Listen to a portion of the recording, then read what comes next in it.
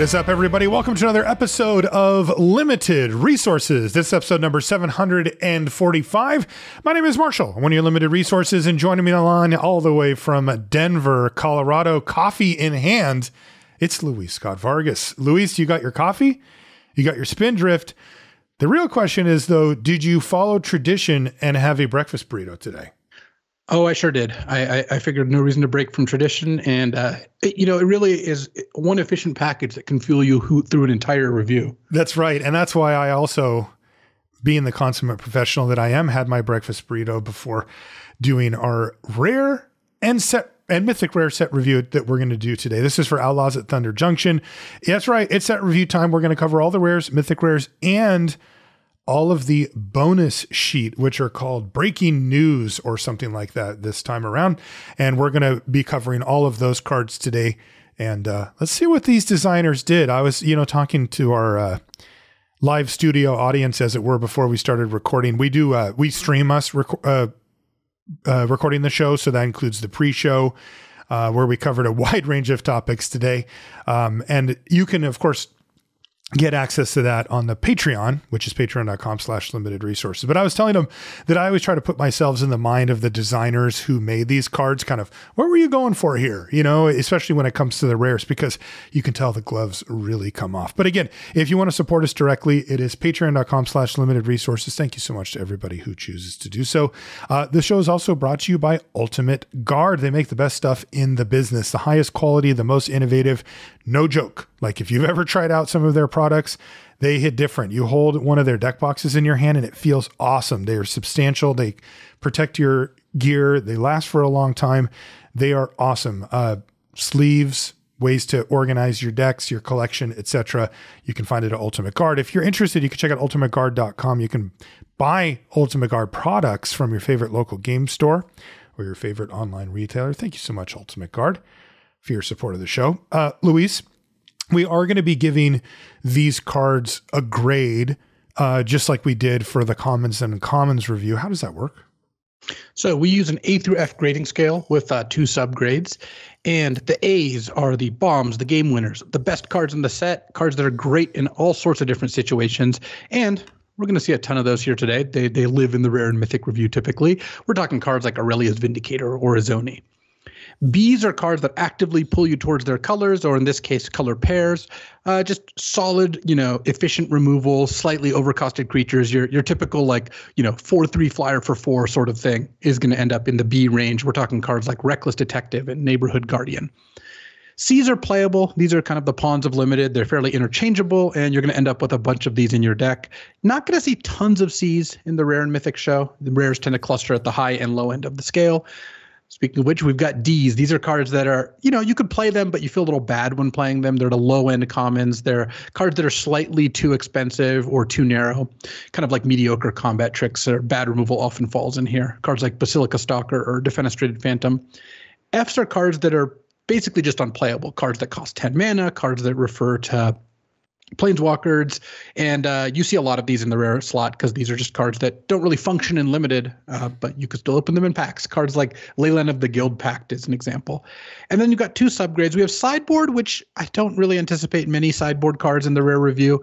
Uh, these are cards that you wouldn't main deck but can be pretty good out of the board cards that like pick your poison. Though I- have kind of changed my view on that one in retrospect. I think that's actually just a main deckable card.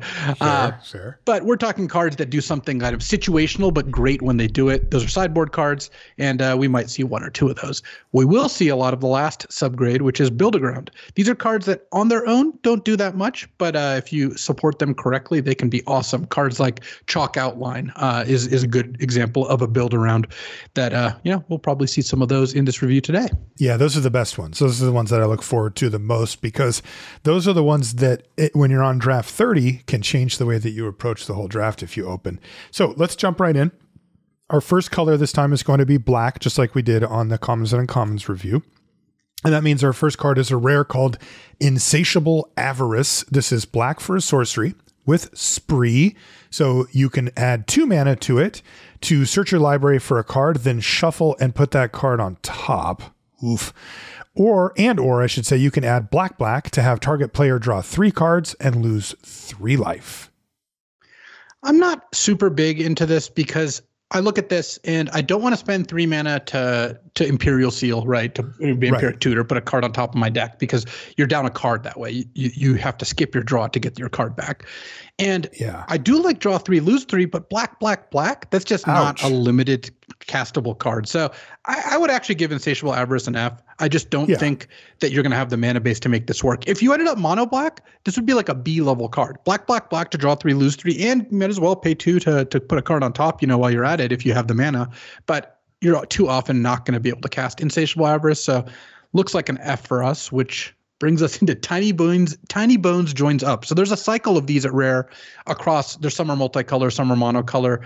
They're all the different legends in the set joining up. They all are enchantments that are legendary that have a triggered ability that then when a legendary creature enters or does something or, or whatever, they have a second ability that keys off legends. So this one costs a single black mana at rare for a legendary enchantment that when it enters the battlefield, any number of target players each discard a card, which basically just means one black, your opponent discards a card. Okay. Mm-hmm mediocre start, but at least you get your card back. And then it, second ability is whenever a legendary creature enters the battlefield under your control, any number of target players each mills a card and loses a life. So this is an F. I, I yeah. yes, it commits a crime when you play it. So I, I guess maybe it's like a D because in a deck that really wants to commit crimes, one black, they discard a card, commit a crime is passable, but not very good. And then I'm not really counting on my legendary creatures ETBing and, and pinging them for one. That's just right. not a big part of the card. So I'd really only play Tiny, Bo- Tiny Bones joins up if I was hell bent on committing crimes and didn't have enough ways to do it. But I would look at most ways past that. Yeah. Uh, what about Tiny Bones the Pickpocket? the legend itself. Uh, this is also a single black mana for a legendary skeleton rogue, so it's an outlaw. It's a 1 1 death touch. And whenever it deals combat damage to a player, you can cast a non land permanent out of their graveyard and spend any kind of mana for it. So you have to sp- pay the mana. Ooh. Yeah, this card's totally fine. One mana for a one one death touch that is an outlaw and a legend, which does matter. Both of those things in this set is fine. And then they have to block it because if not, you get to cast a spell. Like you're not often going to get in for actual damage with this, but the threat of it will make them either block with something they don't want to block with or leave multiple creatures back. Because if they leave one creature back and you're like, kill your creature attack, cast something out of your graveyard, like that's a pretty big blowout. So well, and, I would actually that, give Tiny Bones a B. I would too. I, I mean that that sequence that you mentioned is actually you know pretty like especially if you can set up end step kill your creature, then attack you, cast that creature, right? Yeah, I mean you or play a cheap enough spell that you could do it do both all in the same turn. Yeah, it has to be a non-land permanent card. So we're mainly yeah. talking about creatures that you're going to be getting back, but I mean that's what you want back anyway. I like B for Tiny Bones the pickpocket as well. That's great. Um, plus, uh, you kind of already had me at black for a one-one death touch. Like I've already played those anyway. Uh, next is Caustic Bronco. This is one in a black for a two-two snake horse mount at rare. Oh, and by the way, Tiny Bones, the pickpocket is mythic. So that's worth noting here. There's right. only two mythics out of there. Uh, but Caustic Broncos, one in a black for a 2 2 snake horse mount at rare. And whenever it attacks, reveal the top card of your library and put it into your hand. You lose life equal to that card's mana value if Caustic Bronco isn't saddled. Otherwise, each opponent loses that much life, and the saddle cost is three. Boy, if you could just get this. Wait, it's when it attacks? Yeah. So Caustic Bronco is actually really, really sweet because that's awesome. It's not when it's saddled, you do the whole thing. It always gives you the top card. It just, if it's saddled, they take the damage. If it's not, you take the damage. But I'm just casting this on turn two, attacking them on turn three, and like, yeah, maybe I'll take five damage, but that's fine. Yeah. And most of the time, you know, you're going to take less than that. Like the average CMC of your deck is going to be between a one and two, which means it's going to be a lot of zeros land and then some like fours and fives. But yeah, you still will be able to do it. And then in the late game where the life loss really matters, you can saddle it, and then all of a sudden they're the ones under the gun. So I would give Caustic Bronco a B plus. Like I think that definitely at any point in the game when you cast this is going to be good and late in the game, maybe you just send this in, draw your card, they take some damage, hopefully, and then you lose this, even a chump attack. You're still even on cards and maybe up on damage. Yeah, and there's also some nice lines of play that you can do. You know, you attack with it, you get the card. That could be the removal spell that you need to get it through. If they have multiple blockers, this is the tip, you know, for if you're playing against this card it definitely makes sense to multi block it, not just say, oh, I got a 2 2, sure, we'll trade. Because there is a world where they get their card off of it, then they let you block the 2 2 with another 2 2 or whatever with anything. And then they kill the thing that it's blocked with, which then unlocks another attack the next turn. And that could start to kind of get away from you pretty quickly. So I, I would be apt to put multiple creatures in front of this um, to make sure that it dies, even if they have one removal spell. Because I mean, if Caustic Bronco, Bronco gets to attack twice or three times, like you're going to have a huge advantage over your opponent, even if you took the damage. Uh, next is Vadmir New Blood. This is one in a black for a 2 2 legendary vampire rogue at rare. And it says whenever you commit a crime, put a plus one plus one counter on Vadmir. This ability triggers only once each turn. And as long as Vadmir has four or more plus one plus one counters on it, wow, it has menace and lifelink. Yeah, this card is awesome. Dang. It, it, so, you know, I, I did get to play the uh, early access event. It's actually going to inform my uh, opinions on a lot of these cards because I played for about seven hours. I did five drafts, and uh, almost everyone uh, of my friends watched. I, I, I, as far as I can tell, all the ones who really wanted to watch the stream. The, I missed the notification, especially the ones who are just sitting at home working done. on their laptops anyway. I know, I totally was. I'm gonna watch it after. I'm I'm gonna fire up the VOD after we're done recording while I edit this podcast. I'll tell you that right now. Did you have a chance to play with Vadmir? No, but what what what I what I did experience was how easy it was to commit crimes. It is very easy. It's just like in real life. If you want to commit crimes, it's just you know you, you can do it. Like it's th- not there, hard there to do. Maybe it's but. hard to not get caught. But yeah. Uh, so I would look at this and be like, okay, I'm going to play this, and it's not even that playing it on turn two is necessarily what you want to do, though it's fine there too.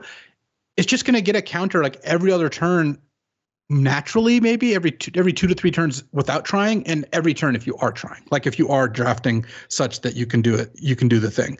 So i i was really impressed by how easy it was between the deserts between like random things like ravenous bloodseeker milling them for two committing a crime all that stuff. So i i would be be happy to to run Vadmir and in any deck and if you draft it of course you also get to build around it. Totally. I th- this card seems like a reasonable base level. It's two two for two, but it's not going to stay that way for long. And this is a total must kill. I mean, they have to kill it. And if you ever get to superpower mode, it's a six six at least menace with lifelink. I mean, that is awesome. That actually gives you a way to potentially draw Vadmir in the later part of the game and still build it up to be something that's going to be very, very relevant. Again, especially if you're a dedicated crime committer. Um, B plus for Vadmir New Blood. Yeah, I would, I would say B plus. Like I think it's it's about the same as the. It's maybe a, maybe a little worse than Caustic Bronco, but not even always. So I, I think that they're both around the same category, which is B plus. Not quite like bomb bombs, but still very good. But first picks and really strong. Uh, next is Kaervek the Punisher, which is one black black for a 3 3 legendary human warlock at rare. And it says whenever you commit a crime, exile up to one target black card from a gra- from your graveyard and copy it. You may cast the copy. If you do, you lose two life. So I, I had a sick sequence with Kaervek where I first I first picked reanimate, which is a busted card. It's on like one of the you know nonsense sheets or whatever. Yeah. And uh, it, it it's a, just an awesome card. This is one black mana for a sorcery, puts a creature into play from any graveyard, and you lose life equal to the cost. But I, but I had to reanimate in my graveyard. I'd used it earlier, and I had Kaervek out, and I go like, play a thing, commit a crime, play reanimate, cast reanimate commits another crime. Oh, because if you reanimate one of their creatures, it it commits a crime. And then I got to play a cheap black creature from my graveyard, and I lost. You know, I lost a bunch of life, but I was already I was ahead, so I was able to just snowball completely. Kaervek is an interesting one. I actually would give Kaervek a build around grade. I think it's like a build around A. Okay. In that if you put enough cheap black cards in your deck, because it doesn't have to be permanents, it doesn't have to be anything, it just has to be black. But but it can be permanents, creatures and stuff. Yeah, you can. You can. You, oh, it you, makes you a can, token. Yeah, you can make. You Whew. can make. So, basically, that's great. Kaervek lets you every time you commit a crime, lets you just cast a black card out of your graveyard. Like that just goes cr- completely crazy, especially with black cards that commit crimes themselves with enough mana.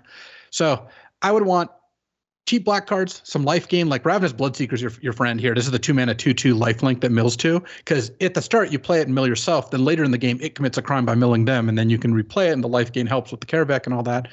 So basically, it's a hugely threatening card that if your opponent casts it, you're going to want to kill it, which you know make makes me think it's it's, you can either give it a B or build around A. It's kind of the same grade where like okay, it's a B in the average black deck. I would typically take and play this if I was playing black, but in a deck aimed to maximize it, it can be really good. Okay, the art is just gnarly on that card too. Uh, next is Rush of Dread, which is one black black for a sorcery at rare. It's it's got spree, and so you can add a mana to have target opponent sacrifice half the creatures they control rounded up. You can add two more mana to have target opponent discard half the cards in their hand rounded up, and you could add an additional two mana to have target opponent lose half their life rounded up. And of course, you can pick and choose, how, you know, one, two, or three in any order or whatever that you want from these. So rounded up is the really important uh, kind of rider on this or like effect because the the sweet spot is always going to be the odds. Because right. if they have two creatures and you cast this, they sack one. If they have three creatures, this you sack two. Right. So that that that's an awesome upgrade. And you're typically not going to want to use both the second and third ability. You're mostly you're most always going to play the first one. Sacking uh-huh. their creatures is like the big ticket here, and then you don't usually want to make them discard and lose their life at the same time. Sometimes you will. If you have all the mana in the world, sure, spend eight mana. But usually it's like either early you want to attack their hand. They have three, four, five cards in hand. You want to make them discard two, three, four cards or whatever. Or well, four cards is hard. Discard two or three cards. Or you want to hit their life total because we're getting to the point in the game where it really helps to to make them lose, you know, five to ten life. But I would look at it mostly as four mana. They sack two creatures on like turn turn four or five, and that's an awesome card. Like if your opponent has this card in their deck, if it's like say game two and you know they have this card, try to trade off creatures as much as possible. Likewise, if this card's in your deck, try to avoid trading off. You want them to stack up as many creatures as possible. Because I mean, if they go two, three, four in terms of curve, and you cast this on turn four and they have to sack two creatures, it's an amazing card. Yeah, it's pretty good. Four mana sack they they sack two creatures is just great. Yeah. And then add add to that, you get to sometimes nug them for some bunch of damage, sometimes make them discard some cards. Like, yeah, Rush of Dread looks like a B to me. I'm just yeah. gonna always be happy to put this card in my deck. Yeah, it looks like a B to me as well. And I really like hitting like that sweet spot at three or five creatures is nice. Next is Pitiless Carnage, which is three and a black for a sorcery at rare. It says sacrifice any number of permanents you control, then draw that many cards. But it also has plot for one black black. Without the plot, I would absolutely not be interested in this because what you want to sacrifice are lands, but it's not really that helpful to sacrifice lands to draw cards right. past a certain point. Because let's say you have six lands in play and you're like, cast this, sack three lands, draw three. Well, how are you going to cast all those cards? Right. And sacking creatures to draw cards is usually not that exciting. But getting to plot this is interesting. What you can do is at some point you plot this, then let's say you have seven lands untapped late in the game, you go float some mana, sack a bunch of lands, and then just try to finish them off with that burst of cards. Okay. That does seem somewhat legit. I, I would still probably start this around the D range. Yeah. But I could see this being like kind of a finishing move type card, especially in an aggressive deck. And if you're making tokens, you can get some mileage too. White black does have like a bit of a token theme. Yeah, it, the plot thing does make it an interesting twist, but the fundamental premise is still flawed. That you're spending a card to then sack permanents, which you either paid mana for or land drops or whatever, and then converting those into cards in hand is, is generally not a winning strategy. So I agree with you. D range for Pitiless Carnage, but eh, there's something kind of interesting there. Uh, last black card is Gisa the Hellraiser, which is three black black for a 4 4 legendary human warlock at Mythic with Ward 2, pay 2 life. So to target this thing, you have to pay 2 mana and 2 life. And then it says skeletons and zombies you control get plus one, plus one, and have menace. And it says whenever you commit a crime, create two tapped 2 2 blue and black zombie rogue creature tokens. But wait, it only triggers once a turn. Are you kidding me? I mean, Gisa's just an A. This is this is you know this is our, this set's version of Grave Titan, where ideally you play this on turn six and just play a desert and then just get your two zombies right away. And at that point, the very bare minimum, your opponent paid two extra mana plus the removal spell plus two life, and you got two two twos out of the deal. And if they can't kill Gisa, she made two three three menaces, and then we'll probably make two more on the next turn. I mean, if you're re- if you're really good at it, you can play this on like turn seven, go play Gisa, play a desert, ping, make zombies. On your turn, cast Skullduggery, make two more zombies, you know, Totally. that sort of thing. So yes, Gisa's an A. Like I, would even just say A plus. Like this, you're, you're not passing this card if you see it early. This is best card in this set territory for sure.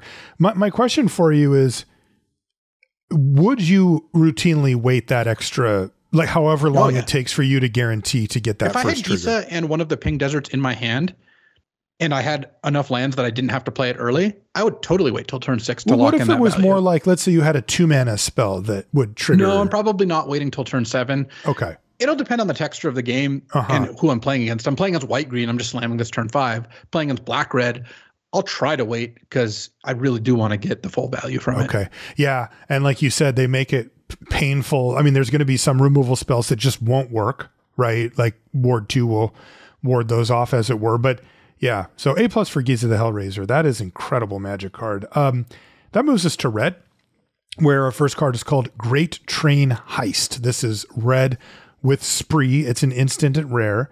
You can add two in a red to untap all creatures you control. If it's your combat phase, there is an additional combat phase after this phase. You can add two mana to have creatures you control get plus one, plus zero, and first strike until end of turn. And you can add an additional red. It says choose target opponent. Whenever a creature you control deals combat damage to that player this turn, create a tapped treasure token. It's a weird card. Yeah, it, it- very flavorful. You get to like rob them. You get- you get some combat, a bunch of attacks, and then you carry off a bunch of treasure. Uh huh. So That's cool. w- when I'm looking at the spree cards, I think one way to evaluate them is like, and this is kind of what I did with uh, the Rush of Dread card earlier. Is there one mode that kind of makes the card legit? And if it i- there is, the other modes can be bonuses.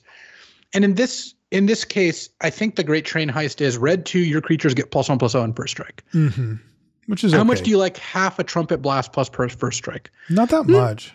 In some decks, it's okay. Just like it's not yeah. amazing, but like in a big combat, it's probably going to wreak some havoc. Also, it's actually really good uh, defensively, like because you can do some Yeah. nice double blocks. Two two twos can double block a six six, and you lose nothing. You know. That's true. That's true.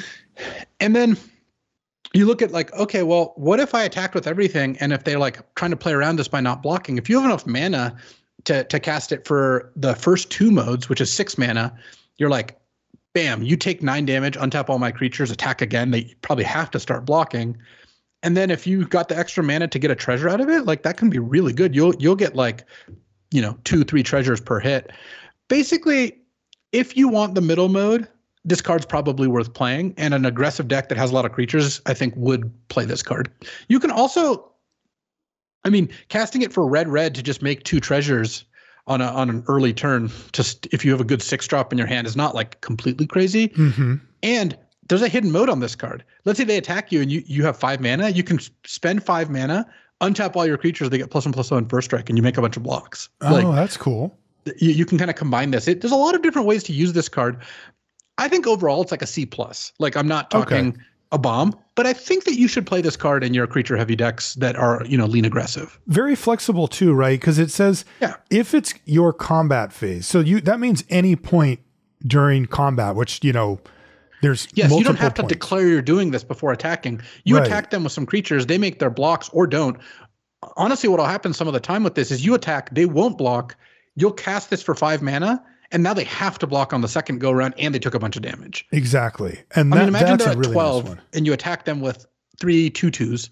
They're like, okay, no blocks. You're like, okay, take nine, Yep, attack you. Now you have to go chump, chump, chump because they're now at three. Exactly. so that's pretty cool, you know. So and then of course you can do it the normal way too, where you go attack with these and they go block, block, block, and you go, okay, here we go, untap everything, give them all plus one, plus oh, and then wipe out their board and then get a whole nother big attack. in Honestly, I've that. talked myself up to a B on this card. Okay. but I think it's I think it's flexible enough for that. But you do have to have a lot of creatures and be fast to get on the board. So like, don't put this in your like red green monsters deck unless you know you, you, you're more of a like two, three, four drop deck than a five, six drop deck. Yeah, and and I mean, look, the fact that you pointed out that you can use this defensively multiple ways also counts a lot because these cards are generally only good if you're attacking and generally only good if you're attacking with multiple creatures, which that doesn't happen every game. You know, sometimes you fall behind or you're losing the race or whatever, but Great, Ta- Great Train Heist gives you just enough flexibility there to get up into the B range. Pretty cool card. Uh, next is Hell to Pay. This is red X for a sorcery at rare. It deals X damage to target creature. Create a number of tapped treasure tokens equal to the amount of excess damage that was dealt to that creature this way. Mm, how do you feel about this card just straight up red X sorcery? See, that's the thing is red X sorcery deal X to a creature is not a card we would consider exciting in this day and age. Definitely not. You're just basically always down on mana. You spend four mana to deal three. You probably spent less than they, they or more than they did. The fact that you can then it unlocks a mode of pay one, put a tap treasure into play because you know this is all, all above their toughness. That doesn't really do much for me. I, I think this card's a C. Like I would put it in the deck because it can kill things, and then like sometimes on turn five you're like, kill your two two flyer, make two treasures. That's kind of nice, you know. But yeah, I but, but none of these scenarios are dreamy, right? right. You, it's not you that feel- exciting. So as as you would say, Hell it, to it pay is doesn't. quite quite the rock rock word for not not a, not not that you know much of a of a death metal card. No, totally. And and you know, I one, one phrase that you like to use that I think is very apt to these type of situations is does it feel like you're getting away with something? And all Right. of those scenarios that you described it doesn't. So C for hell to pay. Uh, next is Magda the Hoardmaster. This is one in a red for a 2 2 legendary dwarf berserker. That means no outlaw, right? I can't remember if berserkers. Hey, Berserker's not an outlaw, no. Yeah, okay. And it's a rare. And it says whenever you commit a crime, create a tap treasure token. This happens only once each turn. And then you can sacrifice three treasures to make a 4 4 red scorpion dragon creature token with flying and haste at sorcery speed. Magda's amazing. That's like insane. Man, man this, again, you pick up treasures pretty easily with this card in play because a lot of things commit crimes, and then it just even without the last second ability, I'd be pretty into this card as like, you know, two mana two two that probably makes a treasure every couple turns or and Mhm. or, or more depending on what your deck's doing. But then all of a sudden, every time you stack three treasures, you just get a four four. Like that that's awesome. So Magda gets a B plus from me, and yeah, in a deck that's really poised to use her, she's close to an A. definitely. This is a hugely threatening card if built around and good, uh, even if not. Uh, what does Slick Shot Show Off do? So there's a little there's a little uh, cheat code for for the set. If it says slick shot, you probably want it in your deck. So uh, th- that, that has been my experience. So Okay. this is one in a red for a one two bird wizard, so not an outlaw. It's at rare. It's got flying and haste, and whenever you cast a non creature spell, it gets plus two plus zero until end of turn, and it has plot one in a red. So the, Wow. most of the time, you honestly are just going to go like play this attack for one, but if you have other cards that combine with it, it's a nice efficient plot card. So imagine you're just like plot this so that uh, I can, you know, get my loan shark to draw me an extra card on turn four, right? I wouldn't mind waiting a turn or two to do that. Or Okay. plot this so that my uh, outlaw stitcher makes a four four zombie on turn four instead of you know instead of a two two. Or what you can do is if and this is going to come up more in constructed because this card is going to see play. You plot this to make it so it's not exposed, and then when you have the turn where you're going to play two non-creature spells, you just pop this in, play those two, and just get your five points in. What that does is, yes, you miss out on maybe one or two damage from when it would have been in play attacking, but you lock in that like big hit where while they're probably tapped out or unable to deal with it. I see. So when in in for our purposes, when I see the plot, it's actually how can I use this to affect other cards where in and it itself is actually just better on the battlefield on turn two attacking. Yeah. And okay. my experience, because I drafted the plot deck twice, actually, that's the only deck I drafted twice. It's really good, and there's a lot of cards that synergize with it. So I would be happy to play this card. Like I'm, I'm, I'm totally in. I think Slick Shot Show Off is a B, and that's it's not quite a build around because I think you're just going to play this most of the time. But there are, you know, there are things you can do to make it better. Obviously, having plot synergies, having having non-creature spells, all that stuff. Man, but plus two plus oh prowess is like on a flyer. Like that's a lot of extra damage coming across, no doubt about it. I mean, this is the type of card that turns combat tricks into like kind of a joke too. Nice card. Slick shot show off gets a B, maybe a B plus. Next is Hellspur Posse Boss, which is two red red for a two four lizard rogue at rare, and it says other outlaws you control have haste. Doesn't give it to itself though. And it says when it enters a battlefield, create two one one red mercenary creature tokens with the pump ability. So I, I both had this in my deck and played against it, and Seems dumb. Much much like what you think when reading the card, it's amazing. So you're going to play this. What what'll happen is you go play this on turn four. Both my mercenaries immediately tap to make whatever my three or two drop that can attack bigger, um, and just smash. And then later, it's just giving all your stuff haste. If there's any way to bounce or raise deadness, you get more creatures. Also, there's just no way to interact with this on a one for one basis with your opponent. Like they can kill this, and you got two one ones for free. Right. Like it, it, it's just not a reasonable card. Hellspur Posse Boss is an A, and you don't have to do anything to make it great, but it is better in a deck with a bunch of outlaws, which kind of naturally happens anyway. Yeah. Uh, these are the types of cards that I value very highly because they can stabilize boards where you're behind, and they certainly put you ahead if you were at parity or ahead. So, A for Hellspur Posse Boss. Next is Stingerback Terror, which is two red red for a dragon. Sweet. It's well, a 7 7 Scorpion Dragon at rare with Flample. It's got flying and trample, and it has minus one, minus one for each card in your hand Ah, wow. And you can plot it for two in a red. Yeah, Stingerback Terror is fantastic. Dang. A Scorpion Dragon sounds sounds pretty scary. That is uh, cool. Yeah. In the natural course of the game, this will get you'll get down on cards just pretty easily, especially if you have this card in your deck. You're probably pushed towards drafting a low curve red deck. And the plot is nice because you don't have to cast this on a turn where it would be kind of small and vulnerable like taking turn three off to plot this and then maybe not even putting it in on turn four, maybe putting it on turn five, it's already going to be like a five five, and it's not hard to get it to, to bigger. So I would just give Stingerback Terror an A. The only thing to note is don't put this in a deck with a bunch of card draw and reactive stuff and slow right. stuff. But if you can avoid doing that, the card is going to be going to be awesome. That is sweet. Yeah, and, and that's a, an A on just raw power, right? Just well, like the good news is we get to go from an A to an A plus because our next card is Terror of the Peaks. Terror of the this Peaks is, is, back. This is a, a reprint. It's three red red for a five four dragon at Mythic Rare. It has flying. Spells that target Terror of the Peaks cost an additional three life to cast. So it's kind of like ward. They would print this as ward pay three life nowadays, but this that wasn't the technology back then. Mm-hmm. Um, and here's the kicker: that would already be an A. Five mana, five four flying that makes them pay three life to target it with spells, not abilities, uh, would already be like an A, maybe A minus if you're feeling com- ungenerous. But the second ability is incredible. Whenever another creature enters the battlefield under your control, Terror of the Peaks deals damage equal to that creature's power to any target, which first of all is just completely ludicrous. It makes all your creatures into flame tongues that can either hit, can even hit your opponent's face. Where you play a four four, it nugs for four to anywhere. This is a set with plot. So when you have this in your hand, you just plot to a creature on turns three and four. You get behind on board. You go down to ten. Turn five, you go Terror of the Peaks. Immediately play my plotted creature, deal three. And immediately play my other plotted creature, deal three.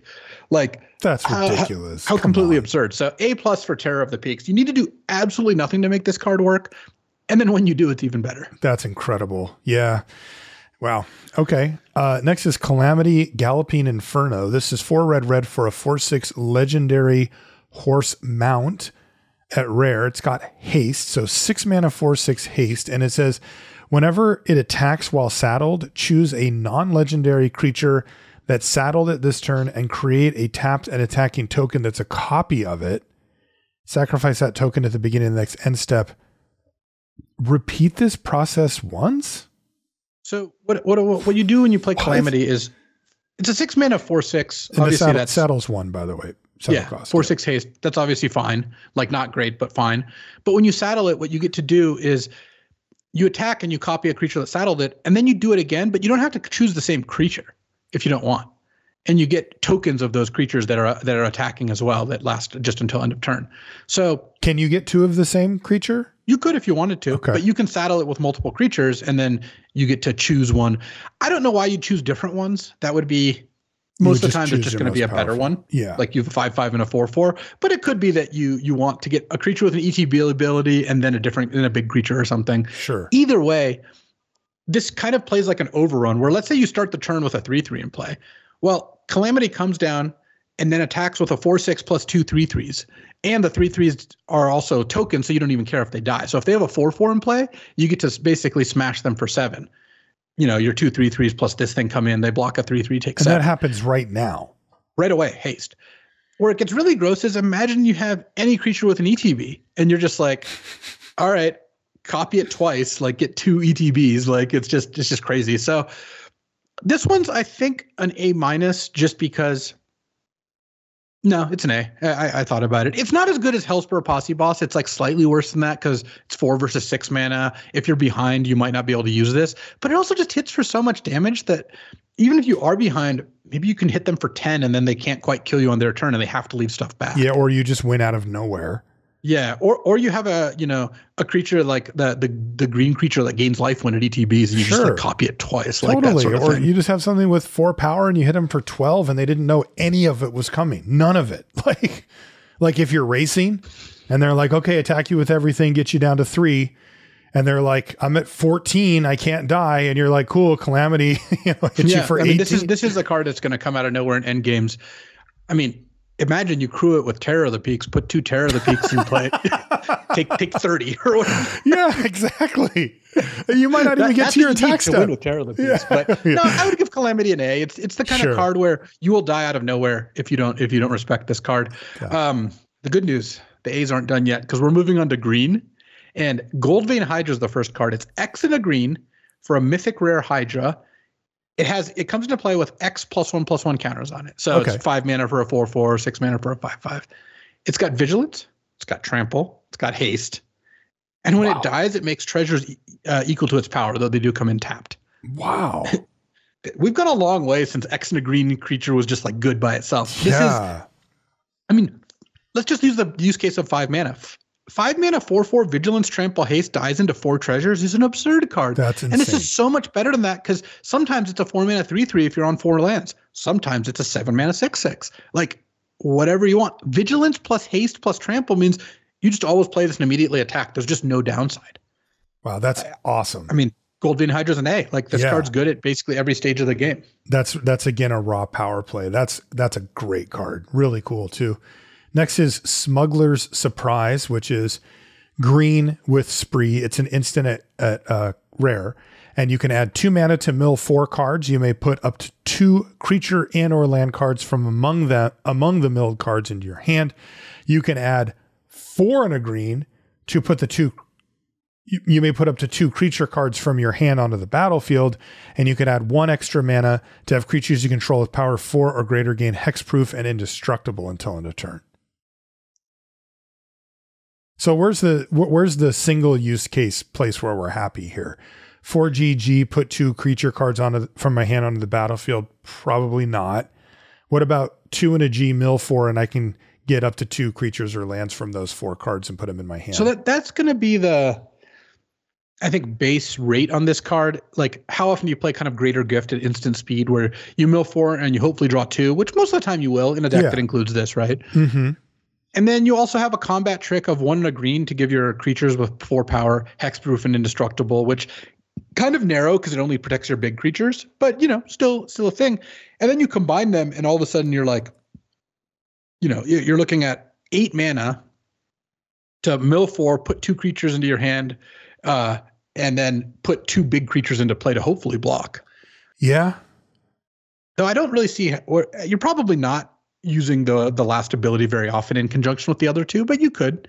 I mean, you could go for I the full nine. well, I could also imagine a trade where like so you use your whole turn, but imagine on turn five or something, they you attack with your four four, they block with their four four. You spend four mana, and you're like, make my thing indestructible, win the combat, and then also just mill my mill these cards and draw two cards. Like, true, it's kind of a decent combat trick. It, so, it is, and and it's not that mana intensive at, at G and three. Like that's not too bad. I think overall this card's probably closer to a C than any other grade. I would just give it a C. But this is the one that like I kind of want to play. Like if you have a deck with a ton of creatures, some some kind of big creatures in your deck, you have a decent amount of four power creatures, like a red green monsters deck that has kind of a high curve. I could see this being a decent support card, but it, it's a lot of situational cards, and most of it doesn't affect the board. So I'm a little hesitant, but I would give Smuggler Surprise a C and say there's room to go above that. Yeah, that's an interesting card, at least. Next is Bristly Bill Spine Sower. This is one and a green for a 2 2 legendary plant druid at Mythic. It has landfall, put a plus one plus one counter on target creature. Nice. And 3GG, double the number of plus one plus one counters on each creature you control. Woo. I mean, this card's just absurd. That's awesome. Like, two minute two two that landfall put it gets a plus one plus one counter is just a great card. That's like Yeah. a B. Yeah. And this gets to move the counters to where you want, which is always great because this card's such a must kill that putting counters on other things just guarantees you'll leave value behind. Mhm. And it just gets to spend five mana to put another two or three or four counters across all your creatures, depending on you know how much work you've done before that. Like Bristly Bill is an A. There there aren't very Yeah. many situations where this is bad. Yeah, when you have seven lands out, none in play, and you top deck this, maybe it's a little anemic. But look at the situation where you draw this on turn seven and have one land in your hand. You're like, play Bristly Bill, play a land, put a counter somewhere, spend five, put another counter somewhere. If I had none to start with, even Right. next turn, if I draw a land, all of a sudden I play a land. Now I have two, two, maybe three counters. Activate the ability. Just it went off from almost nothing yes. in the late game, and on turn two, of course, this card's just unbeatable if they can't kill it.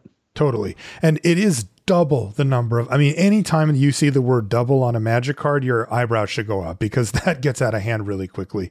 Yeah, I like A for Bristly Bill Spine Sower. That Great card. I'm. I'm putting this one in the vintage cube. I actually, Mhm. uh, I'll probably talk a little more about it in the sign up, but I have a lot of cards I want to put in the set from the cube. It's about 20. Sweet. It's- wow. that's oh, that's most of any set that I can recall. That's awesome. Next is Freestrider Lookout. This is tuna green for a 3 3 human rogue at rare. It's got reach.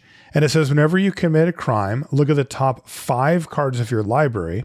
You may put a land card from among them onto the battlefield tapped, put the rest on the bottom in a random order, and this ability triggers only once each turn. Fantastic card. That's- three that's minute, three three reach is already just playable card. You know, one I'd be be all right with. And then every time you commit a crime, you get a land into play. You're going to thin out your deck pretty quickly because this puts your cards on the bottom. So pretty soon you're going to loop back around. I'm glad it's random order, so you don't have to keep track of it. I always kind of get annoyed because this card can go through your library. You, this card could trigger like four times pretty Yeah. easily. So How I do you feel about plus. it being green? Like, because the other Well- cards we've seen that are crime committers have been red and black. Yeah, it's going to make it a little bit harder, uh, but there's still plenty of ways to commit crimes. The deserts Mm-hmm. alone, like turn 4 I mean, just think about this turn four play. Turn four, play this, play a desert, put a land into play. Like you just ramped and got an extra card. Yeah. And and you're the only thing it's asking you is that you play a three three reach for three. Like you'd already kind of want that anyway. What do you like for a Freestrider Lookout? Like B plus? Yeah, I like B plus for the lookout, Next which is brings us to Ornery Tumblewagg. So I was very mad Tumblewagg. It's two and a green for a two-two brushwag mount at rare. At the beginning of combat on your turn, put a plus one plus one counter on target creature. Awesome. We could stop there. I mean, two and a green for a two-two Luminarch aspirant, right? Like just, just amazing.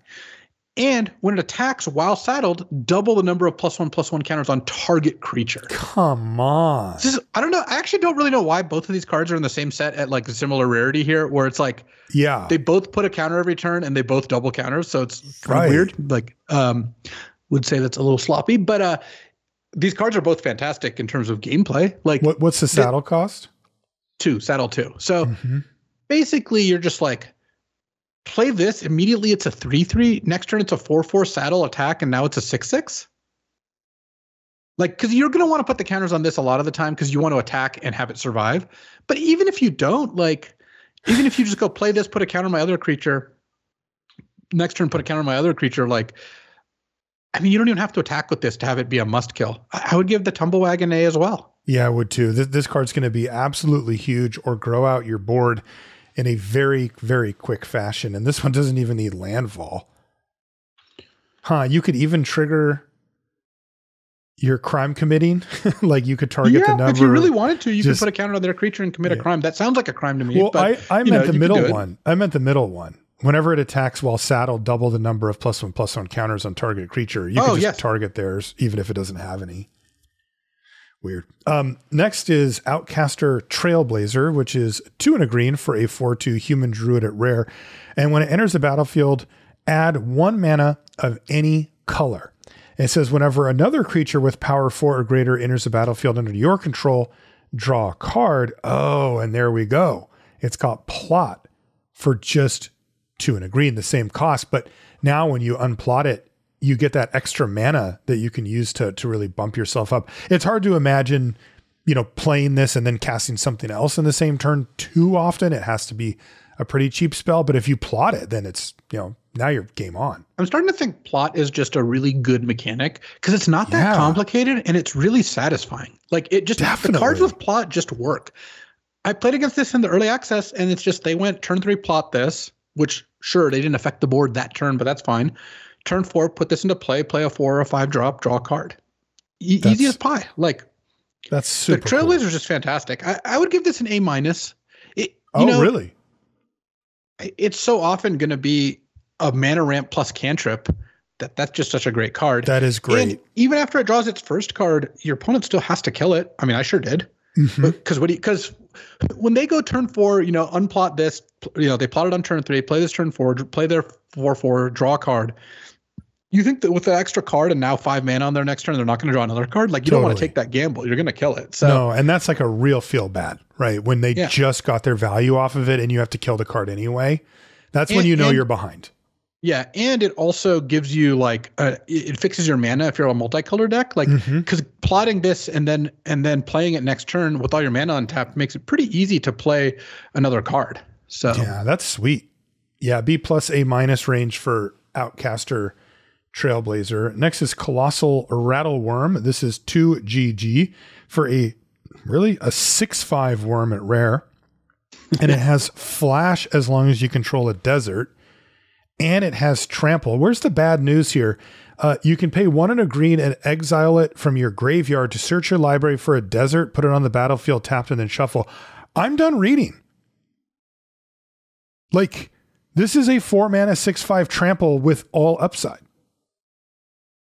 I, I was waiting for minus one, minus one for each, blah, blah, blah. And then you know you have to get these deserts in to make I mean, it full I, uh, size. This is just I've seen the up. other other rares in the set, so I wasn't waiting for that. like wow, the, the, cards are just pushed now. I mean, this is this is going to be one of the leading contenders for like the game ends on turn four when you attack with your you know four three, and they're just like rattleworm block. Oh, when your green opponents on. play nothing on turn four, get a little suspicious, and then it even is just like when at some point after it dies, you just go get a, a desert which commits a crime like this this card is just just just really really strong. So I would give Colossal Rattleworm an A. Me too. You know, even if you don't have flash, even if you just put in your green deck with zero deserts and it can't even use the other ability, you're just casting on turn four. What, what, what's the downside? It's a four mana six five trample. So that's just incredible. That's also very difficult to kill. Like five toughness is a lot. Wow. A for Colossal Rattleworm. I'm still waiting for the other shoe to drop on that thing, but I guess worms don't wear shoes. Next is Railway Brawler, which is three green green for a 5 5 Rhino Warrior at Mythic Rare. It's got reach and trample. And it says whenever another creature enters the battlefield under your control, put X plus one plus one counters on it, where X is its power. Are you kidding me? And this thing has plot for three green. what? And what? so, first of all, the plot's cheaper than the cost. But second, you just go turn four, plot this, turn five, play this, play any creature, and you have a 10 10 and a 5 5 and play. It's just a joke. The green crazy. The green rares, I mean, look look at there's eight green rares, and it's like A, C, A, B plus, A, A, A, A, basically. That's incredible. And actually, I think Railroad Baller is actually an A plus. Like I think it is it is literally an A plus because it's a four mana five five reach trample that that just drops four or five plus one plus one counters, and that's assuming you played one creature. Imagine you get play two creatures after playing this. Like, imagine you plotted a creature on turn three, and then turn four you plot, and you're just like, all right, again, I'll take a bunch of damage. I'll get behind on board. Now I have 20 power on the board, literally, because your the three drop you plotted comes in, the four drop you plotted comes in. One's a six six, one's an eight eight, and then you have this. That's unbelievable. And the only window that they have to not have this completely destroy them is you plot it, you play it, it's on the battlefield, and then they put another creature on the stack, and they have to have an instant speed way to kill a 5 5. And then they kind of get out of it. Yeah, I mean, it's and, and it's a really one realistic. for one. It's not like they're ahead. that yeah. is incredible. Yeah, a a plus for Railway Brawler. what the? Yeah. Um. Let's move to white. I can't take any more of those green rares. Good lord, that worm I still waiting for the bad news on that thing. Um, first white card's called Final Showdown.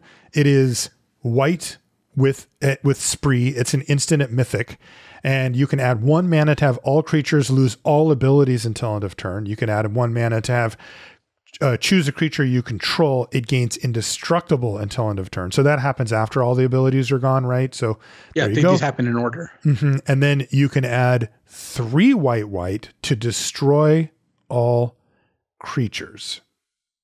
This card's another bomb. Uh, I, I, played against this and I didn't really know about it. Uh-huh. And my uh-huh. opponent just cast an instant speed wrath. I'm like, what? like six mana to, to destroy all creatures at instant speed is pretty sick. But the real disgusting part is seven mana, destroy all but one creature. It's Duneblast. Yes, instant speed. Instant Dune speed Blast? Duneblast. And if you really need it to, it can be a two mana give a creature indestructible, or or a two mana creatures lose all abilities, which that one's not going to come up so often, but every now and then it'll, it'll do something kind of neat. Like you could cast this on the stack. Uh, oh no, I guess it doesn't. It doesn't stop an ETB because it's not like dress down, which stays in play and does this. So you can't stop oh. an ETB with this, but you can you can stop a lot of other stuff. And definitely, mostly this is just the Duneblast effect. So I would give this an A. I mean, Duneblast is an A. like yeah, but this is instant speed and only one color. Like that's yeah. Wow. Well, I think white, white, white four is probably harder to cast in this format than than Abzan plus four was in uh, in Khans. Be. But anyways, final showdown gets an A, and uh, that leads us to a better white card actually, Dust Animus. it's one and a white for a two three flying spirit at rare. If you control five or more untapped lands, it enters the battlefield with two plus one plus one counters and a lifelink counter on it, and it has plot one and a white. Oh my! Are you serious? So this I, I, got to play with this one. It was nice. You you just plot this on turn two, and then on turn five you get a four five lifelink. That's it. With There's, flying. With flying. And if you draw this in the late game and have seven lands, you just tap two of them and play it, and you still get the four five lifelink. It's a two mana four five flying lifelink. That's crazy. And and then With if the you if you just have like two mana two three flying. right, if you just have like a good aggressive curve out style draw, you can just slam it on turn two and start piling in damage yeah. with it. I would honestly give Dust Animus an A plus. A two mana four five flying lifelink yeah. is just a ridiculously obscene card. It is, and that actually is the type of card that stabilizes tough boards, and of course crushes if you're at parity or ahead. It's even amazing in developing. This is the quadrant theory all star right here. Oh yeah! Wow. Uh, what about High Noon? It's high noon. It's one and a white for an enchantment at rare. Each player can't cast more than one spell each turn. Boo, sounds boring. Yeah. Uh, and then four and a red, sacrifice high noon. It deals five damage to any target. So this is kind of a hoser for the blue red deck because it turns off all their like double spell stuff. Mm-hmm. And then hopefully in your deck, it doesn't really matter. You need to be playing red though, because you want to be able to cash it in later. The card is not good enough unless you can cash it in later, or you could sideboard it in against a good blue red deck. They'd have to have a pretty good deck with like a lot of the cards that function off two spells. But if they do, this card could turn off a decent amount of those. Would you main deck it? I would not main deck it field? unless I was red white. But if I was red white, I, I would consider it. Okay. Is this the rare sideboard card? Maybe it is. Um I, I, I consider it both a sideboard card and and not like it is a sideboard card, but you could also main deck it in a red white deck. Yeah, I mean it has to. You have to be able to pop it, right? There's just yeah. no situation in limited where you're going to even sideboard this in uh, if you can't pay the red. I, I would give it like a sideboard C or something. I mean, you're you're never getting anything amazing here you, you could shut off some aspects of one of the decks, but they can still cast spells. It's not like you're they they can't win or something. And then you know the paying five extra mana or whatever is kind of tough. Yeah, I would say it's like a sideboard B though. Like okay. if you're red white and you sideboard this in against blue red, I feel like you're going to get a lot of mileage out of it. I suppose this is not one of the cards that you're excited to put in your vintage cube. no, no, it is not. Shuts uh, down everything you want to do. Uh, what about another round? It's a weird one. So it's X X two and a white to ca- to cast sorcery at rare. So okay. if X is one, it costs five mana, for example. Uh-huh. Exile any number of creatures you control, then return them to the battlefield under their owner's control. Then repeat this process X more times. So for two and a white, you can exile all your creatures and then come have them come back. Basically, retrigger ETBs. And then every two mana you spend does it does it again. This looks like an F. I don't really think you're going to build a deck where you want this effect at sorcery speed. Obviously, no. if it was instant speed, that'd be a very different thing. Right. But I'm thinking another round looks like an F to me. I will, I will not take another round. I think so too. It is funny though, and I could see something cool happening with it. Uh, next is Aven Interrupter. This is one white white for a two-two bird rogue with flash and flying at rare. And it says when Aven Interrupter enters the battlefield, exile target spell, it becomes plotted. Weird. And then it says spells your opponents cast from graveyards or from exile cost two more to cast. That's pretty cool. Yeah, this card's pretty good. Like, you know, you you you leave your mana up for this on probably not turn three though, maybe maybe turn three, and just go bam. You know, counter your like spell quote your thing. Uh-huh. And then uh-huh. they can play it next turn, but they have to spend two on it. So it's like kind of like it delays their spell by a turn plus adds two. Plus it just randomly hoses all their other plot cards. So again, this is a card that against blue red randomly could make it so they spend four or six mana over the course of the game, as well as delaying a spell. And it's a two-two flyer for three with flash. So and and also isn't plot sorcery speed only? It is also sorcery speed only. So, so, if you if you plot if you get a combat trick or a yeah. counter if you get a counter spell with this, they can never play it at it's all. It's just gone. It's just yeah. gone. If you get a combat trick with this, you're really making it not that effective. Yeah, interesting. That's a cool card. I mean, it seems pretty powerful and also just really cool. Would you uh, like a B for Aven Interrupter? I would give B, B for Aven Interrupter. I think I think yeah. it's a good one. Uh, Claim Jumper. This is two and a white for a three-three rabbit mercenary at rare. It's got vigilance. And when it enters the battlefield, if an opponent controls more lands than you, you may search your library for a plains card and put it onto the battlefield tapped. Then, if an opponent controls more lands than you, repeat this process once. If you search your library this way, shuffle. Basically, it catches you up, and then if you're still not caught up, it tries to do it again. So if they have five lands and you have three, you you go get two planes, which is That's, nice. It's kind of cool. I mean, even just on the draw, casting this as a three mana, three three vigilance that goes and gets a plains is great. That's really if, good. If you end up in a situation where they have multiple more lands than you, you could even get multiple lands off this. I like B for claim jumper. Just Me a really too. solid card. Yeah, and, and if you're on the play and, the, and you're not getting the bonus, you're still getting a reasonable three three vigilance for three. Next is fortune Loyal Steed. This is two and a white for a 2 4 legendary beast mount at rare. And it says when it enters the battlefield, scry 2. So 3 mana 2 4 scry 2. That's pretty good. Saddle cost is 1. And it says whenever it attacks while saddled, at the end of combat, exile it and up to one creature that saddled at this turn, then return those cards to the battlefield under their owner's control. Nice. You know, this is the perfect stats for that, right? Not only do you get the Scry 2 again, but a 2 4 on blocks is nice, and a 2 4 on attacks is kind of tough to, you know, it takes usually multiple creatures. That's a really cool design. Humphreys really likes two fours. There's a lot of three mana two fours in the set. There, there's like five or something. He's going. He's going back to the old days. oh, blocking is great. Uh, so yeah, I mean, you cast this three mana two four scry two is just kind of a decent card, not amazing but decent. And then it can blink a creature with an ETB, one thing to note is if you saddle this and attack and this dies in combat, the other creature still will get blinked at the end of the end at the end of combat. Okay. And this, if this survives, it'll basically have vigilance and you get to scry two again. Mm-hmm. So it's got a lot of little value things added up. This makes Fortune a B. It's it's, it's just a solid card. Fortune looks like a B, and and it definitely has the ability to be one of the better cards in your deck if you can. Uh, you know, if you could really go off with it. Uh, next is one last job. This is two and a white with Spree. It's a sorcery at rare. Its Spree costs are plus two, return target creature card from your graveyard to the battlefield. Okay. Uh, plus one, return target mount or vehicle card from your graveyard to the battlefield. And plus one, return target aura or equipment card from your graveyard to the battlefield attached to a creature you control. And again, these do happen in order, so you could attach it to something that you brought back. Interesting. So you know, the two and a white plus two plus one. So the first two modes is six mana, but you could get back effectively two creatures. You could get a mount and a creature from your graveyard to the battlefield. Basically, the way I look at this card is in a deck without mounts or vehicles, it's like a D. Like I'm just not interested in five mana bring a creature back.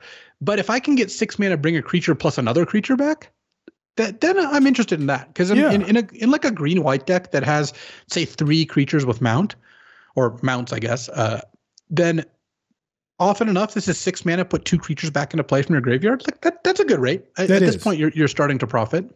Definitely. And if you, you know, happen to have a bomb or something, you know, one last job goes up a little bit as well. I, you know, this still looks like a C to me, like not an absolutely amazing bomb or anything, but you know, a solid C for one last job. What do you think? I would say it's a D or a build around B. Like in in a normal deck, it's a D and I don't want to play it. In a deck that I can build around it, it's like a B. Like if you can if you can put this into a good green white mount deck, then I would. I, this is going to be like in your top, you know, eight cards or so for sure. Uh, last white card is Archangel of Tithes. This is one white, white, white for a three-five flying angel at Mythic Rare. Buckle up. As long as Archangel of Tithes is untapped, creatures can't attack you or planeswalkers you control unless their controller pays one for each of those creatures. And as long as Archangel of Tithes is attacking, creatures can't block unless their controller pays one for each of those creatures. God, that's annoying. Really annoying ability, but the triple white is such a beating. That like, is really tough. If this costs three in a white, this card would be an A. As right. is, I think it's like a C because you're not casting this. It, let's say you play like 10 plains and seven islands or something in your blue white deck. You're still not casting this on turn four very often. You're no. casting it on like turn six. Yeah. And that just puts you into a spot where the abilities get weaker and weaker as the game goes on. So I, I would say Archangel of Tithes is kind of like a build around B, where if you can build a mana base with 11 or 12 plains, then yeah, the card gets to be A range. In the average deck, probably uh, you probably still play it because a three five flyer is still good on turn six or seven, but it gets a lot worse. So I would just call this a build around. The build around being how do we get three white mana? The mana, yeah. So nice one, Archangel of Tithes. It combines That's, nicely with that black card that puts a four cost creature into play. Like yeah, in, yeah. in black white, you can pay four mana to tutor up and play this card. Like that is actually pretty good. yeah, cheat this into play. Now you're talking business for sure. All right, that's going to do it for white. And that'll move us to blue. Our first blue card is three steps ahead. It's blue uh, with spree. It's an instant at rare, uh, and its spree costs are plus one in a blue to counter target spell, so you get a cancel. Uh, plus three to create a token that's a copy of target artifact or creature you control at instant speed. Uh, and then plus two, draw two cards, then discard a card. Wow. That's going like to go this. in the cube. That's a cool card. Yeah, it's on my list. Uh, I'm not sure if it'll ultimately make it. But uh, so for limited, the baseline of cancel is on the weaker side for most formats. you, mm. you usually don't want to play it. But this isn't just cancel, it's cancel or three in a blue, instant speed, make a token that's a copy of one of your own creatures, or blue into two, draw two, and discard a card. And then of course you can mix and match and combine them all. I mean, if you if you spend the full eight mana, then you're, you're probably just going to blow them out because you're going to yeah. counter their spell, make a creature, draw two, and discard a card. But even just imagine six mana, copy your four four, draw two cards, and discard a card. As like you built your own Muldrifter there. Yeah, that's really good. Um, and then it's always got that cancel buyout of like, if I need to, I can use this to counter their spell on turn six. So I think three steps ahead. I would honestly give this like B plus A minus level card just I because it's flexible, it's powerful, and it's got modes that are good at pretty much every point in the game. The weakest part is if you don't have double blue early and you can't, you know, leave up the cancel mode and then it's kind of stuck in your hand. Maybe you don't have a good creature to copy. But if you don't have a creature and you have the mana, you can just cancel, draw two, and discard a card. Five mana to counter a spell, draw two, and discard a card is also good. Like, yeah, there's no combination that's not good here unless you're like in desperation casting three mana, draw two, discard. Right, and they also were very merciful with the mana. It's blue, and then if you want to counter, it's an additional blue. But the other two modes do not require more blue. Like they could have easily made it two in a blue for the create a token, and then made it like a lot more blue centric. But it's really not like, or at least it doesn't have to be. Yeah, I like B plus A minus for three steps ahead. I can't imagine a scenario where this card isn't decent at least. And the upside of playing it the later the game goes, the better it gets. Even in a creature light deck, wow. treating this as a cancel that you can pay an additional two to draw two cards and discard a card is just great. Is so, already good. I, I, would like to be three steps ahead. I usually am. Um, next up, we've got Archmage's Newt. It's one in a blue for a 2 2 Salamander mount at rare.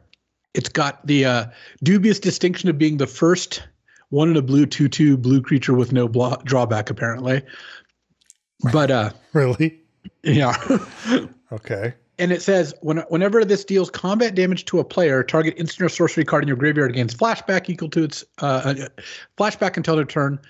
The flashback cost is equal to its mana cost. That card gains flashback zero until end of turn instead if this is saddled and it has saddled three. Okay. This card's just fine. I mean, it's a two mana two two that on turn two is just a two two. It doesn't really have other abilities, but it plays nicely with uh with some cards like the the blue minus one minus O draw card is nice. Mm-hmm. Imagine you play this on two, they play their two two. You attack. If they block, you just cast that draw card, win the combat. If they don't, you can just cast that and then post combat cast it again to draw two cards. Sure.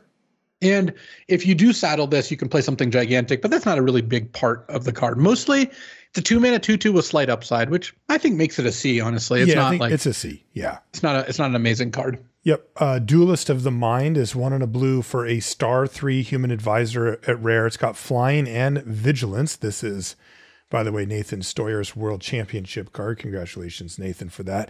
Uh, Duelist of the Mind's power is equal to the number of cards you've drawn this turn. And whenever you commit a crime, you may draw a card. If you do discard a card, this ability triggers only once each turn. Yeah, I've I've been impressed with this card. I got to play with it once, and it's a two mana 03 flyer on their turn most of the time. On your turn, it starts at one three because you've drawn a card for your turn, and then when you attack, they kind of have to treat it as if it was a two three Mm-hmm. because it's really easy to instant speed, commit a crime, draw a card. So they're not blocking this with their two two flyer very often, and um, when you attack with this, you know you sometimes get multiple damage in. Also, just a looter that just sits there and loots every turn you commit a crime is going to a find you more cards that commit crimes and b just increase your overall card quality over the course of the game. While it's doing that it's whacking them for two maybe sometimes three or four a turn if you cast some card draw spells.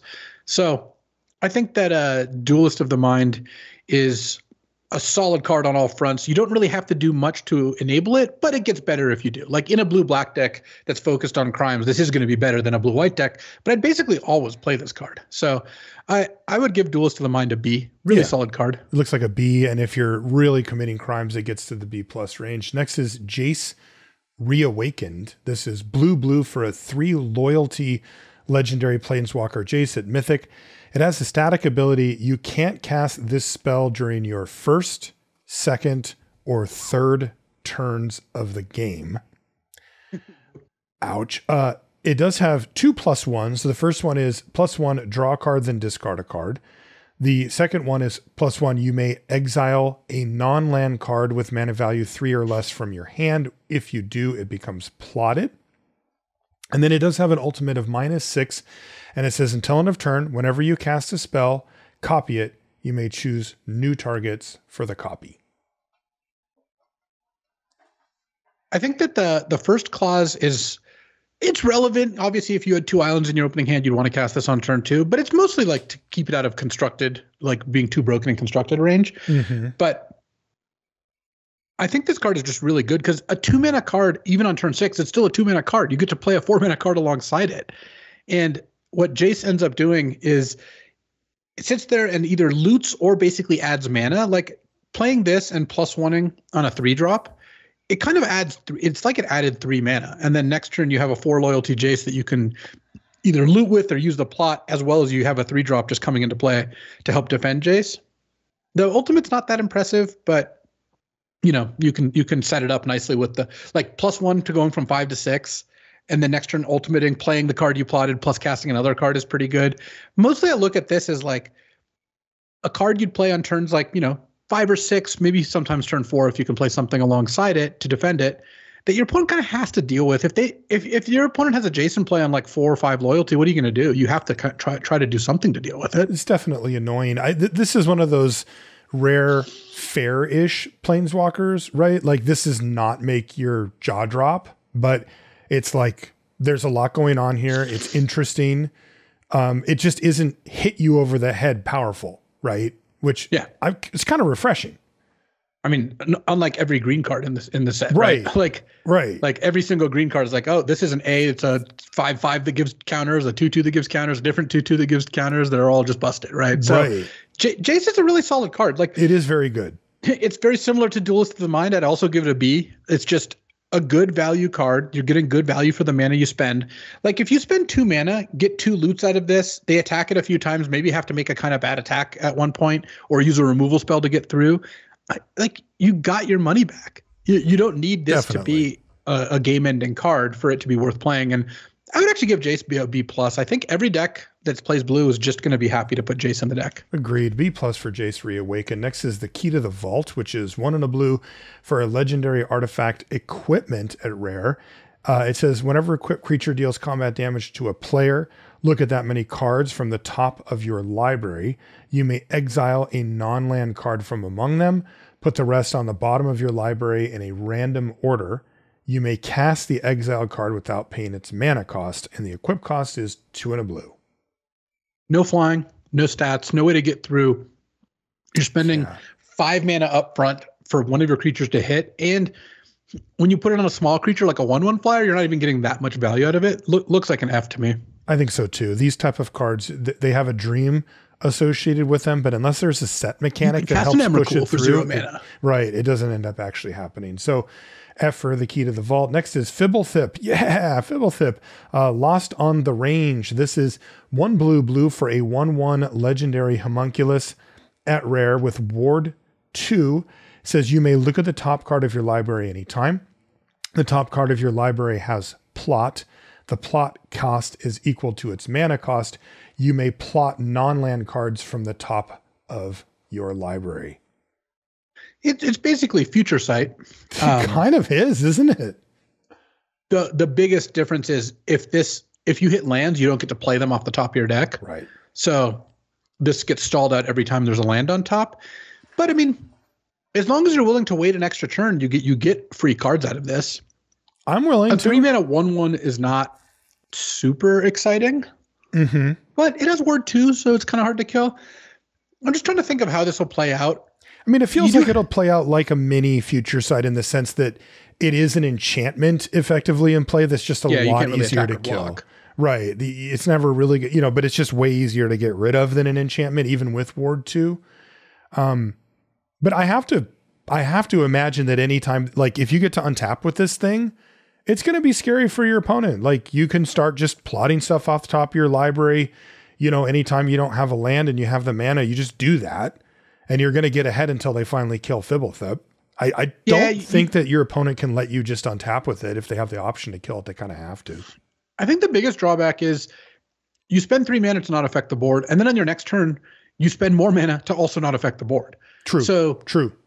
if you can't cast this turn three on the draw that often and expect the game to go well. That's true. So I do think it's a powerful card, and I agree with you. If my opponent has this in play, I'm looking for ways to kill it because otherwise, like, what are you trying to do? hmm But there's going to be plenty of games, especially at double blue, where maybe this card fits into awkwardly. So Agreed. I I, think this is probably closer to a C than a B. I would I would I actually just agree. give Fblthp a C. I would like, too. Look, this isn't more of a feast or famine card. There's cards where you play this, they don't kill, or games where you play this, they don't kill it, and you play three cards off it and it crushed them. hmm And then there's games where you either can't play this, or you have to play it and jump, or you can't afford to plot a card because you're just going to die, so you have to cast a card from your hand. And like th- those are the games where, you know, Fblthp I think loses a lot of value. So I would give a C for Fibble Fblthp. It de- definitely has a dream associated with it, but it's not it's not a bomb. Unlike It will be more situational than it seems. Yeah. Yeah. What about Geralf the Fleshwright? This is two and a blue for a legendary human warlock, so it is an outlaw, a mythic rare. It's a 2 3, and it says whenever you cast a spell during your turn other than the first spell that turn, create a 2 2 blue and black zombie rogue. And whenever a zombie enters the battlefield under your control, put a plus one plus one counter on it for each other zombie that entered the battlefield under your control this turn. So on the first spell, you get nothing. On the hmm. second spell, you get a 2 2. On the third spell, you get a 2 2 that now gets a plus one plus one counter from the previous one. And so you get a 3 3. And then on the next one, you get a 4 4. Wow. But mostly it's turn three, plot something. Or even better yet, turn two, plot something. Like maybe just turn two, plot the tormenting voice. Yeah. Let's turn just three, do it. Geralf the Fleshwright, cast the tormenting voice, make a 2 2. Great. Yep.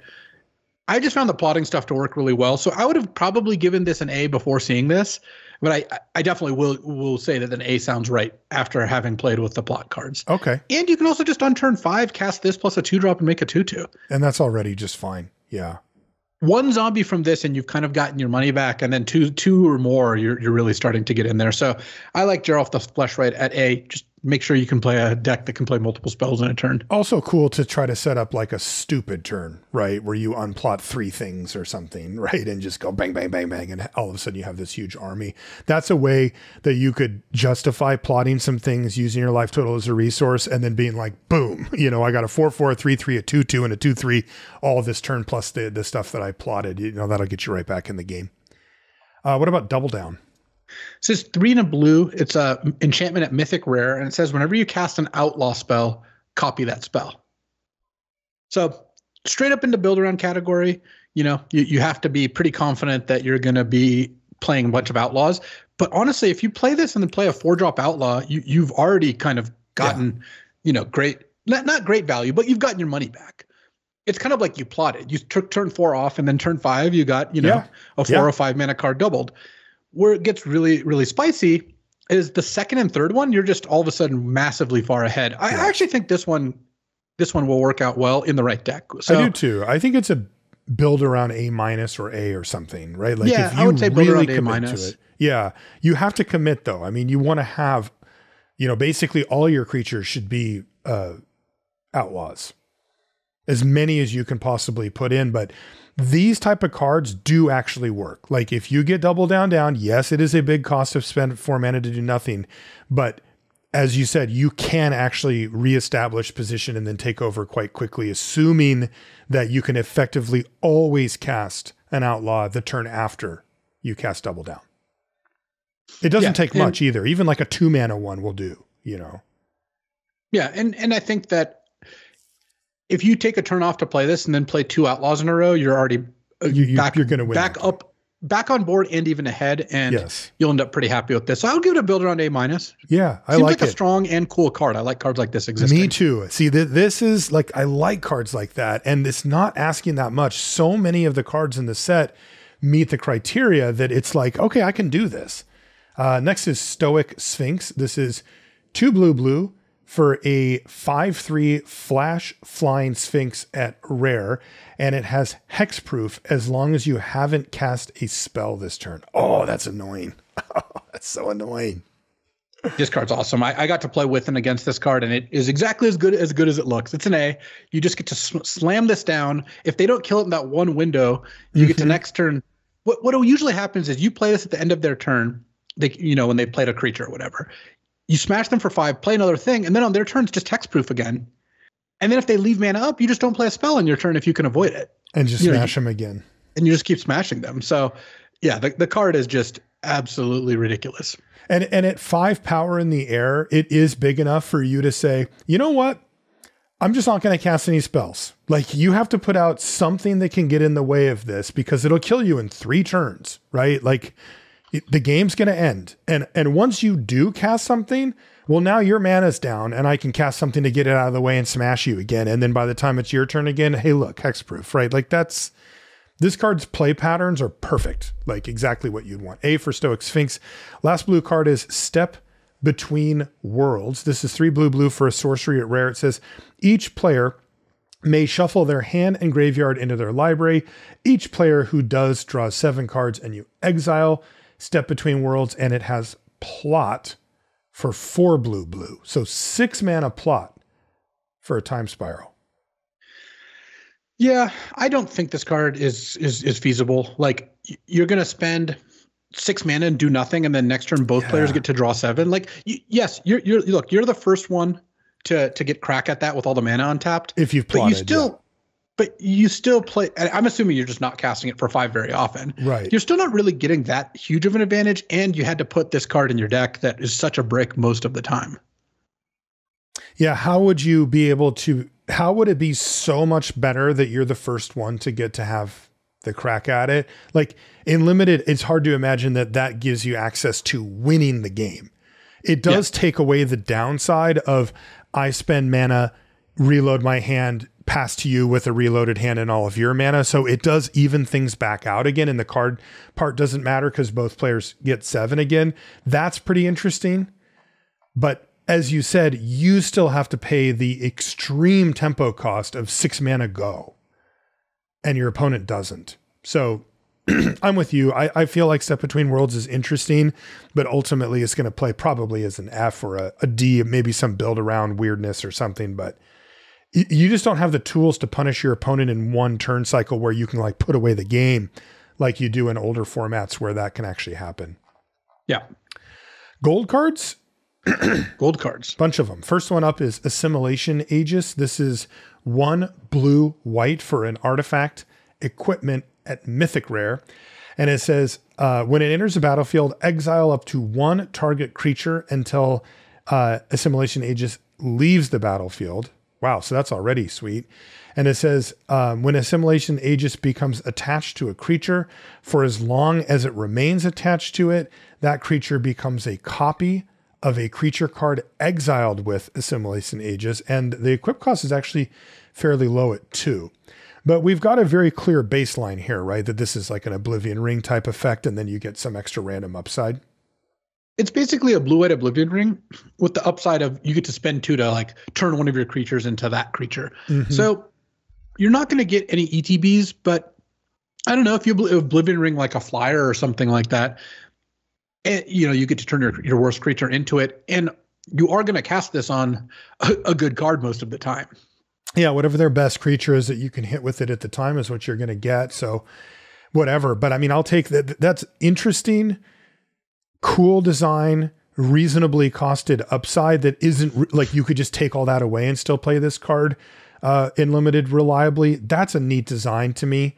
Uh, what do you want to give it? Like the tricky part, of course. So an Oblivion Ring you know, sorcery speed, it's an artifact in this case, three mana to take out something. That usually plays in somewhere like the B minus to B range. But this one does have an upside. Yeah, I think the upside's pretty real. Like so I, like I don't think solid B.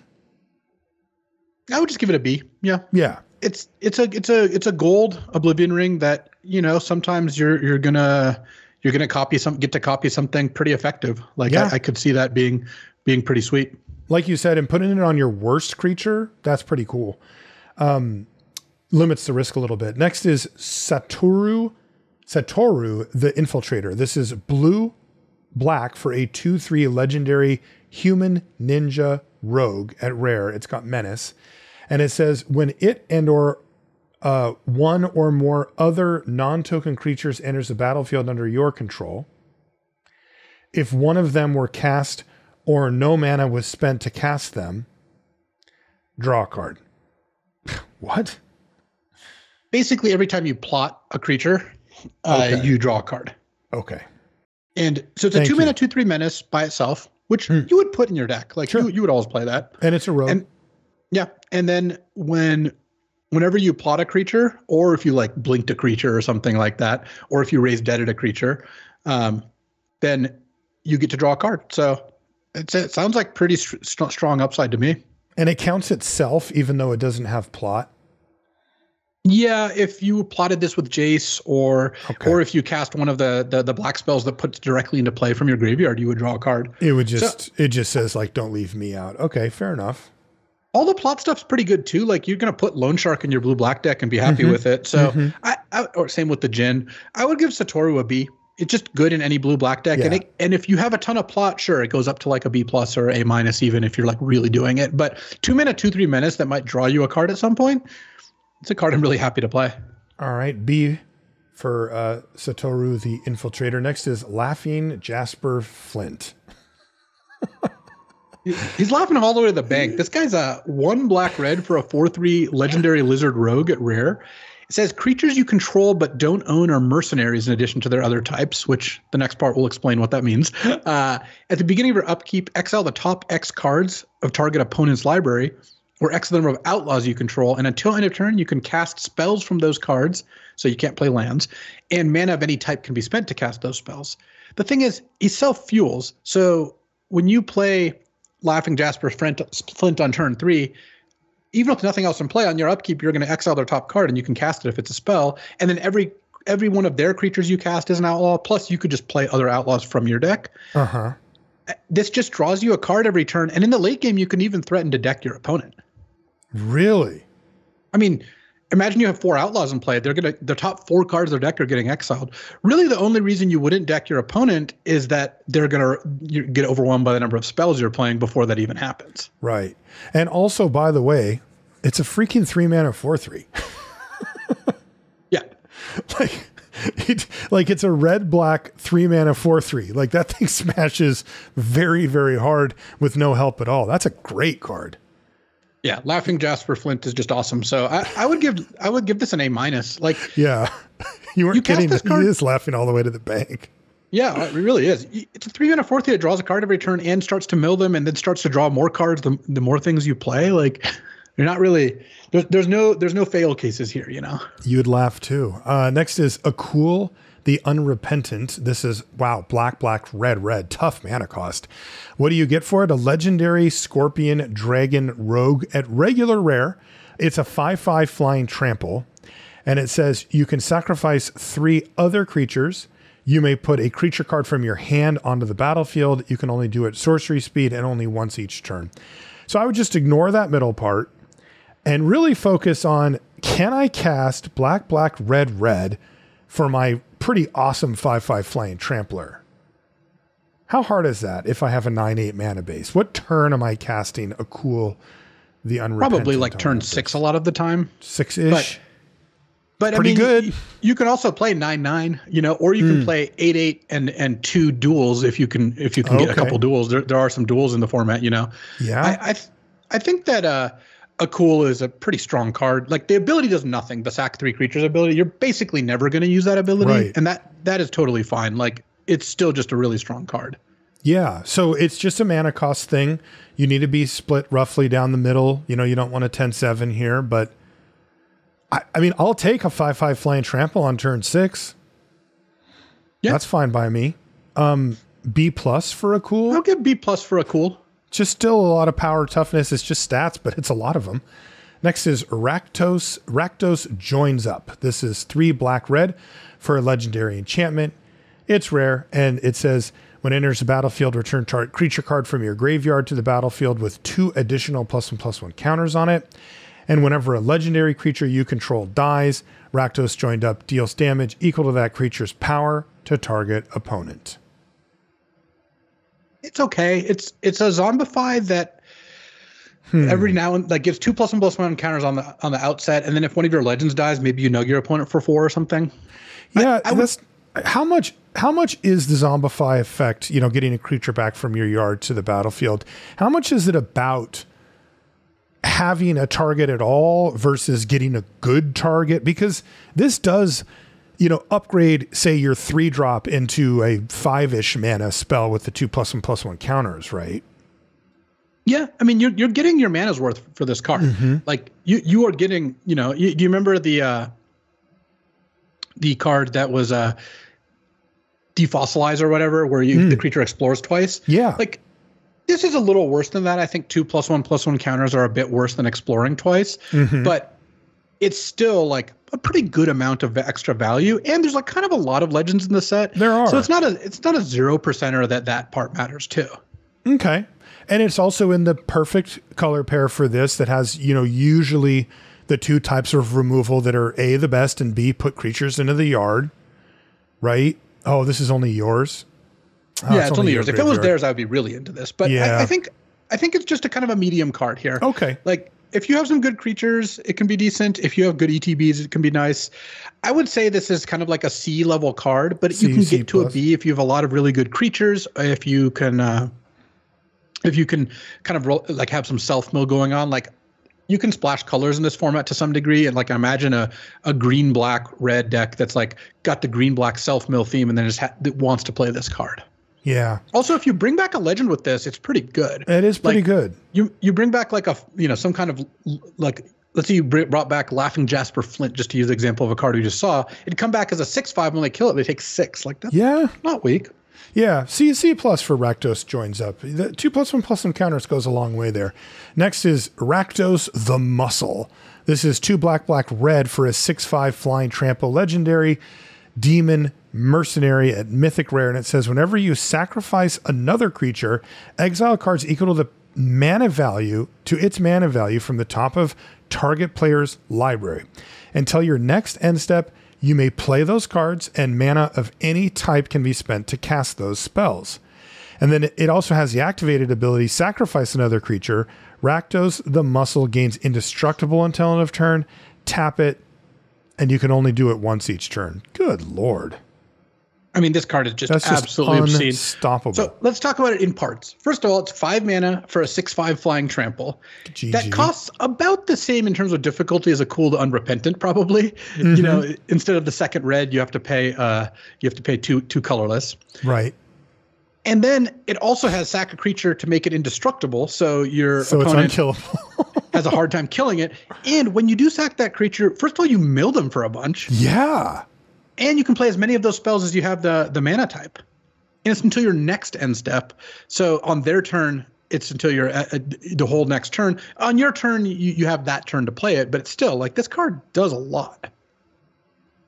I mean, you can spend any type of mana to cast them, and you can play lands. Yeah. So it's just this is kind of one of those ones that does everything you want it to do. Yeah, that's. I mean, assuming black red's playable, that's a front runner for best card in the set right there as well. Yeah, it, very strong. I mean, it, it has all the characteristics you want out of a bomb. It's gigantic. Yes. Not the most expensive. Five mana is not crazy. Really hard to kill, and it has this massively powerful ability if if your opponent doesn't stop you from doing it. Yeah, I like A plus for Rakdos the muscle.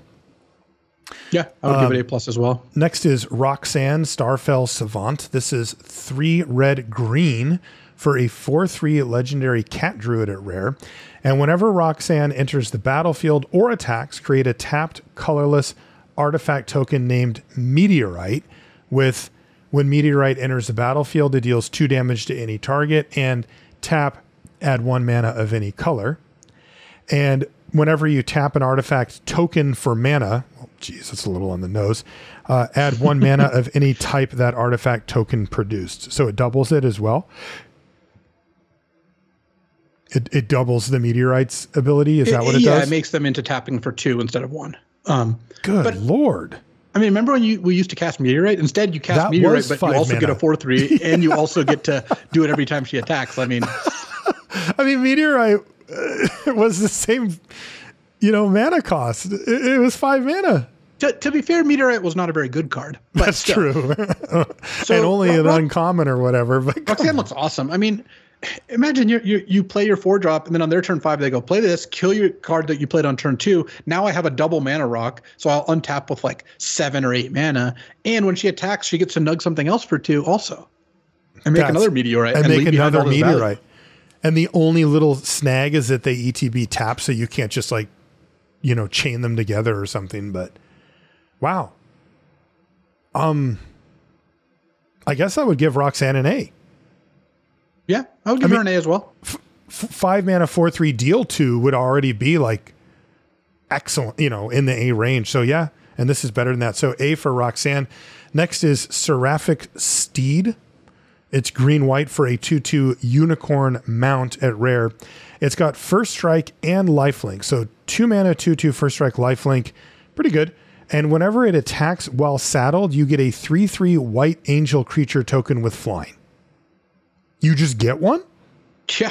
This card is absurd. Like Saddle two mana, two four. two first strike lifelink would be a B. Like mm-hmm. you're just like, okay, great. That's just such a brawler. It uses combat tricks really well, all yeah. that stuff. and then you add to that the the fact that when you saddle it, all of a sudden you're attacking, you get a three three. Flyer. Like, what is going on here?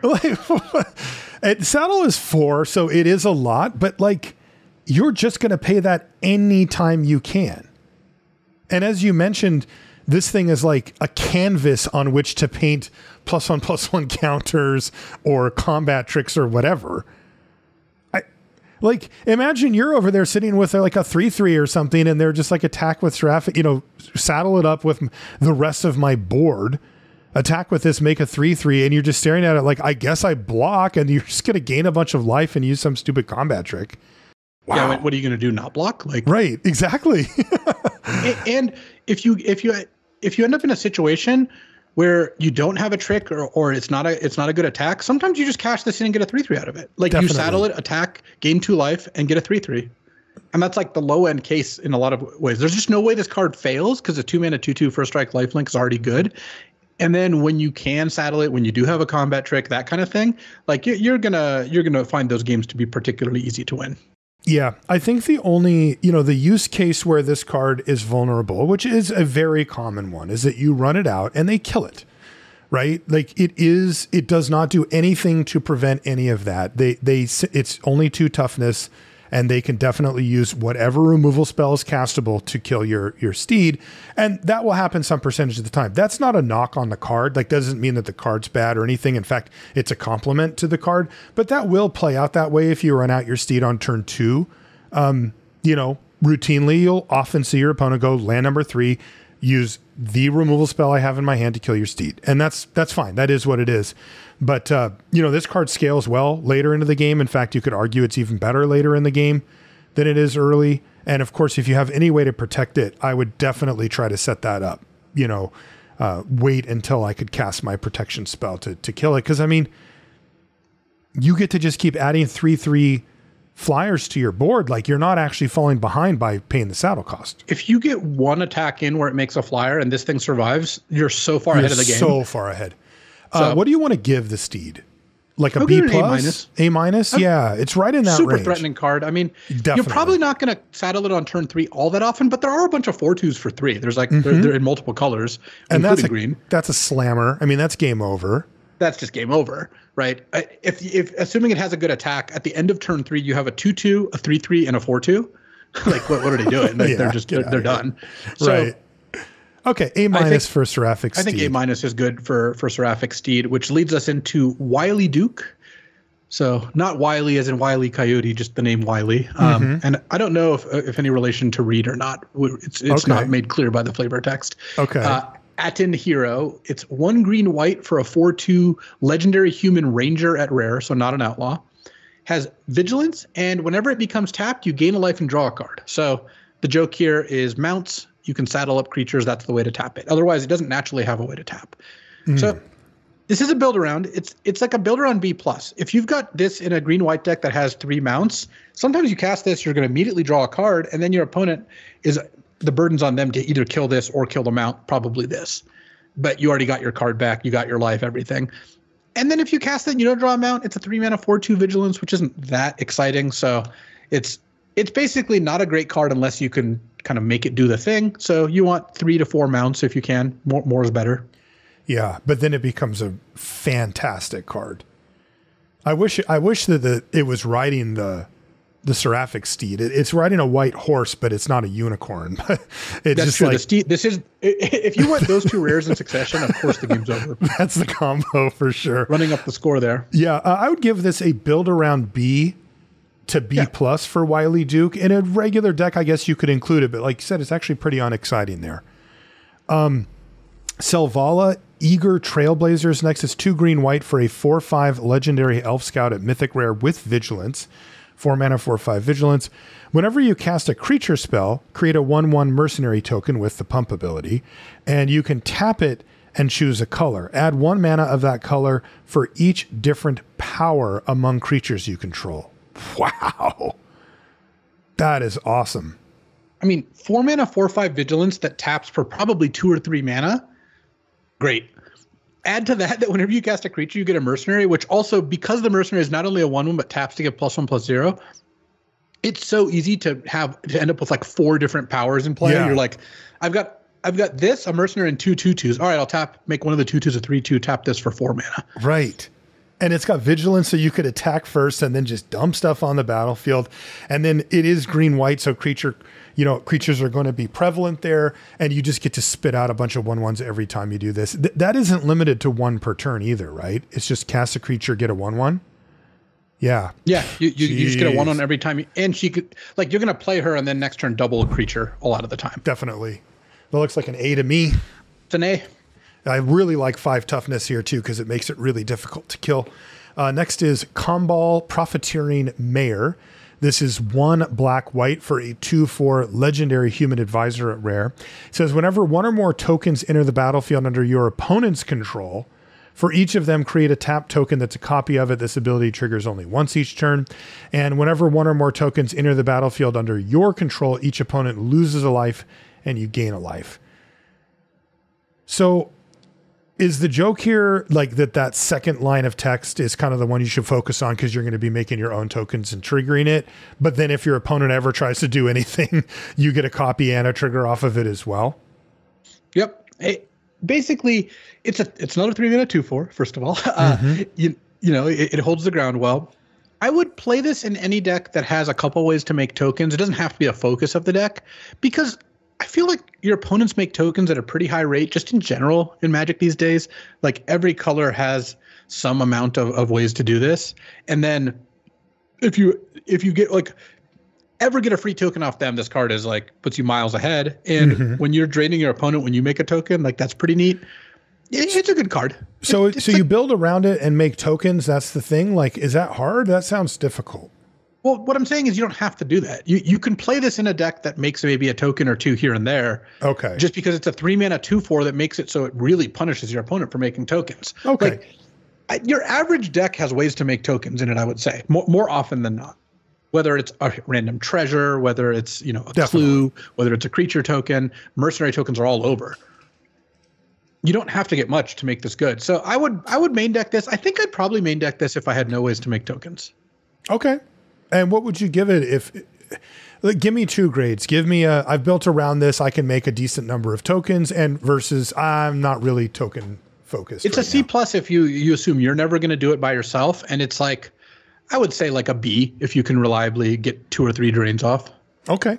Um, Malcolm, the eyes. This is blue red for a 2 2 flying haste. It's a legendary siren pirate, pirate at rare. And it says whenever you cast your second spell each turn, investigate. So you get a clue token. That's cool. This card's amazing. Two mana, two two flying haste that generates clues, and then those clues draw you cards, which means that you're going to be able to trigger it other times. I found it trivial to to to cast two spells in a turn. What, what you're gonna do Especially this- with, the fact that this is two mana only. So that, like it comes at the point of the curve where you are going to play this, then play Right. something else. Yeah, Right. I mean, he- here's how I, how I see this playing out in your opening hand. Turn two, you play this, hit them for two. Next turn, you hit them for two and plot a card. Next turn, you play two spells and get a clue. At that point, you're you're you're very you're very happy. And this thing's clocking pretty hard too. I mean, Yeah, two two flying. I mean, Yeah. I play a two two flying haste for two, so getting Yes. free clues out of a deal is great. I, I would give Malcolm an A minus. Like, Oh, okay. It's a look. It's a cheap, aggressive card that your opponent kind of feels obliged to deal with. I, I don't think you get much more for two mana. No, in the late for- game on turn, you know, six or seven, casting this than casting a spell is also really easy. Definitely, I agree. Uh, you, you're getting way, way more than your two mana worth. So A minus for Malcolm. Next is Breeches the Blast Maker. This is one red blue for a three three legendary creature, Goblin Pirate at rare. It's got menace, so three mana, three three menace, and whenever you cast your second spell each turn, you may sacrifice an artifact. If you do, flip a coin. When you win the flip, copy that spell. When you ch- uh, you may choose new targets for the copy. When you lose the flip, breeches the uh, blast maker deals damage equal to that spell's mana value to any target. So don't be confused with uh, Krark. Krark has a similar Mm-hmm. vibe where when you when you lose the flip here, your spell's not countered. You still get your spell. You just get a little lightning bolt instead of a copy. It it's- might it's- be better. It will be better some of the time for Yeah. sure. Zero mana lightning bolt's better than a, whatever the spell you played. Like you know, assuming you played like a three mana spell, for example. So this is upside and upside. What's difficult is you have to cast your second spell and you have to have an artifact and play to sacrifice. yeah, that's tough. Having the artifact is a little bit trickier. It's not like there's a really you know free source of artifacts running around here. Right. You you want to have a random treasure, or you may have actually had to cast it from your hand. So Yeah. setup cost is relatively high to pop off. You are getting a three mana three three menace just straight up, which is already totally fine. And then maybe you set this up. Setup cost is high though. You need to have an artifact that you're willing to sack, and you need to cast two spells in one turn. Would you go like B for Breeches the Blast Maker? Yeah, I mean a three mana three three menace is pretty good. Totally fine. Yeah. And then if you if you can if you can get something going, it's decent. I think you're not going to have the thing work very often, so it's probably like a B minus is my guess. Okay, B, B minus for breeches. Next is Lilah undefeated slick shot. Uh oh, there's the word. Uh, one blue red for a 3 3 legendary human rogue at rare with prowess, which, if you've never played with prowess, it's whenever you cast non creature spell, this thing gets plus one plus one until end of turn. So it says whenever you cast a multicolored instant or sorcery spell from your hand, exile that s- spell instead of putting it into your graveyard as it resolves. If you do, it becomes plotted. But it still happens, right? Oh yeah. Oh, nice. So three mana three three prowess is pretty solid, especially in mm-hmm. blue red. This is going to get some decent action there. Yep. And then you're not casting a multicolored instant or sorcery very often. There is the Right. the you know the the the the slick sequence card. The blue red shock that draws you a card, that's like Yeah. going to be your best bet. But if you get one trigger out of this, it's like a B plus. If you get zero triggers in a game, it's like a B minus. So I would just give Lilah a B and just try to find. I mean, if you cast the blue green draw three, the make your own luck card, like with this, like that, we're really talking there. Definitely. That's sweet. Yeah. So good upside on a pretty decent body. I mean, this thing will hit for four or five like often. It's very difficult to block as well. Uh, next is Pillage the Bog. This is black green for a sorcery at rare. Look at the top X cards of your library, where X is twice the number of lands you control. Put one of them in your hand and the rest in the bottom of your library in a random order, but you can plot this for one green black. I normally am not that big on like impulse type effects, but I actually think this one's pretty good because on turn two, you get to look at your top 4 And if you have nothing else to do on turn two, that will increase your card quality. It finds you your third land. It finds you a four drop if you, you know, have that spot open on the curve, that sort of things. And there's no restriction on the card, right? You can just take the No. one you want. Okay. They don't, they don't even get to look at any of those things, you know? Um, and then if you have time to plot it, it can set up a double spell thing, which in green black isn't like a huge bonus, but Uh-huh. is, is, is not nothing. And then in the late game, it's demonic tutor. Like if you Yeah. plotted this card and then just on turn five cast it, you look at the top 10 cards, you'll Yeah. find whatever you want. Yeah, So- exactly. I think Pillage the Bog is a B. I just do think it's going to find the card you need at a high rate. And at two, it's got some good ways to cast it. Cast it on turn two if you got nothing going on. Plot it on turn three if you don't need something immediately. Or just like try to set up a plot of casting it later. I don't know. There's a lot Yeah. of ways to kind of kind of go about this. I wish it was a little more synergistic. It's just kind of a, a power level card, but it's good. I agree with you. Uh, next is Vraska Joins Up. This is same cost, uh, green black for a legendary enchantment at rare. When it enters the battlefield, put a death touch counter on each creature you control. Okay, so not a turn two play, at least from that perspective. And then the next thing says whenever a legendary creature you control deals combat damage to a player, draw a card. How much do we care about death death touch counters? I don't think death touching your team is really worth a card most of the time. Yeah, I like, agree. Like you have to have like three creatures in play, and probably one of those creatures doesn't care about death touch. So like, what do you even, you know? Yeah. Giving a four four death touch is not that impressive. No. So.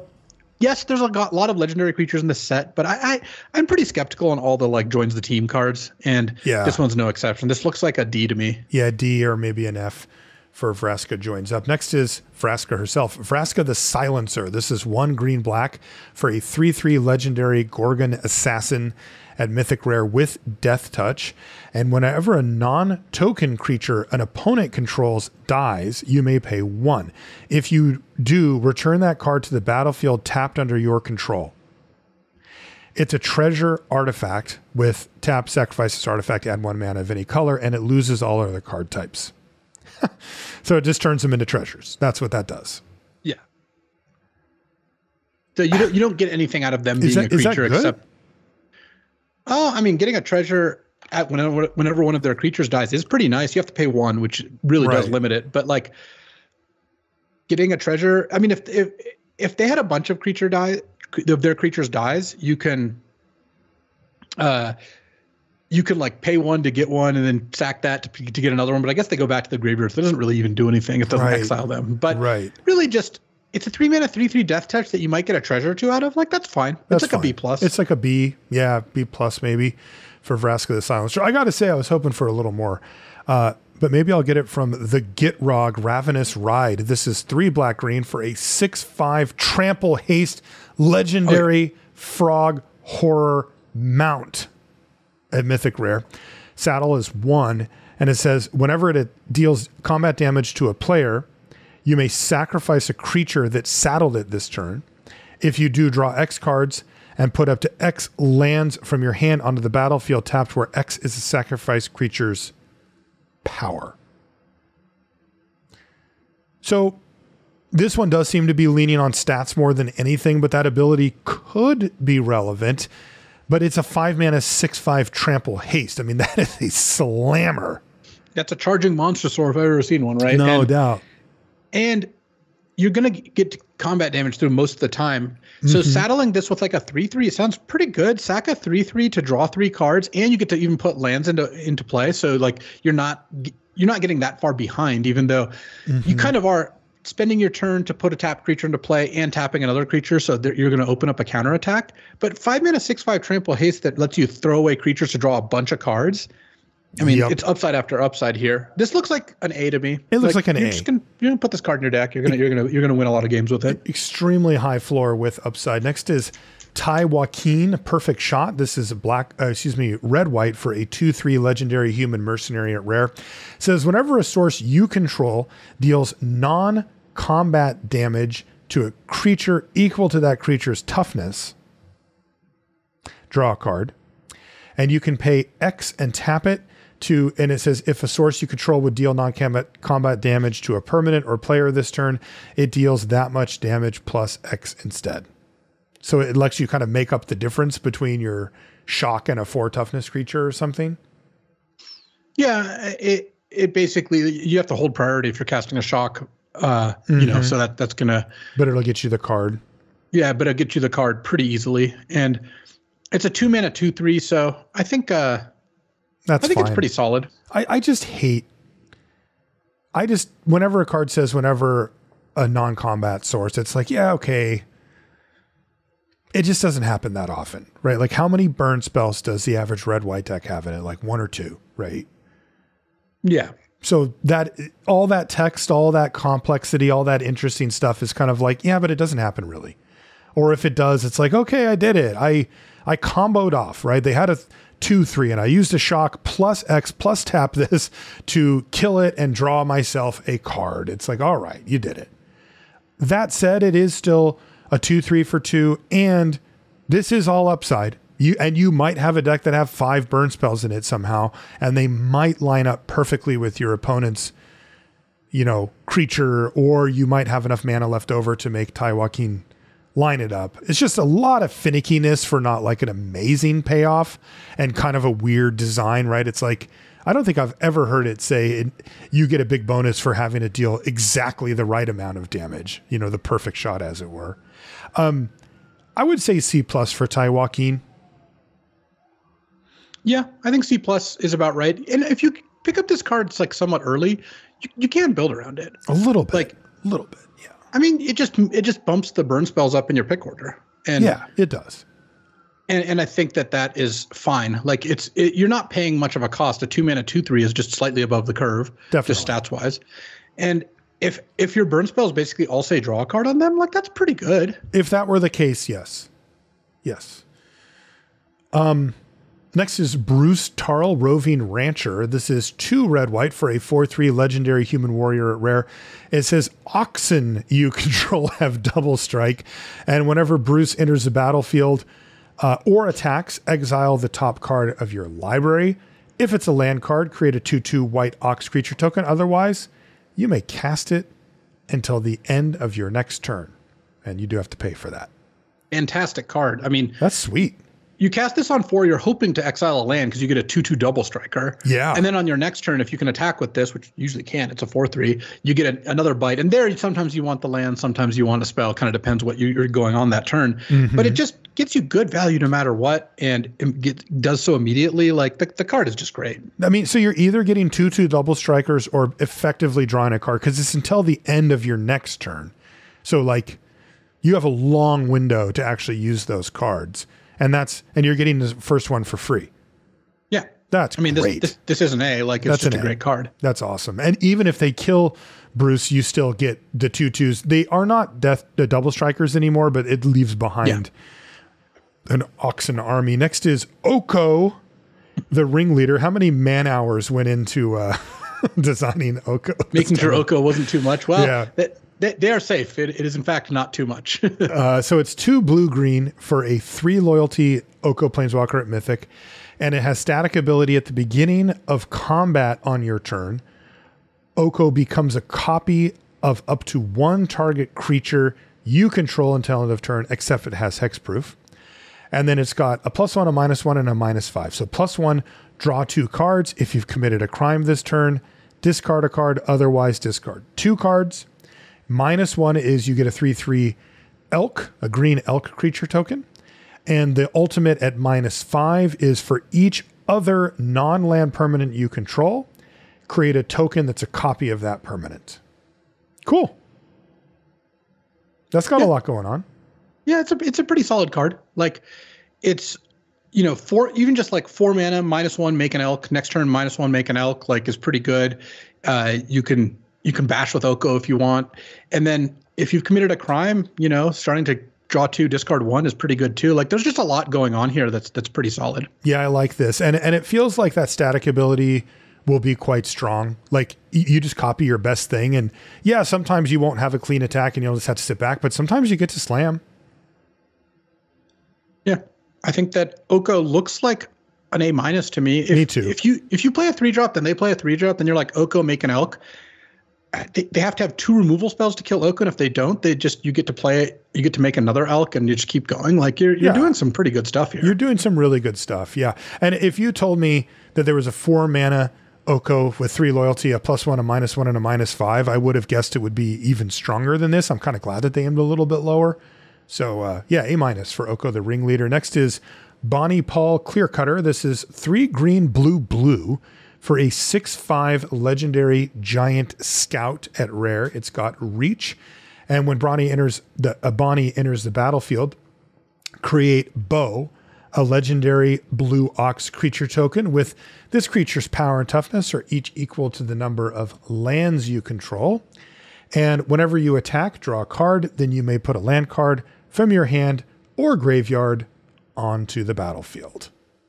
I mean, this is my this is my pick for best card in the set because for six mana you get a six five reach plus a six six, and one thing that you probably didn't notice is mm-hmm. that the third ability triggers whenever you attack with anything. What? I did not, not notice that. Oh my god! So you so, get it right so now. So you cast this, you get a six five and a six six. You attack with your two two, then draw a card and put a land into play, or or from your graveyard even.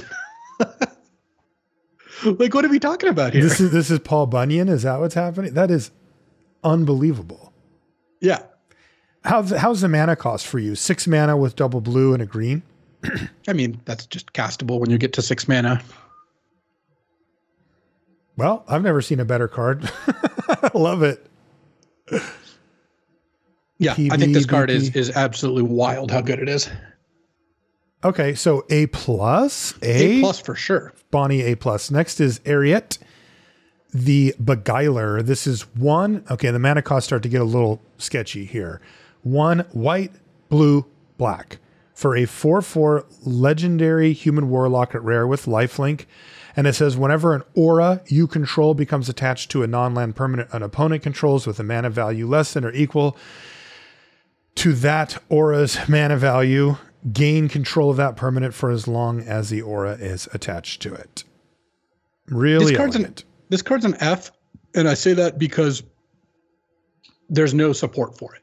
Like you should not. This is kind of like uh, you remember Dominaria United a little bit, mm-hmm. where there was yeah. a bunch of like build arounds at rare that didn't function mm-hmm. just because yep. they they wanted those cards in the set, I guess. Yeah, uh, th- that's what is going on here with Eriette just doesn't work. Like there's just no there's no real way to make it work. So eh, sure if if you have the mana to play it then sure you can put this in your esper deck. You know you're playing five color deserts and the mana cost is not a huge burden then play your four mana four four lifelink. But th- it, it effectively has no other text. And you got to kind of remember that that's like a bit of a a bit of a trap that you can't actually do those things what would you give it grade wise, just as a four four lifelink for for one white blue black? I mean, like a D. That's like a D. Like okay. you, you have to you have to be pre- doing the thing pretty hard in order for that to work. Next is Marchesa, Dealer of Death. This cost blue, black, red for a 3 4 legendary human rogue at rare. Whenever you commit a crime, you may pay one. If you do, look at the top two cards of your library, put one of them into your hand and the other into your graveyard. Wow. So let's start with the mana cost. Is this a castable card in the format? Is this a card that I can actually get onto the battlefield? I'm playing, you know, yeah. black red and I want to splash a blue.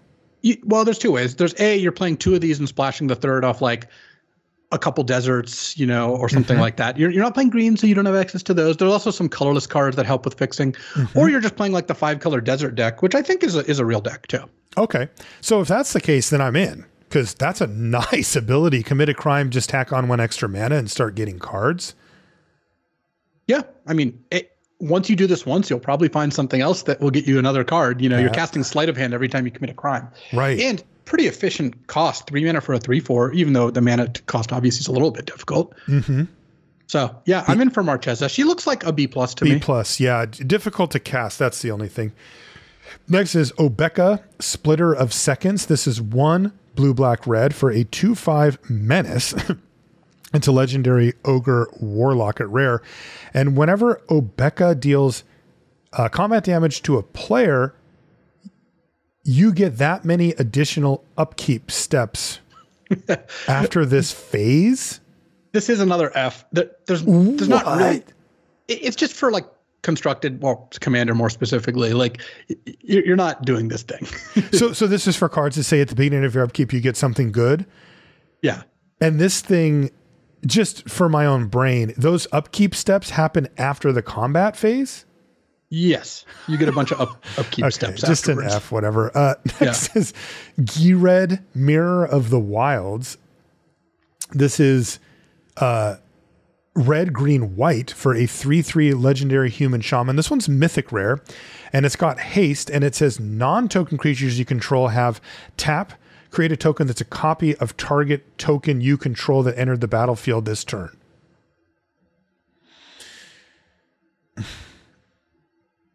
basically all of your all of your your creature tokens you can just you can just copy with this thing.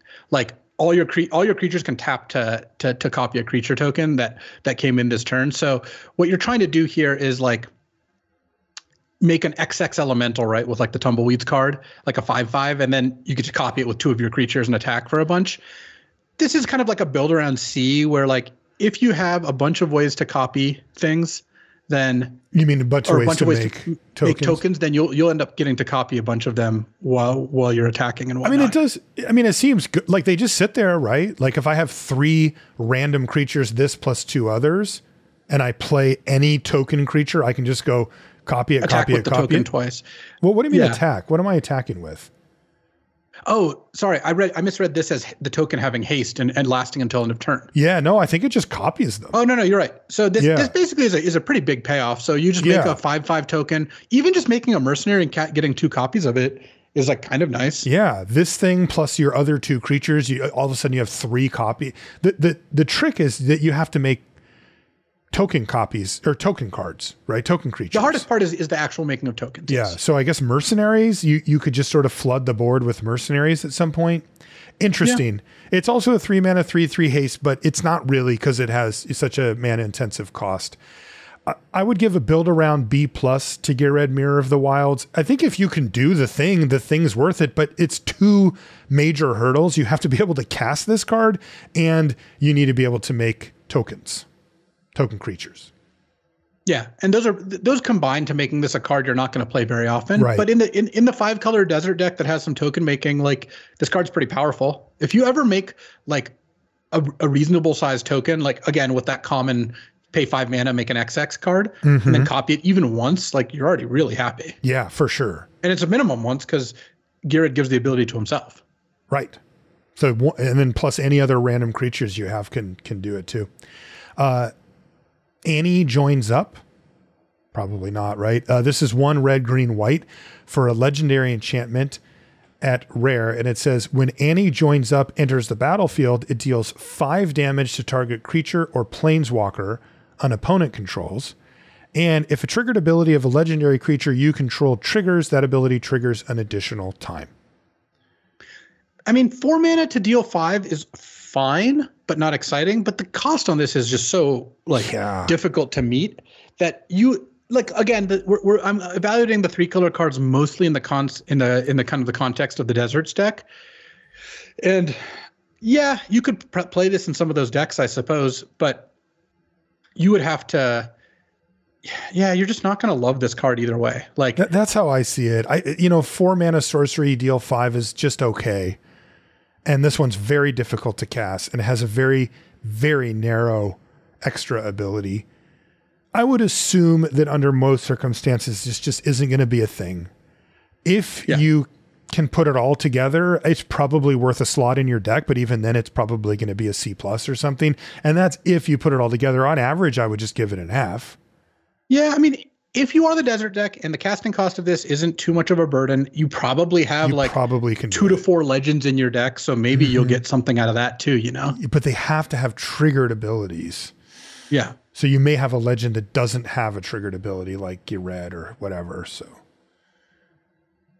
yeah, I would I would say on average, if you never put this considered this card, you'd probably be better off. But there's probably one deck over your drafting career for outlaws that it would fit into. So keep your eye out for that. Yeah, basically that. You'll also be Annie, able to on the get other it whenever hand- you want. Yeah, Annie Flash the veteran. What does that one do?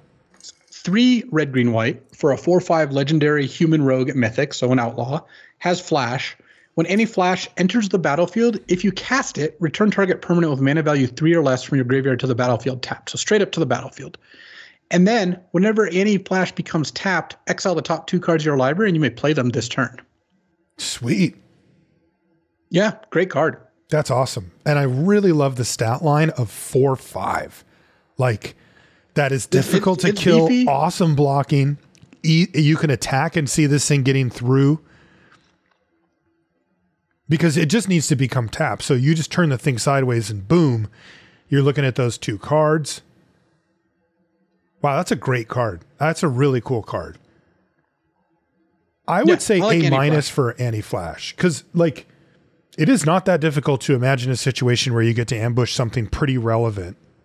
Ambush something, get something back, and then attack and draw two cards. Yeah. Like So, that, that turn do you like is four a for ones? disaster for your Yeah. opponent. So I like A minus. It's expensive. It's three colors. You know, that's Yeah. something you got to keep in mind. Uh, A minus for Annie. Next is Kellen joins up. This is um, blue, green, white for a legendary enchantment. When it enters the battlefield, you may exile a non land card with mana value three or less from your hand. If you do, it becomes plotted. And whenever a legendary creature enters the battlefield under your control, put a plus one plus one counter on each creature you control. Interesting. So they made the front end of this like kind of the worst of all the ones we've seen, Yeah. but the back end is actually okay. Like if you have three legends, that that's something that matters. I I would not like initial take is this card still just looks like an F to me, but um, yeah, I, I would say it's an F. And you know, again, if you have a ton of legendary creatures, you can get, g go go pretty hard with this. Like getting a Yeah. plus one plus one counter on your whole squad is not a weak ability. no. So there you go. And you get the mana back off of it potentially. Next is Kellan the Kid, which is uh, blue, green, white for a 3 3 legendary human fairy rogue. Interesting. Uh, at Mythic Rare, it's got flying and lifelink. Three mana flying lifelink, three three flying lifelink. Uh, whenever you cast a spell from anywhere other than your hand, you may cast a p- permanent spell with equal or lesser mana value from your hand without paying its mana cost. If you don't, you may put a land card from your hand onto the battlefield. Sweet. That's a mean- nice card, man. Three mana, three three flying lifelink is great, and then you just get the additional benefit of uh, every now and then when you plot something or or or do any sort of nonsense like that, you can just put something into play. Yeah. So is this one that you would consider outside of the deserts deck? Like as a splash? Yeah, I mean, if your mana can support it, this is a really good card. Your Like, green white, get an extra blue in there and yeah, it's not it's not impossible to to Yeah. come up with a way to do that. You know. Right. And you know, a card like flying three three flying lifelink is good at any stage of the game. This does not have to come down on turn two to be effective. This could be a turn seven play and, and still affect things. Um you know, mana wise, it probably puts it into the D range. But if you're in the realm of casting it, it's at least a B. Like it's probably just a B or a B plus or something. If, if you can Yeah, get this I think like a B on B battlefield. plus, and then if you ever get like the ability to trigger, like you're, you're Yeah. pretty happy with that too. Uh, last gold card is Riku of Many Paths. This is blue, red, green for a 3 3 legendary human wizard at rare. And it says whenever you cast a modal spell, uh, that's a little on the nose for me, uh, choose up to, X, up to X, where X is the number of times you chose the mode for that spell. And guess what? It's modal. Uh, you can exile the top card of your library until end of your next turn. You may play it. You can put a plus one plus one counter on Riku. It gains trample until end of turn, or you can create a one one blue bird creature token with flying. I mean, if this triggers once, you're ahead of the game because you got a three three plus either a flyer or probably a car, top the top card of your library. You're probably mm-hmm. not uh, getting a, putting a counter on Riku that all that often. That's like the third choice. Right. And there's like a decent amount of modal spells. So if you have if you end up with a bunch of them, yeah, yeah, this card totally functions. So all the spree cards basically trigger this. That's the thing in this set. Yeah, the spree cards. And uh, if you spree for two extra things, yeah, you then you can pick two of these. Exactly. So that's a cool. That's I, I don't like that it says whenever you cast a modal spell, it's just a little a little inside baseball. But that that's that's a cool design. I got to give it to him. That's neat. Yeah, I think. Um, I think. Wh- what would you give Riku of many paths? Like Difficult build around to cast. B. Build around B. Yeah. Um, there are five lands at the rare slot. They are the enemy colored. What do we call these? Slow fast lands, lands, fast lands. Uh, for example, Concealed Courtyard uh, taps for white or black and it enters the battlefield tapped unless you control two or fewer other lands. And there's uh, all each of the enemies. So red, blue, blue, green, excuse me, yeah, blue, green, red, white, and black, green. Yeah, I mean, I mean after reading all these gold cards, I'm kind of interested in these. They're worse than the deserts, I think. Mm-hmm. But yep, like the, the common deserts that ping. But they're they're still like a C C plus level card where you should probably put this in your deck if you if you know you, you should probably take it above like average playables to make it so your mana works a little better. Okay. Um so that's it for the regular rares and mythics that will be seen, but there are multiple extra sheets. This next one is the most important sheet. Um, this is the breaking news. So there are one of these per pack. Uh, we are going to switch gears a little bit as far as set review goes. We're going to go through each of these, but if they are, th- many of these are just straight up unplayable, and we're not going to spend a lot of time explaining why. Um, you know, we, are going to just say, hey, it, you just don't need to worry about this card and move on to the next. And so we'll be a little quicker um, with these cards, but we're going to go over all of them. So the first one, and by the way, these are ridiculous. They, they're supposed to look like they're printed on some like, uh, you know, Wild West newspaper called the Prosperity Post, but they're just kind of difficult to read and weird to look at. But at any rate, the first one is Fell the Mighty, which is four and a white for a sorcery. This one's rare in this case, and it says destroy all creatures with power greater than target creature's power. So the ideal case is you have the smallest creature on the b- right. battlefield, and and you get to and you get to target your your two two, and they have all three threes or whatever. But uh, I think overall it's like it's a semi wrath. Sometimes they have a small creature like you both have a two two and there's other bigger creatures. Like there's some play to this. It's probably like a B overall. There's yeah. just a lot of ways to kind of make this make this function. But it's just not as good as a regular wrath, right? Yeah, I, I, think that generally it's not as reliable, but it has the upside of sometimes it kills their stuff and not yours. Yeah. If you have three tutus and they have all bigger creatures, it's awesome. And then it's awesome. Yeah. Uh, next is Fierce Retribution, which is one and a white for an instant. It says destroy target attacking creature, and it has cleave for five and a white that says you may cast a spell for its cleave cost. If you do, remove the words in square brackets, which it just becomes destroy target creature. Yeah, I mean, destroy target Fine. creature is is for for two destroy target attacking creature for two mana is a card I'll play in a bunch of my decks. Definitely, so. and then you can just randomly spend six to to wipe something out. So you know that's a C ish level removal spell. That one's uncommon. Next one is Journey to Nowhere. One in a white enchantment when it ETBs uh, exile target creature. And when Journey to Nowhere leaves the battlefield, return the exile card to the battlefield under its owner's control. This is Great. a premium removal spell. Yeah, it's like a B plus. There's no there's yep. no cost restrictions or anything. It's just two mana exile target creature. That's great. Yep, and that's also at uncommon. Next one is Leyline Binding, five and a white enchantment with flash. This one's uh, mythic rare here, and it has domain. It costs one less to cast for each basic land type uh, among types that you control. And when it enters the battlefield, you exile a non-land permanent and an opponent controls until Leyline Binding leaves the battlefield. So we don't want to pay six for this. It's almost impossible to actually. actually, it is. So generally speaking, it'll be discounted by two. to four mana, and a four mana that's instant speed fine. Oblivion Ring is great. Yeah, and it's So- and it hits anything, so that's good. Yeah, sometimes it'll cost 3 Mhm. E- Note that deserts don't count as land types, so the five color Ah. desert deck actually doesn't want this at the same rate you might think. Because Okay. sometimes you end up with like not that many basics, but even then, it's still going to be fine. So. Yeah.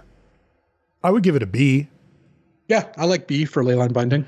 Uh, next is Pariah, which is two and a white for an enchantment aura at rare. It enchants a creature, and all damage that would be dealt to you is instead dealt to enchanted creature. It's a mean card.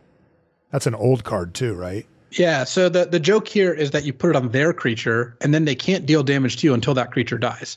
Right. So it's kind of like three mana, kill your best creature, take a turn off of getting attacked. Right. if- He- if it all soaks goes up all that damage. Yeah, they, they the damage does not carry over. It all goes to it. Um, is this a reliable removal spell? I think it's okay. It- when it goes wrong, it goes really wrong. They, You pariah their creature, they attack you. You're like, okay, no blocks. They're like, okay, bounce my creature. Yeah. Take- take a You- bunch of damage. You're dead. Yeah. yeah. It also doesn't shut off any activated abilities. Like the creature's still there. It's not an oblivion ring. Right. And they can block with the creature. So, like, yes. If you put it on their 4 4 and they don't care about damaging you, they might just sit there and start doing other stuff. And then you're like, oh, I guess I can't attack into that 4 4. So it, it kind of looks like a D to me. Kind of sucks. Yeah. Let's give it just- D. your opponent has so much control over what happens, and there's a lot of ways it can go wrong. So Next, I, I, would mostly avoid pariah. I agree. D for Pariah. Next is probably the second best removal spell ever. It's Path to Exile. It's white for an instant. Uh, in this case, it's at the rare slot for this uh, spot, but it's exile target creature. Its controller may search your library for a basic land card, put it on the battlefield, tapped, and then shuffle. That's goat tier removal. I mean, Yeah, it's fantastic. The the drawback is it, it matters. Pretty costly in the first It like is. five turns of the game and, and Mhm. a lot less so later. But in exchange, you get one mana instant speed exile. So Yeah. I, I would give this an A minus. Like Path to Exile Yeah. is just a fantastic way to kill things. It is. And that moves us to blue, which is your favorite. Three blue blue for archive trap. it's an instant trap. It says that if opponents search their library this turn, you can pay zero instead of pay its mana cost. And it mills the opponent for 13 cards. Yeah. Is this- so can I play this? You you said you did. so what would your grade be if I if I if you didn't know that I put this card in my deck? I would give it an F. Yeah. I actually think it's not an F, and for a very specific reason, which is that I played this card in the early access event with two slickshot lock pickers. Okay. So those are the two and a blue with plot two threes that let you cast a spell with flashback or give a spell flashback cast out of your graveyard. And the reason that it was so sick is I just plot one on three, turn five, I pass, end of their turn, archive trap them, untap, pl- play the lockpicker from plot, archive trap them, and that was just a win. That's 26 cards. That's 26 just right up right up there, which in a normal game they're not going to be able to complete the rest of it, you know. No, they can't. Like- they can't. Because remember, you draw seven to start, so your library really starts at 33, right? And if you've already hit them for 26, that gives them seven total draw steps. Like that, they're not going to win the game in that time frame usually. Yeah. So Um, so build around potential for It- archive trap. it's a build around A. I think if you can Mhm. pick up a couple of those and some of the deep muck desperados, that's the two and a blue two four that when you commit a crime mills them for three. Yeah. You can make a legit mill deck. I had two of those also. okay. And what what happens is if you draw a desperado plus an archive trap, the desperado mills them for like n- maybe nine to twelve.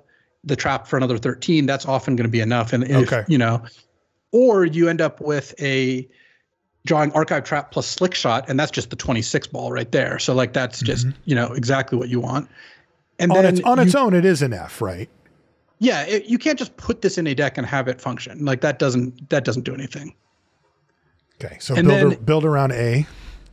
I think it's a builder around A where if you the, the the fail cases you draw like Desperado plus Slick Shot and don't have anything to do with it, but I mean realistically that's not how it's going to play out that often. Okay, next is Archmage's Charm. It costs blue, blue, blue. It's an instant. It says choose one, counter a spell. Target player draws two cards or gain control of target non land permanent with mana value one or less. So that's obviously a powerful effect. Question is, can we cast it or the timing on casting it? Is it still worth it at triple blue? Yeah, I think I think that if you can afford to put this card in your deck, it's pretty good.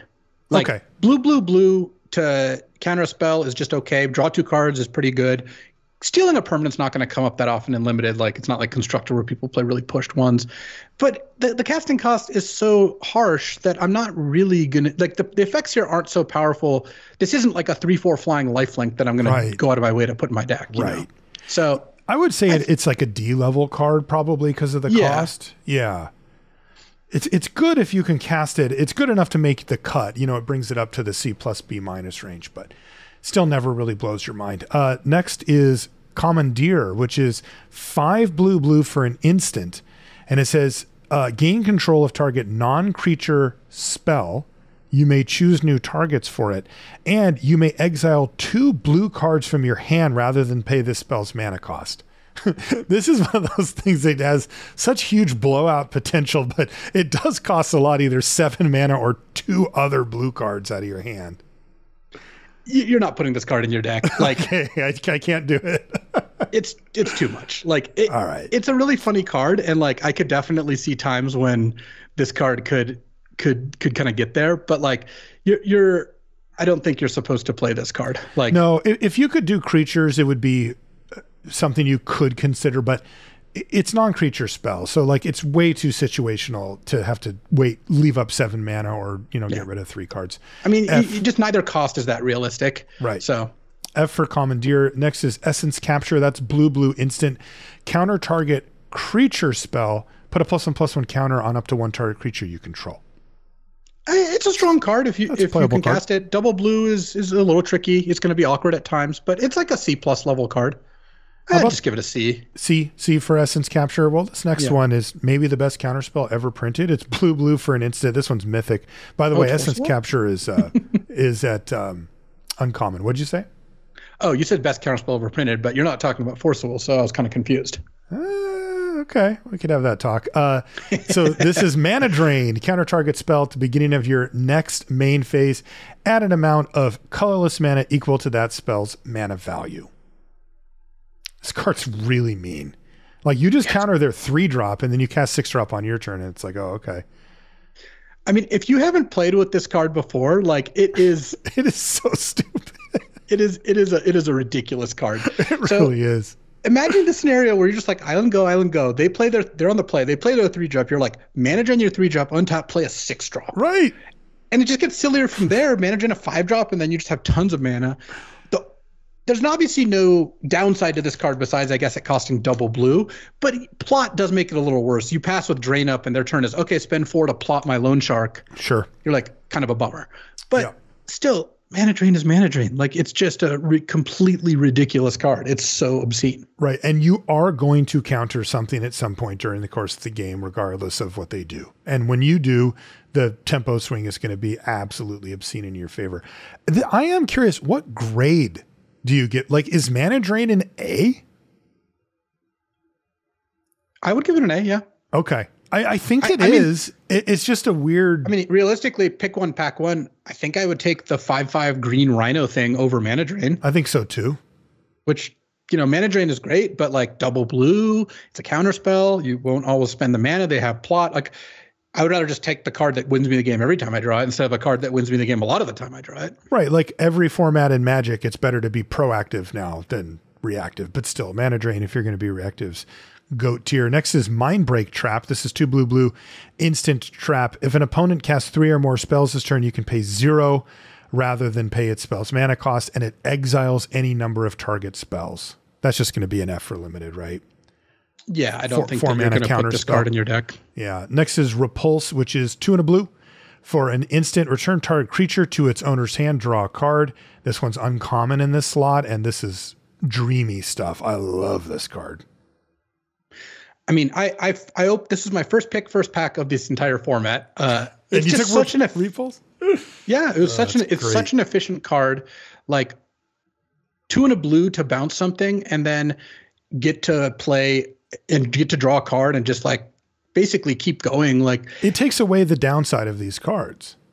yeah, there, there's really no point where this card is bad. So I think Repulse is like, I mean, it's like a B plus. It's not like an A level card, but it's about as good as it gets. Like it, this card is really really strong. It is. It kills tokens, and you get the card back. It's great. Uh, that moves us to black, uh, which is uh, the first one is two and a black. It's Heartless Pillage. It's a sorcery, and it says target opponent discards two cards, but raid if you attack this turn, you get a treasure token as well. Nah. I mean, I think this card's fine. Like, Is it? you, you spend you spend uh, three mana to mind rot them, which is not terrible, and then Mm-hmm.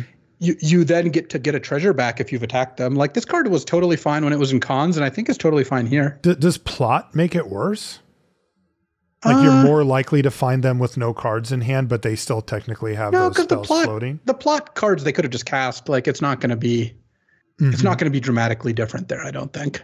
Okay. Eh, I'm not a huge fan. I, I would give it a D. You you want to go like a C range for I'll just give it a C. I think. Okay. Yeah, I think I think it's fine at C. That's also a speed of the format thing. You know, if it's really fast, these cards get a little tricky. Uh, next is Imp's Mischief. This is one in a black for an instant. This one's rare. It says change the target of target spell with a single target. You lose life equal to that spell's mana value. This is a sick sideboard card. If if you know they have a bunch of like spells that that you can you can get value from, like this this card actually can go pretty hard. So this I can like redirect their removal spell to their own creature, Yeah, that's that that's I mean that's the joke. but, but like you I get, lose life equal to that spell's mana cost. Yes. So like if they play a three mana removal spell, and also uh spree is nice because I think the spree cards cost one mana. Like Oh, really? I think so. Yeah, that's their Yeah. mana cost. Okay. So so redirecting a spree card doesn't cost you very much. Like a one mana spree card with a bunch of add-ons is one. But mostly it's about having the targets. Like if I played against black red, I would probably just put this card in my deck because I would, you, know, if, after game one, obviously you get to see some cards. Like if they have a bunch of removal spells and you retarget one, yeah, you lose three or four life, but you just two for one them. You kill their creature and their removal spell. That that's pretty huge. That is pretty good. Okay. So sideboard B. Yeah, it's a sideboard B. It's a really Okay. good card out of the sideboard. Like when you get when you get Imp's Mischief, it's it is savage. here's here's murder. It just won't go away. Uh, one block black instant destroy target creature. This is more for flavor, I think, Um, yeah. here. But it's still a fine card, right? Like, you know, even in in the last set where it was it didn't really shine, it was still a card that you could put into your deck. It just, you know, it wasn't a priority. I, I guess I would assume similar here. Maybe it's a little better here. Like slower the format, the better murder gets. Generally, it's been a pretty good card. It's just recently that it's become kind of on the fringe. Yeah, I, I bet this card is totally fine here. yeah. Like I don't think I don't think murder is has fallen off so badly that every time we see it, I'm I'm gonna call it bad. I right. know? I agree. It's, you know, it's usually like a C plus. In some formats, it can be like a B minus. So it's probably like a C plus here, Yeah. where it was more like a C minus in the last format. Uh, next is overwhelming forces, which is six black black for a sorcery. Destroy all creatures target opponent controls. Draw a card for each creature destroyed this way. I mean, it effectively says eight mana win the game. The question is, can you can we cast eight mana spells? I think that some decks will be able to. Like if you're playing five color deserts and you have multiple of like map the waste where you're like spending four to get two lands and stuff like that. Yeah. When I played that deck yesterday, I ended up with a lot of mana in a bunch of the games. And you would have been So- happy with an overwhelming forces. Uh, I would have had to change my mana base a little bit, but I think I would have tried playing the card. I mean, don't it if is an have good. incredibly powerful magic, especially for limited. Yeah. I mean, so we'll give it a build around B plus. It's like a build around B plus where like if you can get to eight, it's eight mana win the game. Yeah. And this actually is win the game. It kills all their creatures and you draw a bunch of cards. Yeah, like it just slams them. you're not, you know, you're, you're they're not really coming back from that very often. So yeah, I think eight mana win the game cards are pretty legit. Okay, yeah, just you have to build around it because on a normal game you're not going to be casting it. Next is one we talked about before: reanimate. Black for a sorcery. Put target creature card from a graveyard onto the battlefield under your control. You lose life equal to its mana value. How good is reanimate in a in a normal limited set? It's an A. It's just a flat It's A. that good, huh? It's one mana. Yeah. It's one mana to get the best card in any graveyard. Yeah. like it's so cheap. I mean, I, I you you can mill like desperate bloodseeker on turn two, mill yourself and try to hit something big, or mill Yep. them if you think they have bigger cards. Yeah, like either of and, those and then of course just really kill your nicely. thing reanimated is like a time honored combo and you can sometimes do it in the same turn i mean what a huge swing they play their five mana whatever uncommon or rare and you kill it and reanimate it in the same turn it's just like the game just completely swung on its head Or you kill it end of turn, untap, reanimate it, and Yep. play a four drop, and they're Yep. just so far behind. all right a for reanimate next is surgical extraction can we just skip it we're not playing it right No, it's a zero. It's a, like, it's an F. Slight slight correction that if your opponent uh, has a bunch of reanimate type effects, like is a black green deck with a bunch of raised deads, maybe you could side it in. But honestly, mm-hmm. I'd rather people just default to not siding it in than yeah, you know, than, it would be a than very weird situation where you you brought in a surgical extraction. And then last black card is Thoughtseize. Black for a sorcery. Target player reveals their hand. You choose an nonland card from it. They discard it, and you lose two life. Yeah, I mean this is fine. It's it's, it's a fine. B. Yeah. Like it's not an amazing card, but it's it's a card that I think you should put in your deck. Uh, and you know, it's efficient. If you're black, you're not you're not really looking to to do anything too outstanding with it. Yeah, it's efficient. It's just good efficient. Uh, red cards, uh, collective defiance. Ooh, one red red for a sorcery with escalate for one, so you can kind of go up the chain here. Choose one or more. Target player discards all the cards in their hand, and then draws that many cards. It de- this collective defiance deals four damage to a creature, or it does three damage to an opponent or planeswalker. I mean, the main thing is three mana to deal four to a creature at sorcery speed is fine. It's not yep. amazing at double red, but it then gets the ability to nug them for three.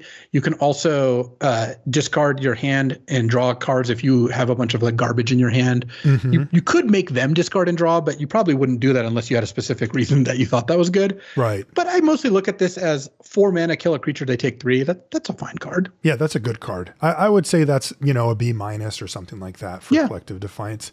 Uh, next is Crackle with Power. Oh boy. This is the red red XXX sorcery. This one's mythic here, and it deals five times X damage to each of up to X targets. So the baseline is five mana to deal five to one target, mm-hmm. or eight mana to deal uh, 10 damage to to two targets or whatever. To so, three targets, right? Or, or to five targets. targets. Isn't that what it is? Oh, it's X targets. So if X equals two, then you're dealing to two targets and you're dealing 10 damage. So, yeah. uh, I mean, I guess I would try playing this if I had a lot of ramp. You really need the eight mana one to be. It, it to is be devastating good. if you get to pop it off, but you again, it's similar to overwhelming. I mean, a good forces. comparison is a doppelgang. Mm-hmm. It, yep. At five mana, it's mediocre, and at eight mana, it's good, though less good than doppelgang at that point too. Yep. So I, I, think that this card is probably closer to an F than anything else, but I could see it being like a build around C, where if you can generate a lot of mana, this is a, the kind of card that could do something. Yeah, it's the second eight drop basically that you know you need to build around. Next is uh, Electrodominance. This is red red X for an instant, and it deals X damage to any target. You may cast a spell with mana value X or less from your hand without paying its mana cost. You know, so you do I, X equals three instant speed you ding something for three, you get to play a three drop. Yeah, I mean that's kind of the idea. It's, it's okay. It's it's it's okay. I mean, it's the, the issue, the reason why we're not jumping out of our chair is because if it's red red to start with, you just never can get ahead on mana. So they try to make it up, but sometimes, and it, it, turns out when you actually play this card that a lot of the time you don't have something that you want to play or it doesn't line up to play something at that time or whatever. So it's kind of tricky to get that extra mana value back off of it. And then you're left with kind of a clunky removal spell. It doesn't make it unplayable, but I would want some ramp and, you know, something like that to make Electrodominance kind of sing. Yeah, I, I think generally like, you should like probably probably not put this card in your deck. Yeah. Like I don't think it's great, but it, it, there are there are times when it's going to be okay. Would, would you give it like a D or a C or what? I would probably give it like a C. Yeah, that's what I think. I mean, five mana kill a three three and then put a three drop into play is is fine. It's mm-hmm. again not exciting, really. That's right. Uh, next is Fling. This is one in a red for yeah. an instant. As an additional cost to cast it, you sacrifice a creature, and it Fling deals damage equal to the sacrificed creature's power to any target.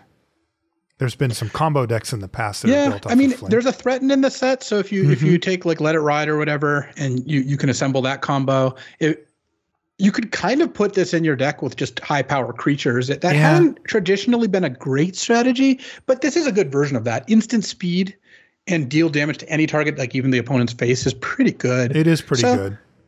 I, I my guess is I will not put this card in my deck very often. It's kind of like a D level card. But if you have a threat and if you have a bunch of like four twos and yes. combat tricks, like it can kind of get a little more interesting. out of the sideboard against a deck full of removal, it's a good way to kind of get a last gasp out of your creature or something. Yeah. It's not it's not nothing. It's not. And of course, they're going to want to kill your bigger creatures. So it kind of works in that way. Uh, you know, that said, it's like a C minus. Like Fling is just okay. It, it, it's Yeah. very rare that it's like the best card or something. Uh, next is Indomitable Creativity. It's red, red, red X for a sorcery. Destroy X target artifacts and or creatures. For each permanent destroyed this way, its controller reveals cards from the top of their library until an artifact or creature card is revealed and exiles that card. Those players put the exile cards onto the battlefield and then shuffle. Yeah, I don't really consider this much of a card. No, the the people break it and constructed by uh, you know making it so that they can only hit one target on their own stuff.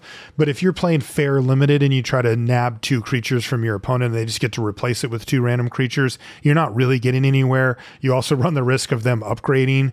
Um, I would say Indomitable Creativity is just an F. Like it's too hard to build around on your end and it never does what you want it to do when you're hitting their creatures. Yeah, I, I, I don't think that this card's really a realistic card. Uh, Skewer the Critics. This is a nice one. Two and a red for a sorcery. It deals three damage to any target, but it's got Spectacle. You can cast it for just red mana if an opponent lost life this turn. It's a nice card. Yeah, you always put this card in your deck. Two in Yeah. a red, deal three at sorcery is fine, and then you can sometimes cast it for one mana. In that case, it's great. So this looks like a B. Yeah, like B, you're pretty B happy putting this in. Yep. Skullcrack is one and a red for an instant. And it says players can't gain life this turn. Damage can't be prevented this turn. And it deals three damage to a player or planeswalker. These type of cards never perform well limited. I would just give Skullcrack an F. Yeah, I think Skullcrack is enough. You're not you're not putting this card in your deck. I don't care how aggressive you are. You'd rather just have a 2 2 or whatever. Uh, green. First card up is Clear Shot. That's a nice one. Two and a green instant. Target creature you control gets plus one plus one until end of turn. It deals damage equal to its power to target creature you don't control. So three mana, instant speed, buffs your creature, and it's a bite. This this card kind of does it all. This card has played out so well whenever it's been in the set. It's and disgusting. it just it's like oh you blocked my 3-3 with your 3-3 I okay know. make it a 4-4 kill your other 3-3 you know like that's the sort of thing that can happen And it happens And- more often than you'd think. And at the very least it's just an instant so they, they go to kill your creature and you're like all right well i guess the, the coast is clear i'll just take out your 4-4 Right. so i would give clear shot a b plus really strong card Really strong. Next is Force of Vigor. It's two green green for an instant. If it's not your turn, you may exile a green card from your hand rather than pay this spell's mana cost, and it destroys up to two target artifacts and or enchantments. So we're obviously in the sideboard realm here. Is there a world where you could even see boarding in Force of Vigor? Um Like yeah, if you just had it for free? they, they have to have like a lot of stuff Yeah, and if they did i guess i could see doing that but Feels I don't narrow. think, yeah i don't think i'm really into it I'm not either. I, I would give it like a sideboard C minus or something. It's pretty unexciting. Next is Pest Infestation. Oh man, green XX sorcery, destroy up to X target. And by the way, I did say up to X target artifacts and or enchantments, and then you get double that many one one black and green pest creatures that say when they die you gain a life. Cool part about this is they don't need you don't even have any targets at all. No, I mean this is baseline five mana put four one one pests into play, or seven mana put six into play, and then if they have something you can kill, it's just absurd. I mean, we've had a lot of experience playing with this card by now from Vintage Cube, and you can tell this card is just an A. Like It is. It's a flat out A, one of the better cards in the set for sure. It, it is. It, it has fewer targets here than it would in Vintage Cube, but it's so outsized power wise compared to where it sits in Vintage Cube versus Limited. It's an A. Primal Command. Wow. Three green, green for a sorcery. And you can choose two of the following. You can gain seven life. You can put a non creature permanent on top of its owner's library. You can sh- have target opponent shuffle their graveyard into their library and and or you can search your library for a creature card reveal it put it into your hand and then shuffle This card's really good. It's great. I mean, the the the, the mode that you most want to use is, is go get a creature because that replaces itself. Yep. And then if the board is clear and you're not behind, you can just put one of their lands on top, so they just skip a, a, a draw step and or one land behind. Or you can gain seven life if you're if you're you're really in need of that. It gives you a little breathing room. Or you can reshuffle your graveyard back if it's really late game and you kind of need to go through your deck again. So yeah having a primal command in your deck means you can't really lose a, a decking long game of that sort. right And it's just a solid card. So I, I would give Primal Command probably an A minus. Like I'm pretty happy putting this card in my deck. I would too. It kind of does everything all the time. You can even if if there's some non-land permanent that's really just winning the game, you can put it on top and then have them shuffle and it kind of goes away. It solves most of your problems. It's really difficult to die the turn after. And with the power level of creatures now, like search your library for a creature card, like that, whatever your best castable creature is, it's going to be really good. So I like AA minus for Primal Command. It's really strong. Primal Might is green X for a sorcery. Target creature you control gets plus X plus X until end of turn and then fights up to one target creature you don't control. This is a fight, not a bite, but man, this card is a hammer as well because it just seems to come up often that they have one block that matters and you just get to go this huge creature on your side, kill their one blocker, and then smash them for like a major swing in your direction. Yeah. I, th- this card was always pretty savage when it came up before, and I think that you're going to end up being pretty happy with how this card plays out. Yeah, I like B for Primal Might. Like it is still sorcery speed, has target your yeah. own creature, so it's not just like you know a, a, green light to do whatever you want. But when you do pop it off, it's very very strong. Uh, next is Thornado, which is two and a green for an instant, and it says destroy target creature with flying but you can cycle it for one and a green to to put this, you know, to discard it and draw a card. Yeah, this makes this into a main deck card. Like mm-hmm. it, it is a fine sideboard card if you don't have room for it for, for yeah. whatever reason. But imagine you're playing like green black and you don't have tons of removal. You have some vulnerability to flyers. Yeah get a tornado in there. Worst comes to worst you can cycle it. I Definitely. think tornado's like a b minus. Like it's a it's a nice little card because when it's good you're really happy to have it and when it's bad you cycle it. That's the kind of card i like putting in my deck. Yeah and it's an excellent sideboard card because even if you know they have creatures with flying sometimes they haven't cast them yet and you can still just cycle it away uh, or hang on to it Next is Abrupt Decay. This is black green for an instant. It can't be countered, and it destroys a non land permanent with mana value three or less.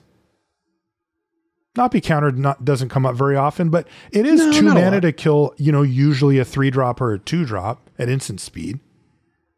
Gets around yeah. ward, just weird stuff like that. That seems fine, right? Abrupt Decay is pretty good. Yeah, I think like I think abrupt decay is solid. Like if you're if you're it's a C plus. If you're in those colors, you'll you'll play the card and you'll be fairly happy with it. Uh, Anguished Unmaking. This is one black white for an instant. Exile target non land permanent. You lose three life. If you're black white, you should put this card in your deck. The losing yeah. three life is not is also not nothing, but you Definitely. know it's still it's still a fine card. And I also I would give it a C plus. I would give it like a C plus. Yeah, you're yeah, not the three life. When matters. you're behind, this card can be pretty bad. It can. Uh, next is back for more. This is four green black for an instant. Return target creature card from your graveyard to the battlefield. When you do, it fights up to one target creature you don't control. You know, if you've got, I mean, this it costs four black green. Got to get up to six mana, but if you've got any sizable big green creature in your deck, this card is a major turnaround. It's an instant. I mean, this card was a beating. I don't remember what set it was exactly, but when either. you got to cast this at instant speed, the fight means you're probably not also ambush blocking because how much toughness does your creature have? Right. But getting to to put a four four into play end of the turn and kill their three three is is is a huge swing. Mm-hmm. It was from Ikoria, by the way. Um, B minus for back for more. It's still six mana. You still need a big creature in the yard. And oh, I was still, thinking closer to B plus. Like this is know. the kind of six mana bomb. Like imagine a six mana creature that fights on ETB that's pretty big think you'd be pretty would, happy with that. That I would give a B plus, but the reason I'm giving a B minus is just because it does require that setup cost. Like there are times when you only have a three three, you know, in your yard, and you're like, all right, I got to back for more of this, and you know, it, it's just not. You know, what percentage of the time do you have like a big enough creature to kind of swing the game? I don't know. It's probably like 60% or 70 or something, but there's still a good chunk of percent where, you know, you just weren't able to set that up for whatever reason. I would say B minus for back for more just you know, because of the setup cost, not because of the card itself. But I I I hear you if if you think it happens more often. Um, Bedevil, black, black, red for an instant, destroy target artifact, creature, or planeswalker. Great card. The only question is, can you cast it? Yeah, and it, this is comparable to casting murder in a black red deck. Like yeah. you're not going to find that to be very difficult. So it's like a C plus. It's like a murder in a exactly black red deck. Yep, a little bit more to cost and a little bit more to hit, but mainly you're just killing creatures. Next is Buried in the Garden. Yeah, that's a recent card.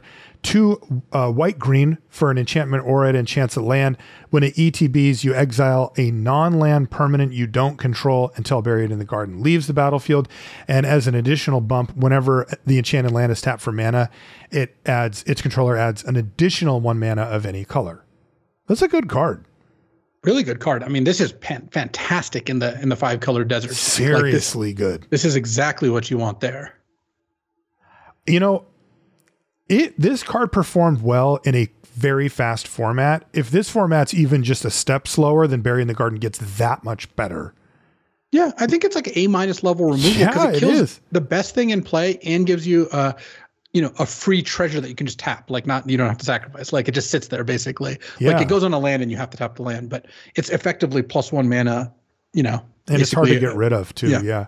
Uh, next is crime and punishment. So this is a split card. Crime is a sorcery uh, that says put target creature or enchantment card from an opponent's graveyard onto the battlefield under your control for three black white. And punishment is green black x for destroy each artifact, creature, and enchantment with mana value X. This is from Dissension. And, and note that it's not X or less. It mm-hmm. is just X. It's exactly X. Um, I don't know that I've played Crime and Punishment. Uh, how does this card play out? Uh, it's okay if you can cast both sides. You know, you get to steal their best creature, and that's fine. You get to uh, pay green black X and like maybe snipe two of their things or one of their things and hopefully none of yours. Both sides are a little situational and clunky. You add them together, you have kind of a powerful card. Like I think this is kind of like a B level card if you're all three colors. This is a normal split card though, right? You you have to choose one or the other. Yeah, you just, just get to, to choose. Okay. Uh, what work grade did you say? B? I think B, yeah. Okay. Uh, next is Cruel Ultimatum, which is one of the coolest cards ever, but I mean, I'm going to need a screenshot if you pull off casting it because it costs black, black, black, red, red, blue, blue. it's a sorcery that says target opponent sacrifices creature, discards three cards, loses five life. You then get a card back from your graveyard, draw three cards, and gain five life. It is an absolute devastating swing, but like, can even the Deserts deck pull off a cruel? No, I don't really think so. This card doesn't seem very castable. Like maybe you could build a deck that had like a ton of ways to cast it, eh, like a ton of like Grixis different deserts and like I don't know some five color fixers or something. But for the most part, I think Just think give it an F. Ugh. This is an F, and if you can pull it off, that is it is awesome. Yeah, we have to say sorry to Zambeg. His license plate is UUBBBRR. Uh, and people think he's an Uber driver for some reason. Uber. um, Decimate is next. It is two red green for a sorcery. And it says destroy target artifact, target creature, target enchantment, and target land. Now you do need to do all of those, right? You have to have all of them to target. That's that was the joke with this card is that it's really hard to cast because you have to have all four, which unfortunately makes it the, a card that you're not really going to play in this deck. I yeah, do, in this format. Like an F. It's an F. Like it's just too unreliable to get all the. When targets. are you ever going to get an artifact and an enchantment to go with the other stuff? Uh, next is Decisive Denial. This is blue green for an instant. Choose one. Target creature you control fights target creature you don't control, or counter target non creature spell unless its controller pays three. That's okay. If I'm playing blue green, I'll, I'll play this card, but I'm yeah. not going to play blue green to play this card. So right. it's like a C level card. C for de- Decisive Denial. Next is Detention Sphere. This is one blue white for an enchantment. When it ETBs, you may exile target non land permanent not named detention sphere and all other permanents with the same name as that permanent. And when it leaves the battlefield, return the exiled cards to the battlefield under their owner's control. I mean, it's just a good removal spell. Sometimes you technically could pick up two, but I don't think that's going to happen very often. Yeah, and I mean, you know, you could do like the mercenaries if they've managed to make three of them. You could just wipe them all out or whatever still, it's a good card. I mean, it plays at like a B minus or a B level. It's it just a B level card. B, yeah. B for detention sphere. Next is endless detour. This is uh, green, blue, white for an instant. The owner of target spell, non land permanent, or card in a graveyard puts it on the top or bottom of their library. This so is from this is Capenna. Yeah, it's from New Capenna. It's another one of those cards that it's like, yeah, this does uh, have a good effect. And if this costs two and a blue, you'd be pretty happy to put this card in your hand in your yeah. deck. but just the casting cost. It's like if you if you have the desert deck where I, I, know we're not treating it as like literally we have the mana to cast everything always, but if we have the mana to cast these things, then yeah, this card works all right. But I, am not going to stretch my mana. It's kind of like abrupt decay where I'm yeah. just putting this card in my deck if if I can cast it and it's not too hard to cast. I'm not really interested in going out of my way to try to cast the card to, to get a one for one, right? I mean, yeah. ultimately. Um, it's like a C, but you, it's really hard to cast. Uh, next is Fractured Identity. Oh my God. It's three white blue for sorcery. And if you've never seen this card, buckle up. Exile target non land permanent. Each player other than its controller, so you, uh, creates a token that's a copy of it. Th- this is the ultimate turn the tables card. It's the best control magic ever because you you effectively steal their best permanent, but they can't bounce and get it back because it's a token and theirs is exiled. So if they have a bounce spell, they just get to kill yours. There's no enchantment to disenchant. You also get the ETBs. So if they had a creature or an enchantment or a planeswalker, you know, and especially if they have an ETB, you get to just play it and uh, play Fractured Identity, and you're probably winning the game after that. Like Huge. the card is just that absurd. It's probably the single card that has the biggest swing in win rate, like where somebody can go from winning to losing, it, fractured identity probably has the biggest. I mean, to me, it's an A plus. Like this is, this might be the best card in the whole group of cards that we've seen total. Like fractured identity. It could, it could be the best card in, in, in, the format. Yeah. Yeah. It's absurd. Uh, next is hindering light. It's blue white for an instant. Counter target spell that targets you or a permanent you control. Draw a card. I'm always really scared to play these things pretty strong sideboard card. I don't know that I would be yeah yeah be running you know falling over myself to main deck it. Sideboard B. Yeah, it, it, it is a good sideboard card. It's like, really good out of the board. When you counter a spell and draw a card for two mana, that is great. It's, and it's there's just, a lot of crimes mm-hmm. that uh, you know crimes that make people want to put the, these kinds of cards in their deck. But that's right. It's just tough because like you learn the hard way what actually targets and what doesn't. You know, like when people play Oblivion Ring effects and you're like, oh, never mind. And, you know, it is a little more narrow than you'd think. Next is Humiliate. This is white black for a sorcery. It says target opponent reveals their hand. You choose a non land card from it. That player discards that card, put a plus one plus one counter on a creature you control. If Whatever. you're playing white black, you'll put this card in your deck. Yeah. You know, it's, it's, it's a two mana your... way to get a card out of their hand and you even get a counter. So yeah, that's not too bad. It's like but, a C most of the time you're, you're yeah you're this isn't one of those like really powerful legends so i think it's like or multicolored cards i think a mm-hmm. c is is good for humiliate Hypothesizzle one of the best names ever three blue red for an instant draw two cards then you may discard a non-land card when you do Hypothesizzle deals four damage to target creature and even though it's painful to discard non-land cards it's almost always better to discard a, a spell to turn it into something that kills a creature for free so you do that most of the time. Hypothesis is sweet. Yeah, Hypothesis is awesome. Uh, been very good. I've had this in two decks actually, and oh, already? Wow. Five mana, draw two, and then discard your worst card to get a zero mana deal for. Great. Right. I, am in. I, it's a B, B plus. Yeah, I could go B plus. I could I could be talked into B plus. Uh, Ionize is next. This is one blue red for an instant counter target spell. It does, and this does two damage to that spell's controller. Hard counter for if, three mana yeah, if you're blue red, it's easier to cast than a double blue or double red card, and counter and deal two is pretty good. So I think Ionize is like a C plus. Yeah, C C plus. Next one is Oko, but this is the real deal. Thief of Crowns. This is the one green blue for loyalty. That's right, three mana for loyalty, plus two to make a food token, plus one to have target artifact or creature lose all abilities and become a three three elk. Uh, or minus five to exchange control of target artifact or creature you control with target opponent target creature and opponent controls of power three or less. You know, it's arguably the best planeswalker ever. You know, it's it's in the top five. I mean, the only thing that I really could, like can compete with Oko and from from pretty much what we saw is like fracture identity. Right. I, I don't I don't even know which one's better. Like obviously if Oko's in your opening hand, you're gonna win more games, but fracture mm-hmm. identity mm-hmm. it's just unbelievably soul crushing at any other point in the game. Right. We're debating which A plus is better though, because yeah. Oko is an A plus. Here's the which has the bigger plus after it. You know. Yeah, is like you play Oko, you plus two it. It has six loyalty. It's not going to die. Next turn, you make your your food into an elk, and then you have a three three to defend with, and you have still tons of loyalty. Or you minus five if they haven't attacked it. Right. It, let's say you, you play Oko turn three on an empty board, you go up to six, make a food, they play a good three drop. You just go minus five, you have a food, I have a three drop. My Oko's only on one loyalty, Yeah. but you have nothing in play and I have a creature. And then you start plussing Oko again. It just goes up in loyalty so quickly and can plus one. They have oh, they have a terror of the peaks out. Okay, Oko, play Oko, turn it into an elk. Right. Like Just doesn't just matter what it is. on. Yeah. Yeah. A plus for Oko Thief of Crowns, one of the best cards ever.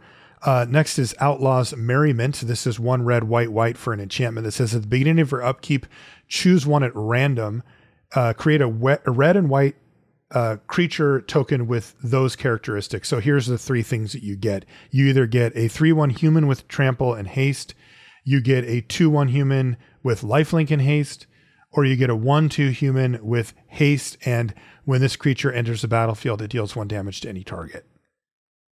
You just get that every turn.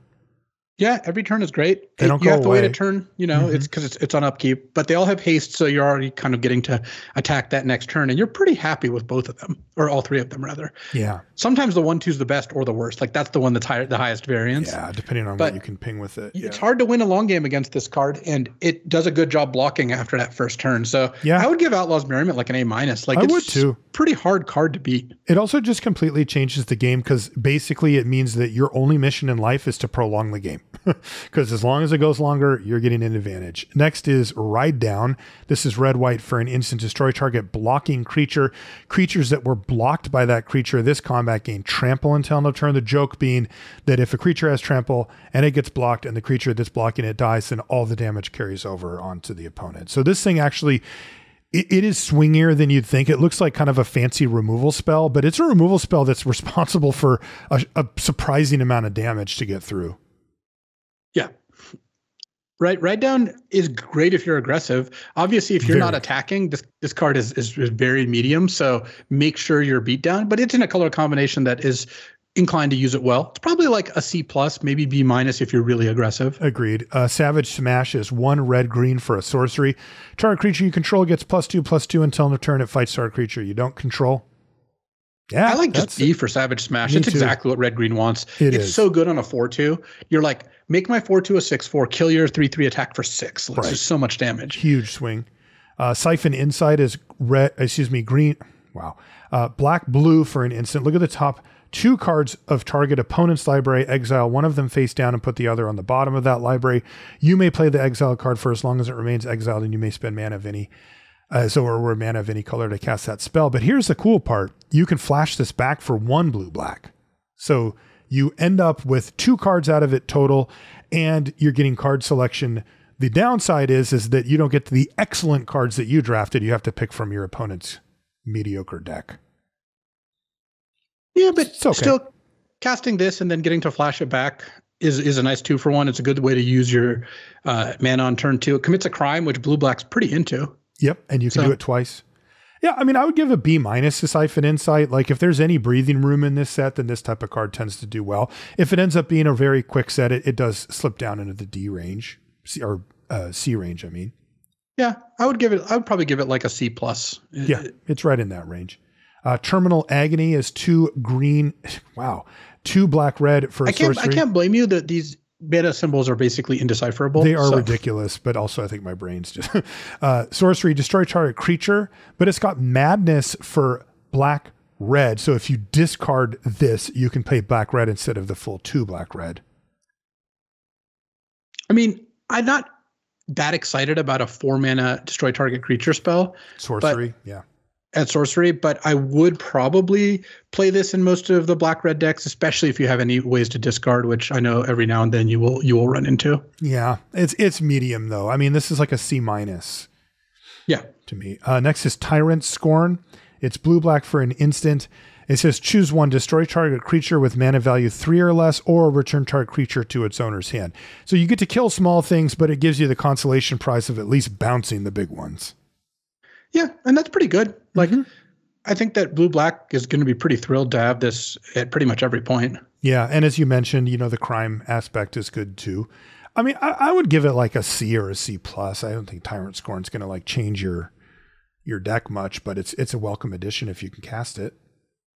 Yeah, I Um, think I think it's probably close to a B minus just because it's a little it's it's pretty flexible. For two mana getting to remove anything you want from the battlefield, like it's not always permanent because Mhm. you can you only can bounce the big creatures, but it still seems pretty good.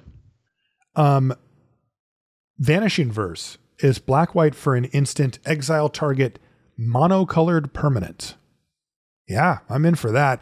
I mean, it is surprising how often their best cards are gold cards, and you're like, oh man.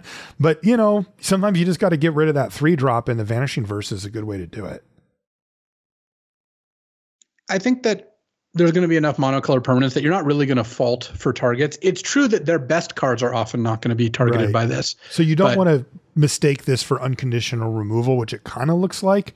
It's not, but it hits a lot of really important good stuff.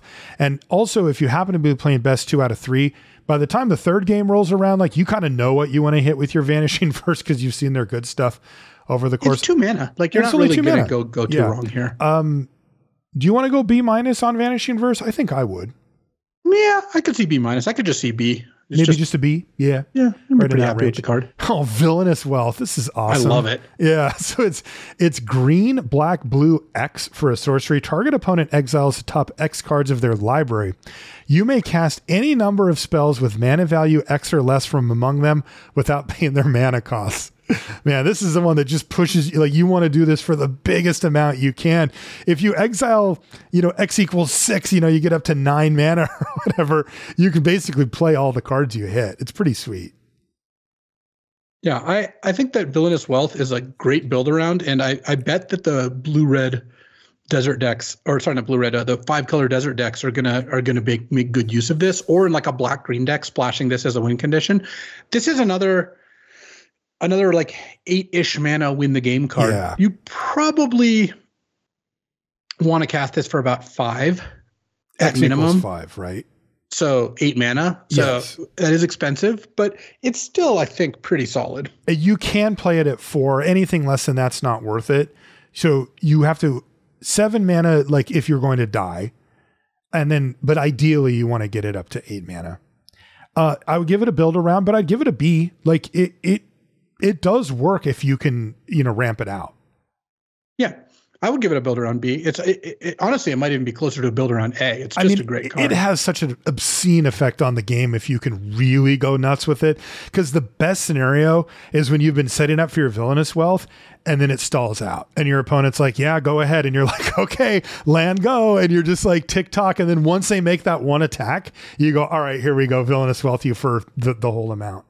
Um, next is Void Rend, which is white, blue, black for an instant. It says, this spell can't be countered. It destroys a non land permanent. Ano- another clunky Yeah. but worth it one for one, right? Like, Another fine removal spell. yeah, we've seen a lot of these uh, in this in this block of cards. Um, but again, casting it, it, it's all about if you can cast these. If you can, sure, you've got yourself a C plus or a B minus or something like Yeah. that. But don't jump through hoops to do so. Right. Next is oh Voidslime, blue blue green for an instant counter target spell, activated ability or triggered ability. Gives you like a little bit of extra flexibility on your uh on your cancel. Yeah, which you're not really going to use all that often, but Mm. You know, it's nice. To, is nice to have the ability to do so. Sometimes they ultimate your plane their planeswalker and you go counter the ultimate or whatever, but usually that's not how it works out. Uh I would give Voidslime like a C or a C minus. Like it's basically a, a slightly harder to cast cancel. I would say yeah, it's it's like closer to a C minus than Yeah. than a C, but whatever. It's it's a mediocre card that if you're playing those colors, you'll you'll put in your deck. Here's an interesting one. It's Contagion Engine. This is six mana for an artifact. And when it enters the battlefield, put a minus one, minus one counter on each creature target player controls. And then you can pay four and tap it to proliferate twice, which lets you choose any number of permanents with counters on them and add an additional counter to it. And then you get to do that again. So basically, it shrinks their whole team when it hits. And then the next turn, it like more or less wipes out their squad and you get to proliferate like you can choose beneficial counters on your stuff to to proliferate as well this set seems like not you know super well set up for but there's stuff going on like there's plus one plus one counters and stuff the question is how good is contagion engine at just like making sure that you don't die and then wiping out their board? Um, I think that it's going to be interesting seeing how this plays out because mm-hmm.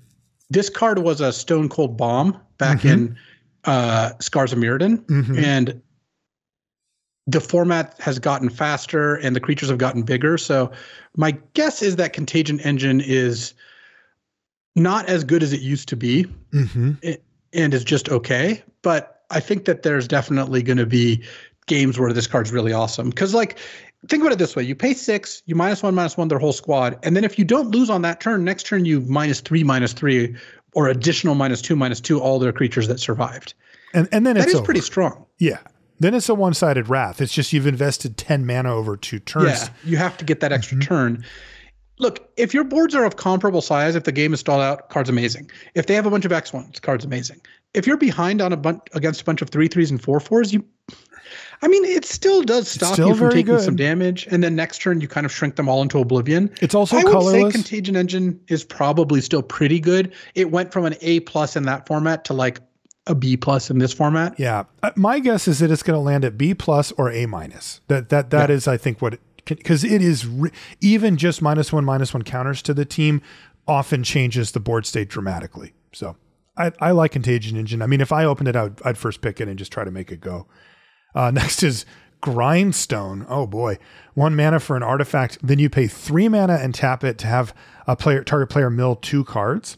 And then if two cards that share a color were milled this way, you repeat the process. So if you hit like two blue cards, you get to mill two more. And then if you hit two black cards, you get to go again. The problem, of course, is that lands don't have a color, so they break up. And Anytime you hit a land, it stops the grindstone. This is an F. Like I don't think you're going to invest this much time. Even the mana. mill guys giving Grindstone an F. Fair yeah. enough. Uh, next is Mindslaver. This is six mana for a legendary artifact. Doesn't do anything when it ETBs, but if you can scrap together four more mana, tap it and sacrifice it, you control target player during that player's next turn. Yeah, you heard that right. You get to take your opponent's turn for them. it's insanity when you get to do this. There's two major things that happen. One is that secret mode is that it's a time walk because you could just do nothing for your opponent effectively and get your turn back. But that's like your absolute bottom basement price on this because what you can do is use their removal spells to kill their own guys. You can have their guys attack into your bigger guys. They can't do anything about it and they just lose their board. You can have them attack their creatures into your board and you just take the damage, but then kill them on the crackback. Um, you can point discard spells themselves, have you draw cards if that's a possibility. You can just tap them out. You can miss their land drop. You, you it is most people just concede to it if there's any chance they're going to lose because it's just like too humiliating to watch your opponent take your whole turn. The, the, the problem is it costs six and then another four. right. So the six is one thing, but now they know it's coming, and that does change things at least a little bit. And then you, you have to make it all the way back to your next turn, and and then you're in really good shape. I mean, it generally speaking, it, it is one of those swingier cards. What would you give Mindslaver? I mean, huge effect, but huge amount of mana investment to get it. Is, is it like just too side- slow?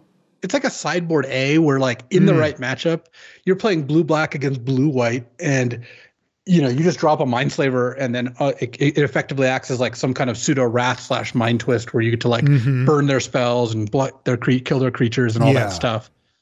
But yeah, I would it, say for it is really part, tough because there also are numerous ways to deal with Mindslaver on the battlefield in this format. So there is a chance that you play it and they just kill it before you get to the four mana. That's a disaster as well. I'm going to try to do it. I mean, if I open a Mindslaver, I'm taking it and nobody can stop me. But like, I, I have a feeling in the back of my head that if at the Pro Tour, that might not be the number one option to take over, you know, a, a decent creature. I think it's not going to be a great card. No. Okay. Uh, next is Unlicensed Hearse. This is two mana for a star star vehicle. Crew cost is two. You can tap it to exile up to two target cards from a single graveyard, and the hearse's power and toughness are each equal to the number of cards that you exiled with it. Some sideboard thing, right? Yeah, I mean, it's not the it's not the it's not the best, but it's it's okay. Like Yeah. if you if you're playing against green black, you're you, I think you're going to be pretty happy to have this card. Yeah, probably so. Um, sideboard C plus for unlicensed. Yeah, sort of like that. Uh, and then the last one of this run of cards is Dust Bowl, which is a land that taps for colorless, or you can pay three mana, tap it, and sacrifice it to destroy a non-basic land. I, I can't imagine playing Dust Bowl. I, I, I think that I think that th- this this card could be really funny against a desert deck. I mean, it just hits their desert. Well, imagine you're playing you're an aggro deck and they, they have a bunch of deserts, then you're you're slightly ahead. You go turn like turn five, like sack a land, kill your desert. They like play a land. You're like sack a land, like you just both spend your turns doing that. It's not really good. The card's kind of like an F, but It's pretty bad, yeah. okay. Um, so the next section of cards is the big score. Yep, and there's a there's some there's some big score cards to cover for sure. Oh goodness. Okay, here we go. Um first one is called Collector's Cage. It's one and a white for an artifact. It has hideaway five, and it has one tap, put a plus one plus one counter on target creature you control. Then, if you control three or more creatures with different powers, you may play the exiled card without paying its mana cost, and that's off of the hideaway. You look at the top five cards, your library and exile one, and you can play it if you do the thing. Is Collector's Cage good? Yeah, oh, yeah, I think I think it's pretty seems good. Super good to me. Like two mana for an artifact that's one tap, put a counter on a creature, which isn't at sorcery speed, by the way. Oh, oh, I did not notice that.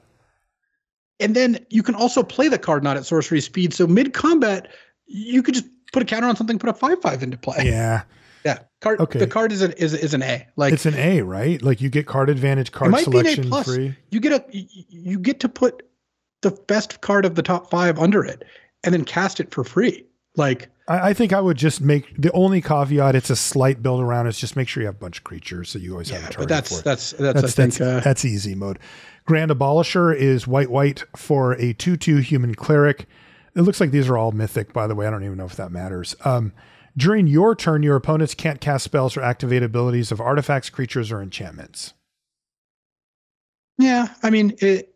It's nice to to shut off any sort of tricks or whatever, but I would only play it if my mana base really supported it. Yeah, because it's ultimately just a 2 2 for 2. Next is Oltec Matterweaver. This is 2 and a white for a 2 4. There's another one. Um, it says whenever you cast a creature spell, choose one, you get a 1 1 colorless gnome artifact creature token, or create a token that's a copy of target artifact token you control. So mostly you just get you whenever you cast a creature, you get a 1 1 off of Yeah. your 3 mana 2 4. That seems great.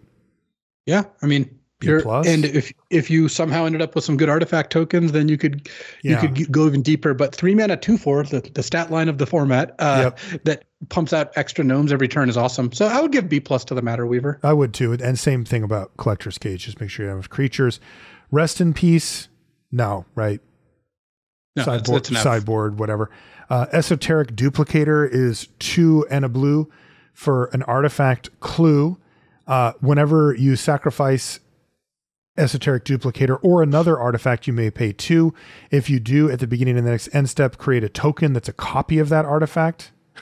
cool. So you get it back. And of course, it is a clue, so you can pay two mana to sacrifice it and draw a card. So basically, you can pay four mana to sack it, draw a card, and then it, you get another one.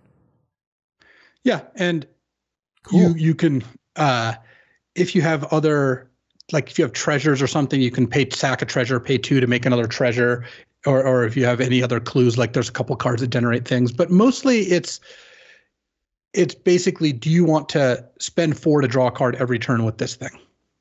And yes, I do, except for that I'll probably die, but I'll be happy doing that. By the way, we should mention these cards are not like the previous sheet. The other ones show up once per pack, but these ones show up like, I think one out of eight. Uh, it can be in that seventh common slot or something. So these are going to happen way, way less frequently than any others, but yeah, they can be in the pack. So we're talking about them. Next is Simulacrum Synthesizer, which is two in a blue for an artifact. And when it enters a battlefield, you scry two. And whenever another artifact with mana value three or greater enters a battlefield under your control, you get a zero zero colorless construct construct artifact creature token with this creature gets plus one plus one for each artifact you control. This just feels too narrow to me. I No, mean, you're I- not gonna you're not going to cast artifacts with mana value three or greater again in this format. Like that's right. just not going to happen. That's so. not going to happen. So F build, for the synthesizer. Build around F. Next is Worldwalker Helm. This is two and a blue for an artifact. If you would create one or more artifact tokens, instead create those tokens plus an additional map token, and you can pay one and a blue and tap it to create a token that's a copy of target artifact token you control. Good lord. So you play this, you you have to make a token somehow, and then you can start doing things. This isn't F. No, yeah. we're, we're not doing this. Greed's Gambit is three and a black for an enchantment. When Greed's Gambit enters the battlefield, you draw three cards, gain six life, and create three, two, one black bat creature tokens with flying. At the beginning of your end step, you discard a card, lose two life, and sacrifice a creature. And when Greed's Gambit leaves the battlefield, you discard three cards, lose six life, and sacrifice three creatures. It's an F. You, you yeah. you're, you're just going to run out of uh, runway, and then it's going to be a horrible card, and there's no real way to get around it because you don't have any like donates or anything like that. So yeah, I mean, could you win the game the next turn? I mean, you get three, two, one flying bats, like you're slamming for six. Um, I guess that's not really true. You're slamming. You're not because you're discarding a card, losing two life, and sacking a creature immediately. yeah, so it's more like four. Yeah, that it feels like it comes back on you too quick. I agree.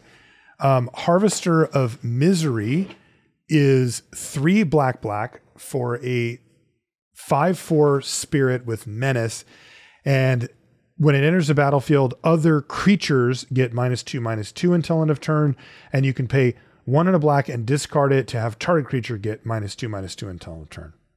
Well, that's freaking awesome. Yeah, I mean, it does hit your own creatures mm-hmm. with uh, the ETB, so you got to kind of watch out for that. But you get to go five mana, five four menace, eat one of your creatures. Like that sounds great to me. Mm-hmm. And casting and and if you have to, spending it as two two mana to kill a creature is also pretty good. So yeah, no, I'm I'm I'm into this thing. Yeah, I mean, it looks like you know, it's a B plus or an A minus. I mean, it's just a removal spell or like situationally just an awesome creature. Uh, next is Hostile Investigator, which is three and a black for a 4 3 Ogre Rogue Detective. And when it enters the battlefield, target opponent discards a card. And when one or more players discards one or more cards, investigate. And that only happens once each turn. I mean, this card is What great. is it, a three for one? Yeah, like you get a four three, they discard a card, and you make a clue, Come and on. then, and then if you ever get to discard again, it, you also do it. The other thing that's pretty awesome about this card is it triggers when you discard. Oh, are so, you serious? Oh my god! Yeah, that's so awesome. If they if you play this and they discard and you make a clue, that's great. If they then make cast a discard spell on you, you you get to draw again. that's just ridiculous. Yeah, I like A for hostile investigator. It just asks nothing of you and gives you a lot. Uh, next is generous plunderer. This is one in a red for a two-two human rogue with menace. At the beginning of your upkeep, you may create a treasure token. When you do, target opponent creates a tapped treasure token. And whenever this thing attacks, it deals damage to defending player equal to the number of artifacts they control. They so, control. Yeah. So basically, you, you you end up doing with this card, I think most of the time, is you play this as a two-two menace, and then on your next upkeep, you get a treasure. They get a tap treasure. So they can't use it right away. You play something and you bash and they take three because they, they have that one treasure. Mm-hmm. So it's mm-hmm. kind of like a 3 2 menace that gives both players a treasure, or mm-hmm. just a two mana 2 2 menace and you just decide not to give treasures. So, which works too. So I, I would give it a B. Like I'm, I'm pretty happy with this card regardless. Yeah, looks good. Legion Extruder is one in a red uh, for an artifact, and when it enters the battlefield, it deals two damage to any target, and you can pay two mana, tap it, and sacrifice another artifact to create a 3 3 colorless golem artifact creature token. I mean, two mana for a sorcery speed shock isn't like the worst, even though it's not that exciting. And mm-hmm. then if you have other artifacts, like if you make clues or treasure from anything, then you you can you can go pretty hard on this. I mean, it's a big payoff. Like you get a like, three three. Yeah, getting to sack a, a treasure and make it into a 3 3 is pretty good. Yeah, that actually seems pretty good. I, I think if I had I any other in, artifacts, I would probably throw Legion Extruder in my deck. In so basically, I think in the like deck that has no other targets, this is like a D. Like you don't Yeah. want sorcery speed shock. Right. Though if you have things that sacrifice artifacts, this also gives you that, but I don't think there's a whole lot of those. hmm In a deck that has even just two or three other artifacts or ways to make treasure tokens or whatever, I guess I'd probably play this card. I would too. And these cards are really powerful, considering that they don't really have a home, right? yeah. Uh, next is Memory vessel. Well, that's kind of the idea, I think, by putting them in big score is like they don't show up that often, so they don't make the draft format too weird, but they want these cards around for some reason. for I don't know what the reason is. Um, next is I mean they're not bad. These are interesting, but I just feels like they should. I don't know. Anyway, uh, memory vessel is next. Three red red for an artifact. You you can tap it to and exile it to have each player exile the top seven cards of their library until your next turn. Uh, players may play cards exiled this way, and they can't play cards from their hands. And you can act. Okay, so it's memory jar. I get it. It's memory jar. You can only activate as a sorcery. I mean, I don't think this card's actually unplayable because imagine it's as it's a five mana draw seven, except there's a one turn delay on it because you you want to wait till all your mana's up, and you then also need to uh, cast all those cards in that same turn because they can't. you can. Yeah. They, yeah, they, they they go away after that. So But that I is asynchronous. Like your opponent does not get to get the same advantage you do. yeah, that's what I'm saying. Is it, Yeah. is like your opponent probably isn't gonna. Yeah. I'm with well, you. they're they're still good. No, it's until your next turn. It's not just this turn. So it's Oh, not memory jar. So oh. it's it's symmetrical. Never mind. F F F all the way down. Uh, molten duplication is one in a red for a sorcery. Create a token that's a copy of target artifact or creature you control, except it's an artifact in addition to its other types. It gains haste until end of turn sacrifice at the beginning of the next end step. No. No. Next is Territory Forge, which is four in a red for an artifact. When it enters the battlefield, if you cast it, exile target artifact or land. And Territory Forge has all activated abilities of the exiled card. No. Uh, next is Ancient Cornucopia. This is two and a green for an artifact. Whenever you cast a spell that's one or more colors, you may gain one life for each of that spell's colors. Do this only once each turn, and then it taps to add one mana of any color. Meh. I mean, it triggers off of uh, monocolored spells. You gain a life. You just you gain a life for effectively every spell you cast, and sometimes you gain two or maybe three. And I, you know what? I we were we kept talking about, hey, if you can cast this spell, if you can cast this spell, hey, I want eight mana. Maybe an ancient cornucopia is the trick because getting a one life or more rebate on basically every spell you cast, that actually gives you a buffer over time that could buy you that extra turn needed to get to that big mana spell. Yeah, I'm kind of I- in. I'm not really. I don't really like when my mana rocks cost a color to cast. Oh yeah, that's true. I, it is Well, green though. It's the color you want. No, want. you know what?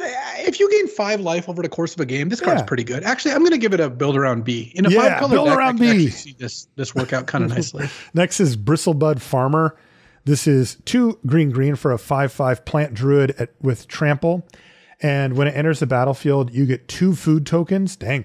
And whenever it attacks, you may sacrifice a food. If you do mill three cards, you may put a permanent card from among them into your hand. Damn, that's a lot. That's really nice. I was worried Green wasn't going to have any bomb mythics in the in the big category. this is just kind of getting crazy with these green cards. It's just like four mana, five five trampler that gives you food and draws you cards. It's just another A. Yeah, it's great. It's very similar to the other ones we had. Next is Omenpath Journey. This is three and a green for an enchantment. When it enters the battlefield, search your library for up to five land cards that have different names, exile them, and then shuffle. At the beginning of your end step, choose a card at random exiled with Omenpath Journey and put it onto the battlefield tapped. So that just keeps happening, right? Yeah, so you you go you have to get five lands with different names, which isn't that hard in the desert deck, which is where you'll be using this. Right. And then at the beginning of your end step, you get to pick one on the battlefield tapped. Then the next turn you do it again. Your next turn you do it again. Is this better than getting two lands right away that are tapped also? No. So that kind of puts a cap on this. So this Yeah. it's like a C.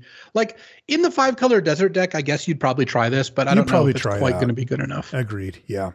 Uh, next is Sandstorm Salvager. This is two and a green for a 1 1 human artificer. And it says When it enters the battlefield, you get a 3 3 colorless golem, golem creature token, and you can pay two, tap it to put a plus one plus one counter on each creature token you control, and they gain trample until end of turn. Wow. I mean, this this one's going straight into Vintage Cube. It's going new say, Blade Splicer. is this better than Blade Splicer? It is, right? Um, it's pretty close. In limited, I think it's in like normal draft. This is better because you get to put counters on the golem, and just like over time, it just gets massive. Or if you have any other creature tokens, like your mercenaries, for example, yeah. in fast-paced vintage cube, probably just getting first strike up front is is better, but Hmm. it's close.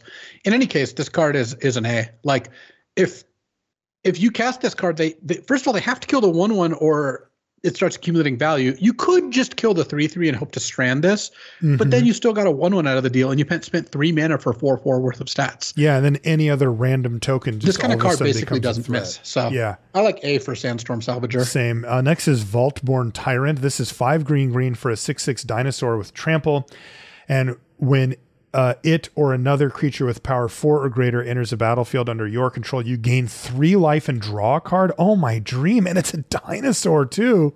Oh man! And when it dies, if it's not a token, huh, uh, create a token that's a copy of it. Oh, I see. Except it's an artifact. Are you kidding me? Except for it's an artifact. It, it dies into another of itself. And then re-triggers itself. Oh, Vaultborn Tyrant, where have you been all my life?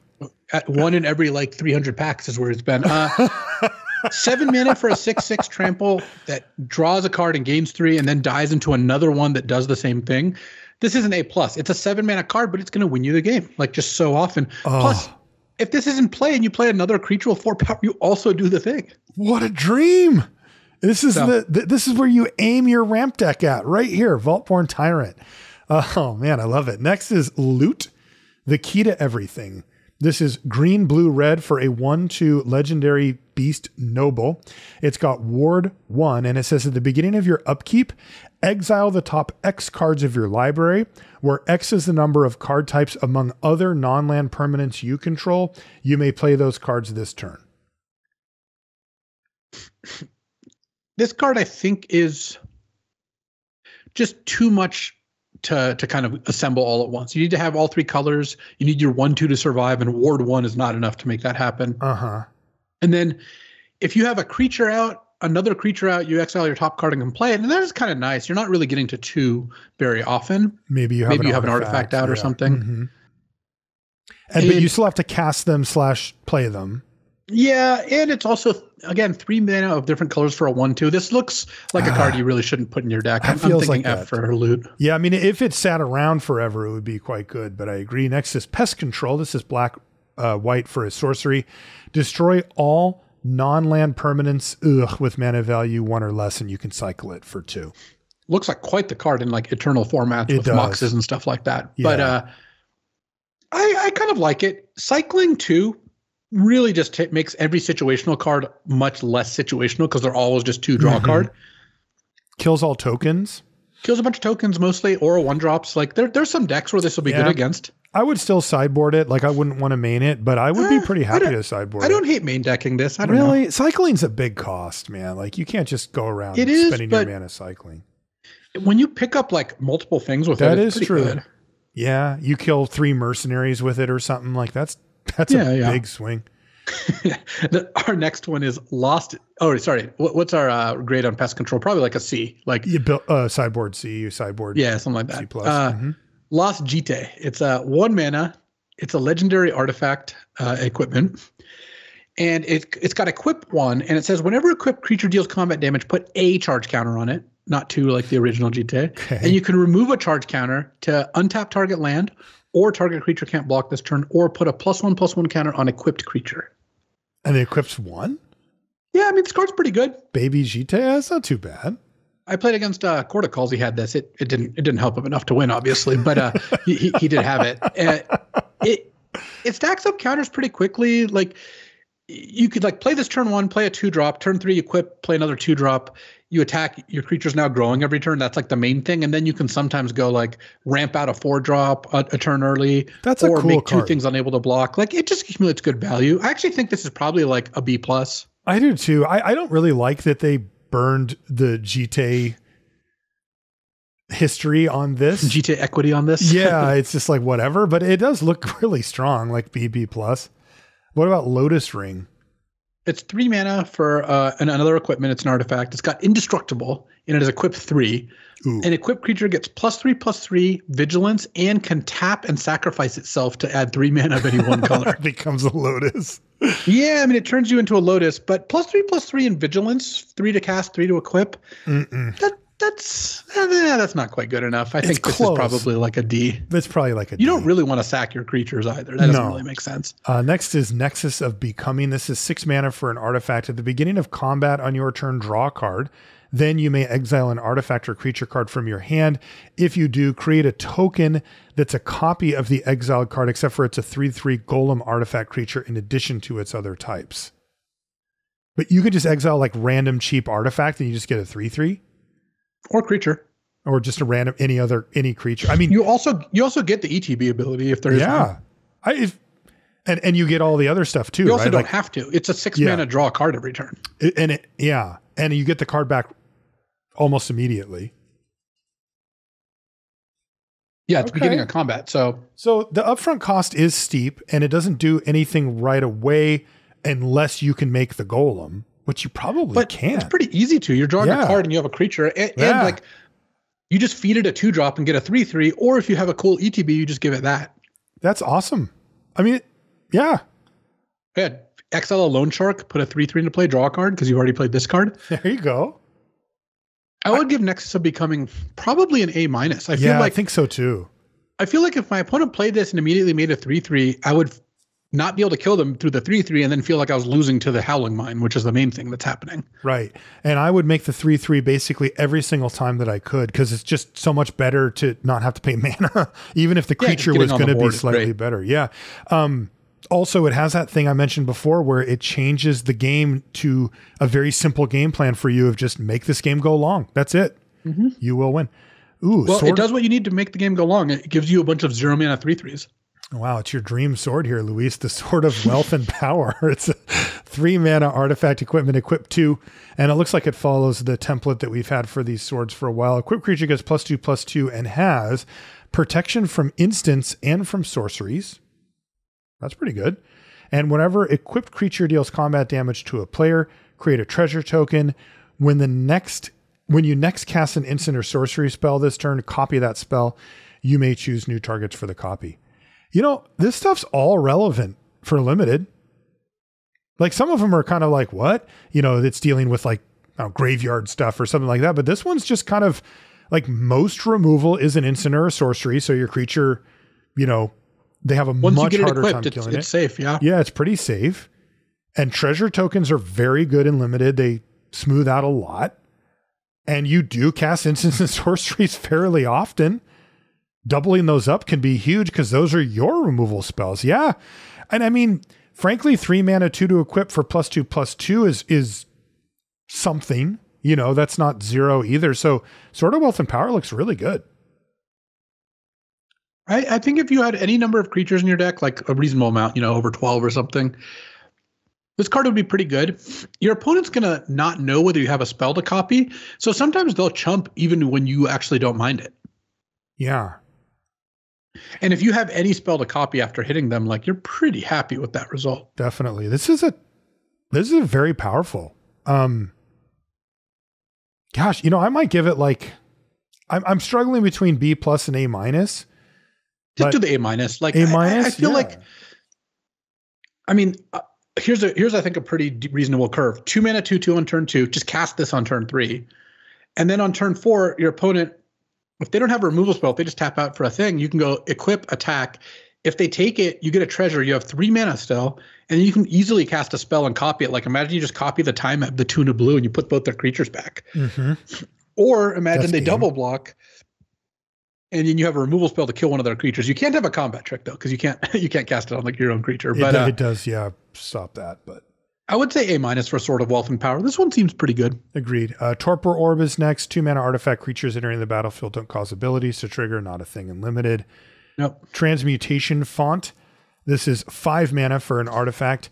Tap, Create your choice of a blood token, clue token, or food token. Okay, I love that because those are all star tokens over the last few years. Like those are those are ones that we love in limited. Uh, and then you can pay three mana, tap it, and sacrifice three artifact tokens with different names. Search your library for an artifact card, put it onto the battlefield, and then shuffle at sorcery speed. So, unfortunately, that second one isn't going to come up very often unless you get lucky and have some other really powerful artifact. Yeah. But what do you think about five mana? Make a thing. I mean, The problem is these things includes? also take mana. So you're like, play this on five, tap, make a clue, untap.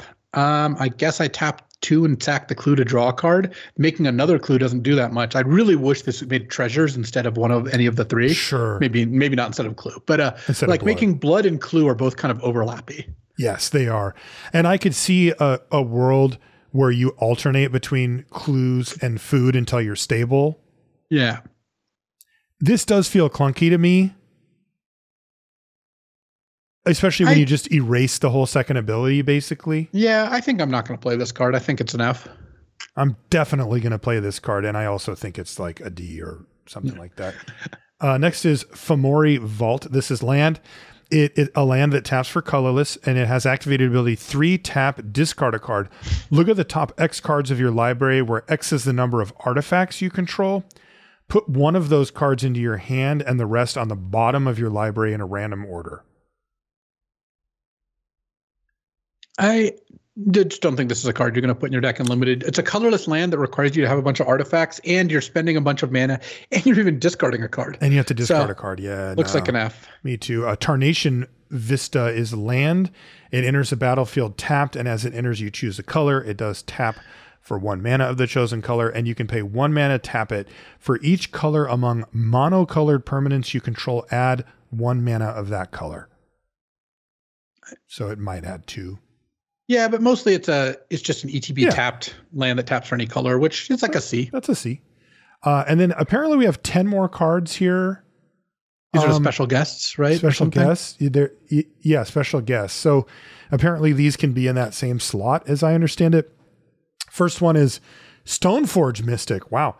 One on a white, one, two, and ETBs. You can search your library for an equipment card, reveal it, put it in your hand, and then shuffle. And you can pay one on a white, tap it to put that equipment into play. I mean, if you have equipment, this card's good. It's really good if you have equipment. better the equipment, better the Stoneforge Mystic. If you don't have any equipment, it doesn't do anything. So build around B plus, b- build around, attach a grade to the equipment you have.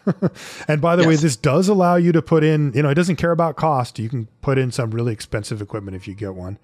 Uh, next is wow, Brazy B, Brazen Borrower. This is one blue blue for a 3 1 flash flyer that can only block creatures with flying, but it has an adventure which is Petty Theft. One in a blue instant return target non land permanent an opponent controls to its owner's hand. Absolutely excellent card. I mean, Brazen Borrower has played out so well that I'm tempted to give it like an A minus. I like, am too. It's so good. The combination of a bounce spell and a really aggressive 3-1 flyer is a really nice one where you can just fire off the bounce spell early knowing you're going to get your card back by casting a 3-1 late really good in these like close games where you're like bounce your attacker make a 3-1 end of turn. You know it just it just kind of does it all. So i, I would say a minus on brazen borrower super powerful card. I like it too. Next desertion is, is next Wow. it's it's a, a flashback from Visions. It's three blue Yeah. blue. It's an instant counter target spell, so it can counter anything. But if you counter an artifact or creature this way, put that card into the battlefield under your control instead of in its owner's graveyard. so so I want to know like how good is this in modern limited? I Creatures think are the that- most common thing that you want to counter anyway, but it's five. I think that you can actually make this card work. Um, I two of the decks or three of the decks I played, I think I would have put this card in it where you just first of all, it's really good against plot. When they plot a big thing, you just kind of know they're going to cast it next turn. What are they going to do? Not cast it? Right. and so you can kind of leave your mana up for desertion and really just get you know full value from there. And then it's just such a blowout if you ever cast on anything that even costs three mana. Like yes. three or four mana it's still really really good. So i would say desertion's like a b and it gets so much worse against you know smart opponents. Okay. but i think plot really really bumps this up. So i like b for desertion. Also, like, come on, are they playing around it? It's a freaking one and eight, you know, like, like, yeah. uh, like you said, one in 300 or whatever it is. Next is Morbid Opportunist. It's two and a black for a one three. rogue, by the way. Uh, and it says whenever one or more other creatures die, draw a card. This ability triggers only once each turn. We, we saw this in Midnight Hunt, and it was uh, incredibly good. Very, and I very see no reason why that wouldn't be the case now. It's even an outlaw. So Yeah. uh, I like. I think I like B plus for more I of, a- more too. opportunist. It, it just basically forces them to use a removal spell on it before using the other stuff, and that's very powerful. Uh, next is Port Razer. This is three red red for a 4 4 orc pirate. Uh, and it says whenever Port Razer deals combat damage to a player, untap each creature you control after this phase. There's an additional combat phase. And it says Port Razer can't attack a player it has already attacked this turn. What? It I- only gets one of the two attack phases? Yeah, and it's a five mana four four with no other ability unless it hits them. So I'm probably not in for this. You have to like for this for this to do more than just being a five mana four four. You have to play this. You have to hit them with it, and you have to have another creature that hit them, and you have to want to attack again with that creature. Yeah, no. I, I Looks just- like a D. I mean, sure, it's a five mana four four. If you really want that, put it in your deck. also, is this a rep? Like, I don't know this card. Reprint from something. Okay, Uh, but not a real set. Uh, Next up, we've got Yeah. Scapeshift, two green green sorcery, sack any number of lands, search your library for that many lands, put them on the battlefield, tapped, and then shuffle. It's an F. I don't want to hear about how you can get five deserts and ping them for five. But you could get. It's, uh, it's still an F. Like, don't put this card in your deck. next is Mystic Snake. It's one green, blue, Ooh, blue. Do put this card in your deck. yeah, for a 2 2 snake with flash. And when it enters the battlefield, counter target spell. Oh, I love Mystic Snake. This artwork's Yeah. really cool too. In- And it, it's it's even nicer because if you're blue green, you can probably get ahead on tempo and like slam this down, to just close the door on them. Um, you know, you get to if you get to counter their their spell and and put a two two into play, you're usually in really good shape. And out of the five color desert deck, they're not really going to see this coming. You've got a white red, a blue red, a black green, and uh, an island in play. oh, and, yeah. and and then you're just like Mystic Snake. gotcha. I mean, in paper, you could probably just tap any four deserts and cast this. They're not going to know, but That's right. I think Mystic Don't Snake's recommend. like a, a, a B plus. Like it's Yeah. just a it's a good card. When you're behind, if they play around it, just like any expensive counterspell, you can you can kind of get hosed and, and plot definitely makes it worse. Mhm. Though it has the, the effect like desertion where if you can leave you can leave men up for snake on the turn you think they're casting something. Yeah, but doesn't plot make it better too? Like they're playing their three drop, but they're not actually casting it until turn four. Yeah, I'm just worried about the games where you leave your man up on turn four and then they plot something. So it goes both ways. I see. It cuts both ways. I see. But I would still give Mystic Snake a B plus. I would too. Next is Notion Thief. This is two blue black for a 3 1 flash human rogue. And uh, if an opponent would draw a card, except for the first one they draw on each of their end steps, or draw steps, excuse me, instead that player skips that draw and you draw a card. It's it's it's pretty good. Like if they ever cast a card draw spell and you respond to this, you win. You win. And it's a They four mana usually concede, by the way. Yeah. I would say in most matchups it's kind of weak, and in some matchups it's the best card ever. So it makes it more of like a CD level card than anything else. yeah. It, it Awesome- just doesn't awesome help sideboard card. It awesome sideboard card though. Uh, next is Desert. Just Desert. Uh, it's a land that taps for colorless, and you can tap it to deal one damage to target attacking creature, and you can activate this. I'm not kidding. Only during the end of combat step. This is from Arabian Nights. Like this is like oldest school you can get almost. Yeah, I really hope that on Arena, when you have this card in play, it automatically stops in your at the end of combat. Because otherwise it's Yeah. gonna be really annoying. You have to like Yeah. Yeah, because in the in the old one it said something like after it deals damage or something, so that's how they translated that. Uh, is this a good card? I mean, it's a pretty good card, I think. Like you you you it's a colorless land, but you it's kind of half a spell. When you leave this up, they can't attack with X ones. No. And all their creatures, like, do they want to attack a three three into a two two? Your desert can take it down. Yeah. It's kind of Pretty annoying. reasonable. I don't know. Yeah. Uh, and then our last card, and it's a desert. And, and it's a the, desert. If you if you care about deserts, like oh man, you can search this up with the one two. Like yeah, that's pretty yeah, cool. Like, that's pretty you cool. have a couple ways to get this. I bet this is cards kind of like a B, like in the desert deck. It's a it's a kind of a C otherwise. Yeah, and it has to be really annoying for like the. Oh, if you can ever stack whatever. two of these, now we're talking. Now you're in business. How are you going to get two? I don't even know. Last card is Prismatic Vista. This is land. You tap it, pay one life, and sacrifice it to search up a basic land and put it onto the battlefield, and then shuffle. Yeah, great card. I mean, yeah. un, it's untapped land, gets any color, so it's like this is like a B. Like I'm mm-hmm. just happy to put this in any deck. Did we do it? I, I, we probably missed some like super bonus sheet. So Dude, you know, there were more non-set cards than set cards in this thing. But I'll let I'll let other people let, let tell us about that. okay. All right. Well, let's call it a show there. Set looks super fun. And uh, you've already played seven hours. I have to get off this call so that I can start watching, rewatching your seven hour stream from yesterday and learn all the things that you learned. Uh, and then once it comes out, I'll start playing myself. But until then, we're going to call this a show. Uh, if you want to find us on social media, Marshall underscore LR and Luis is LSV, pretty much everywhere. Uh, you can find everything related to the podcast at lrcast.com. I want to thank each and every one of our patrons. Thank you so much for supporting us. It's patreon.com slash limited resources.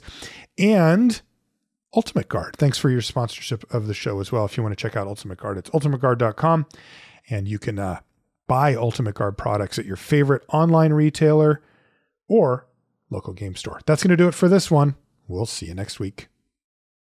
All right. Well, I have a list of like you know 20 like 25 or 30 cards i would consider for a cube but what i, I want to talk about like just the top five that i think will be pretty sweet out of the set mm-hmm. one is the Aven Interrupter the one and white so white these are guaranteed to get in your cube right the, the, the, five i'm going to talk about are, yeah. are 100% going in the cube because uh-huh. they're i think the, the five if not best the ones i'm most interested in uh-huh but uh the one white white two two flash that a you you want to you want to hit a counterspell with it or it's a situational spell so it can never really do that much in terms of a counter spell can never do anything.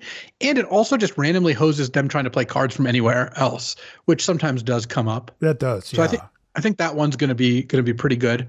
Um I, I I think Pillage the Bog is going to be sweet. This is the black green impulse for two X, where X is the number of mm-hmm. lands you control. Mm-hmm. I think mm-hmm. combo decks are really going to like this. Like casting mm-hmm. this on turn six and looking at twelve cards to find your you know time twister or your demonic consultation or or whatever. Like I think that it's going to work out pretty well. And the green black gold cards kind of suck anyway, so mm-hmm. getting getting like a pretty solid one out of there. Do you think people are going to plot that a lot? I don't know. I think they might. It sets up a good combo turn. Like it you does. can you you can do some some good stuff. Uh Geralf the Fleshwright, the two three for three that makes zombies when you cast your second spell and subsequent spells. I think that one's pretty good. Good. It triggers off any spell too. Creatures, non creatures, instant sorceries, whatever. It, it's all fine. Um, I don't know if this one's actually good enough. So this one actually is not 100% going to go in the cube. Bonny Pall, the clear cutter, the six mana, six five. Mm-hmm. I think playing even if you accelerate this out so you have fewer lands in play, getting like a six five plus a four four ox plus if you attack with like a creature that turn, getting to draw a card, that actually seems like enough to be good enough, even at six mana, and is like even a really reasonable reanimate target. On turn two, animate deading this, getting a five five plus a two two plus whenever you attack, draw a card. Like that seems pretty good. Yeah. Black, I like black getting cheap aggressive cards. So Caustic Bronco and Vadmir New Blood both look good, though I yeah. think the Bronco's better. Like in a red black deck, casting a turn two Bronco attacking and drawing a card sounds really good. Yeah, for sure. I I, I want to kill someone by saddling it and then vamping for like an Inferno Titan attack if they take six. That's sweet. That's that. That seems like a sweet one. Uh, Dust Animus as well. The two mana four five flying lifelink. Like I bet you plot that on turn two a lot in, in this format, or you just cast it if you're like oh. you know white weenie and you're beating down. Mm-hmm. And then uh, I I don't know how how good he's going to be, but I got to put Nathan in. Duelist of the Mind is a kind of interesting one too. So I think that I could like if you cast Duelist of the Mind and then cast Timetwister, you're attacking them for eight on turn three. Yeah, like yeah, it's another card that kind of works with draw sevens, which is kind of cool.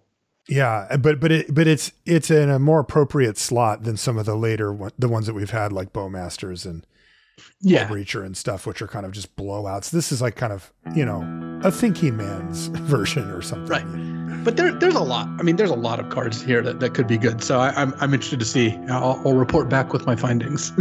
Sweet.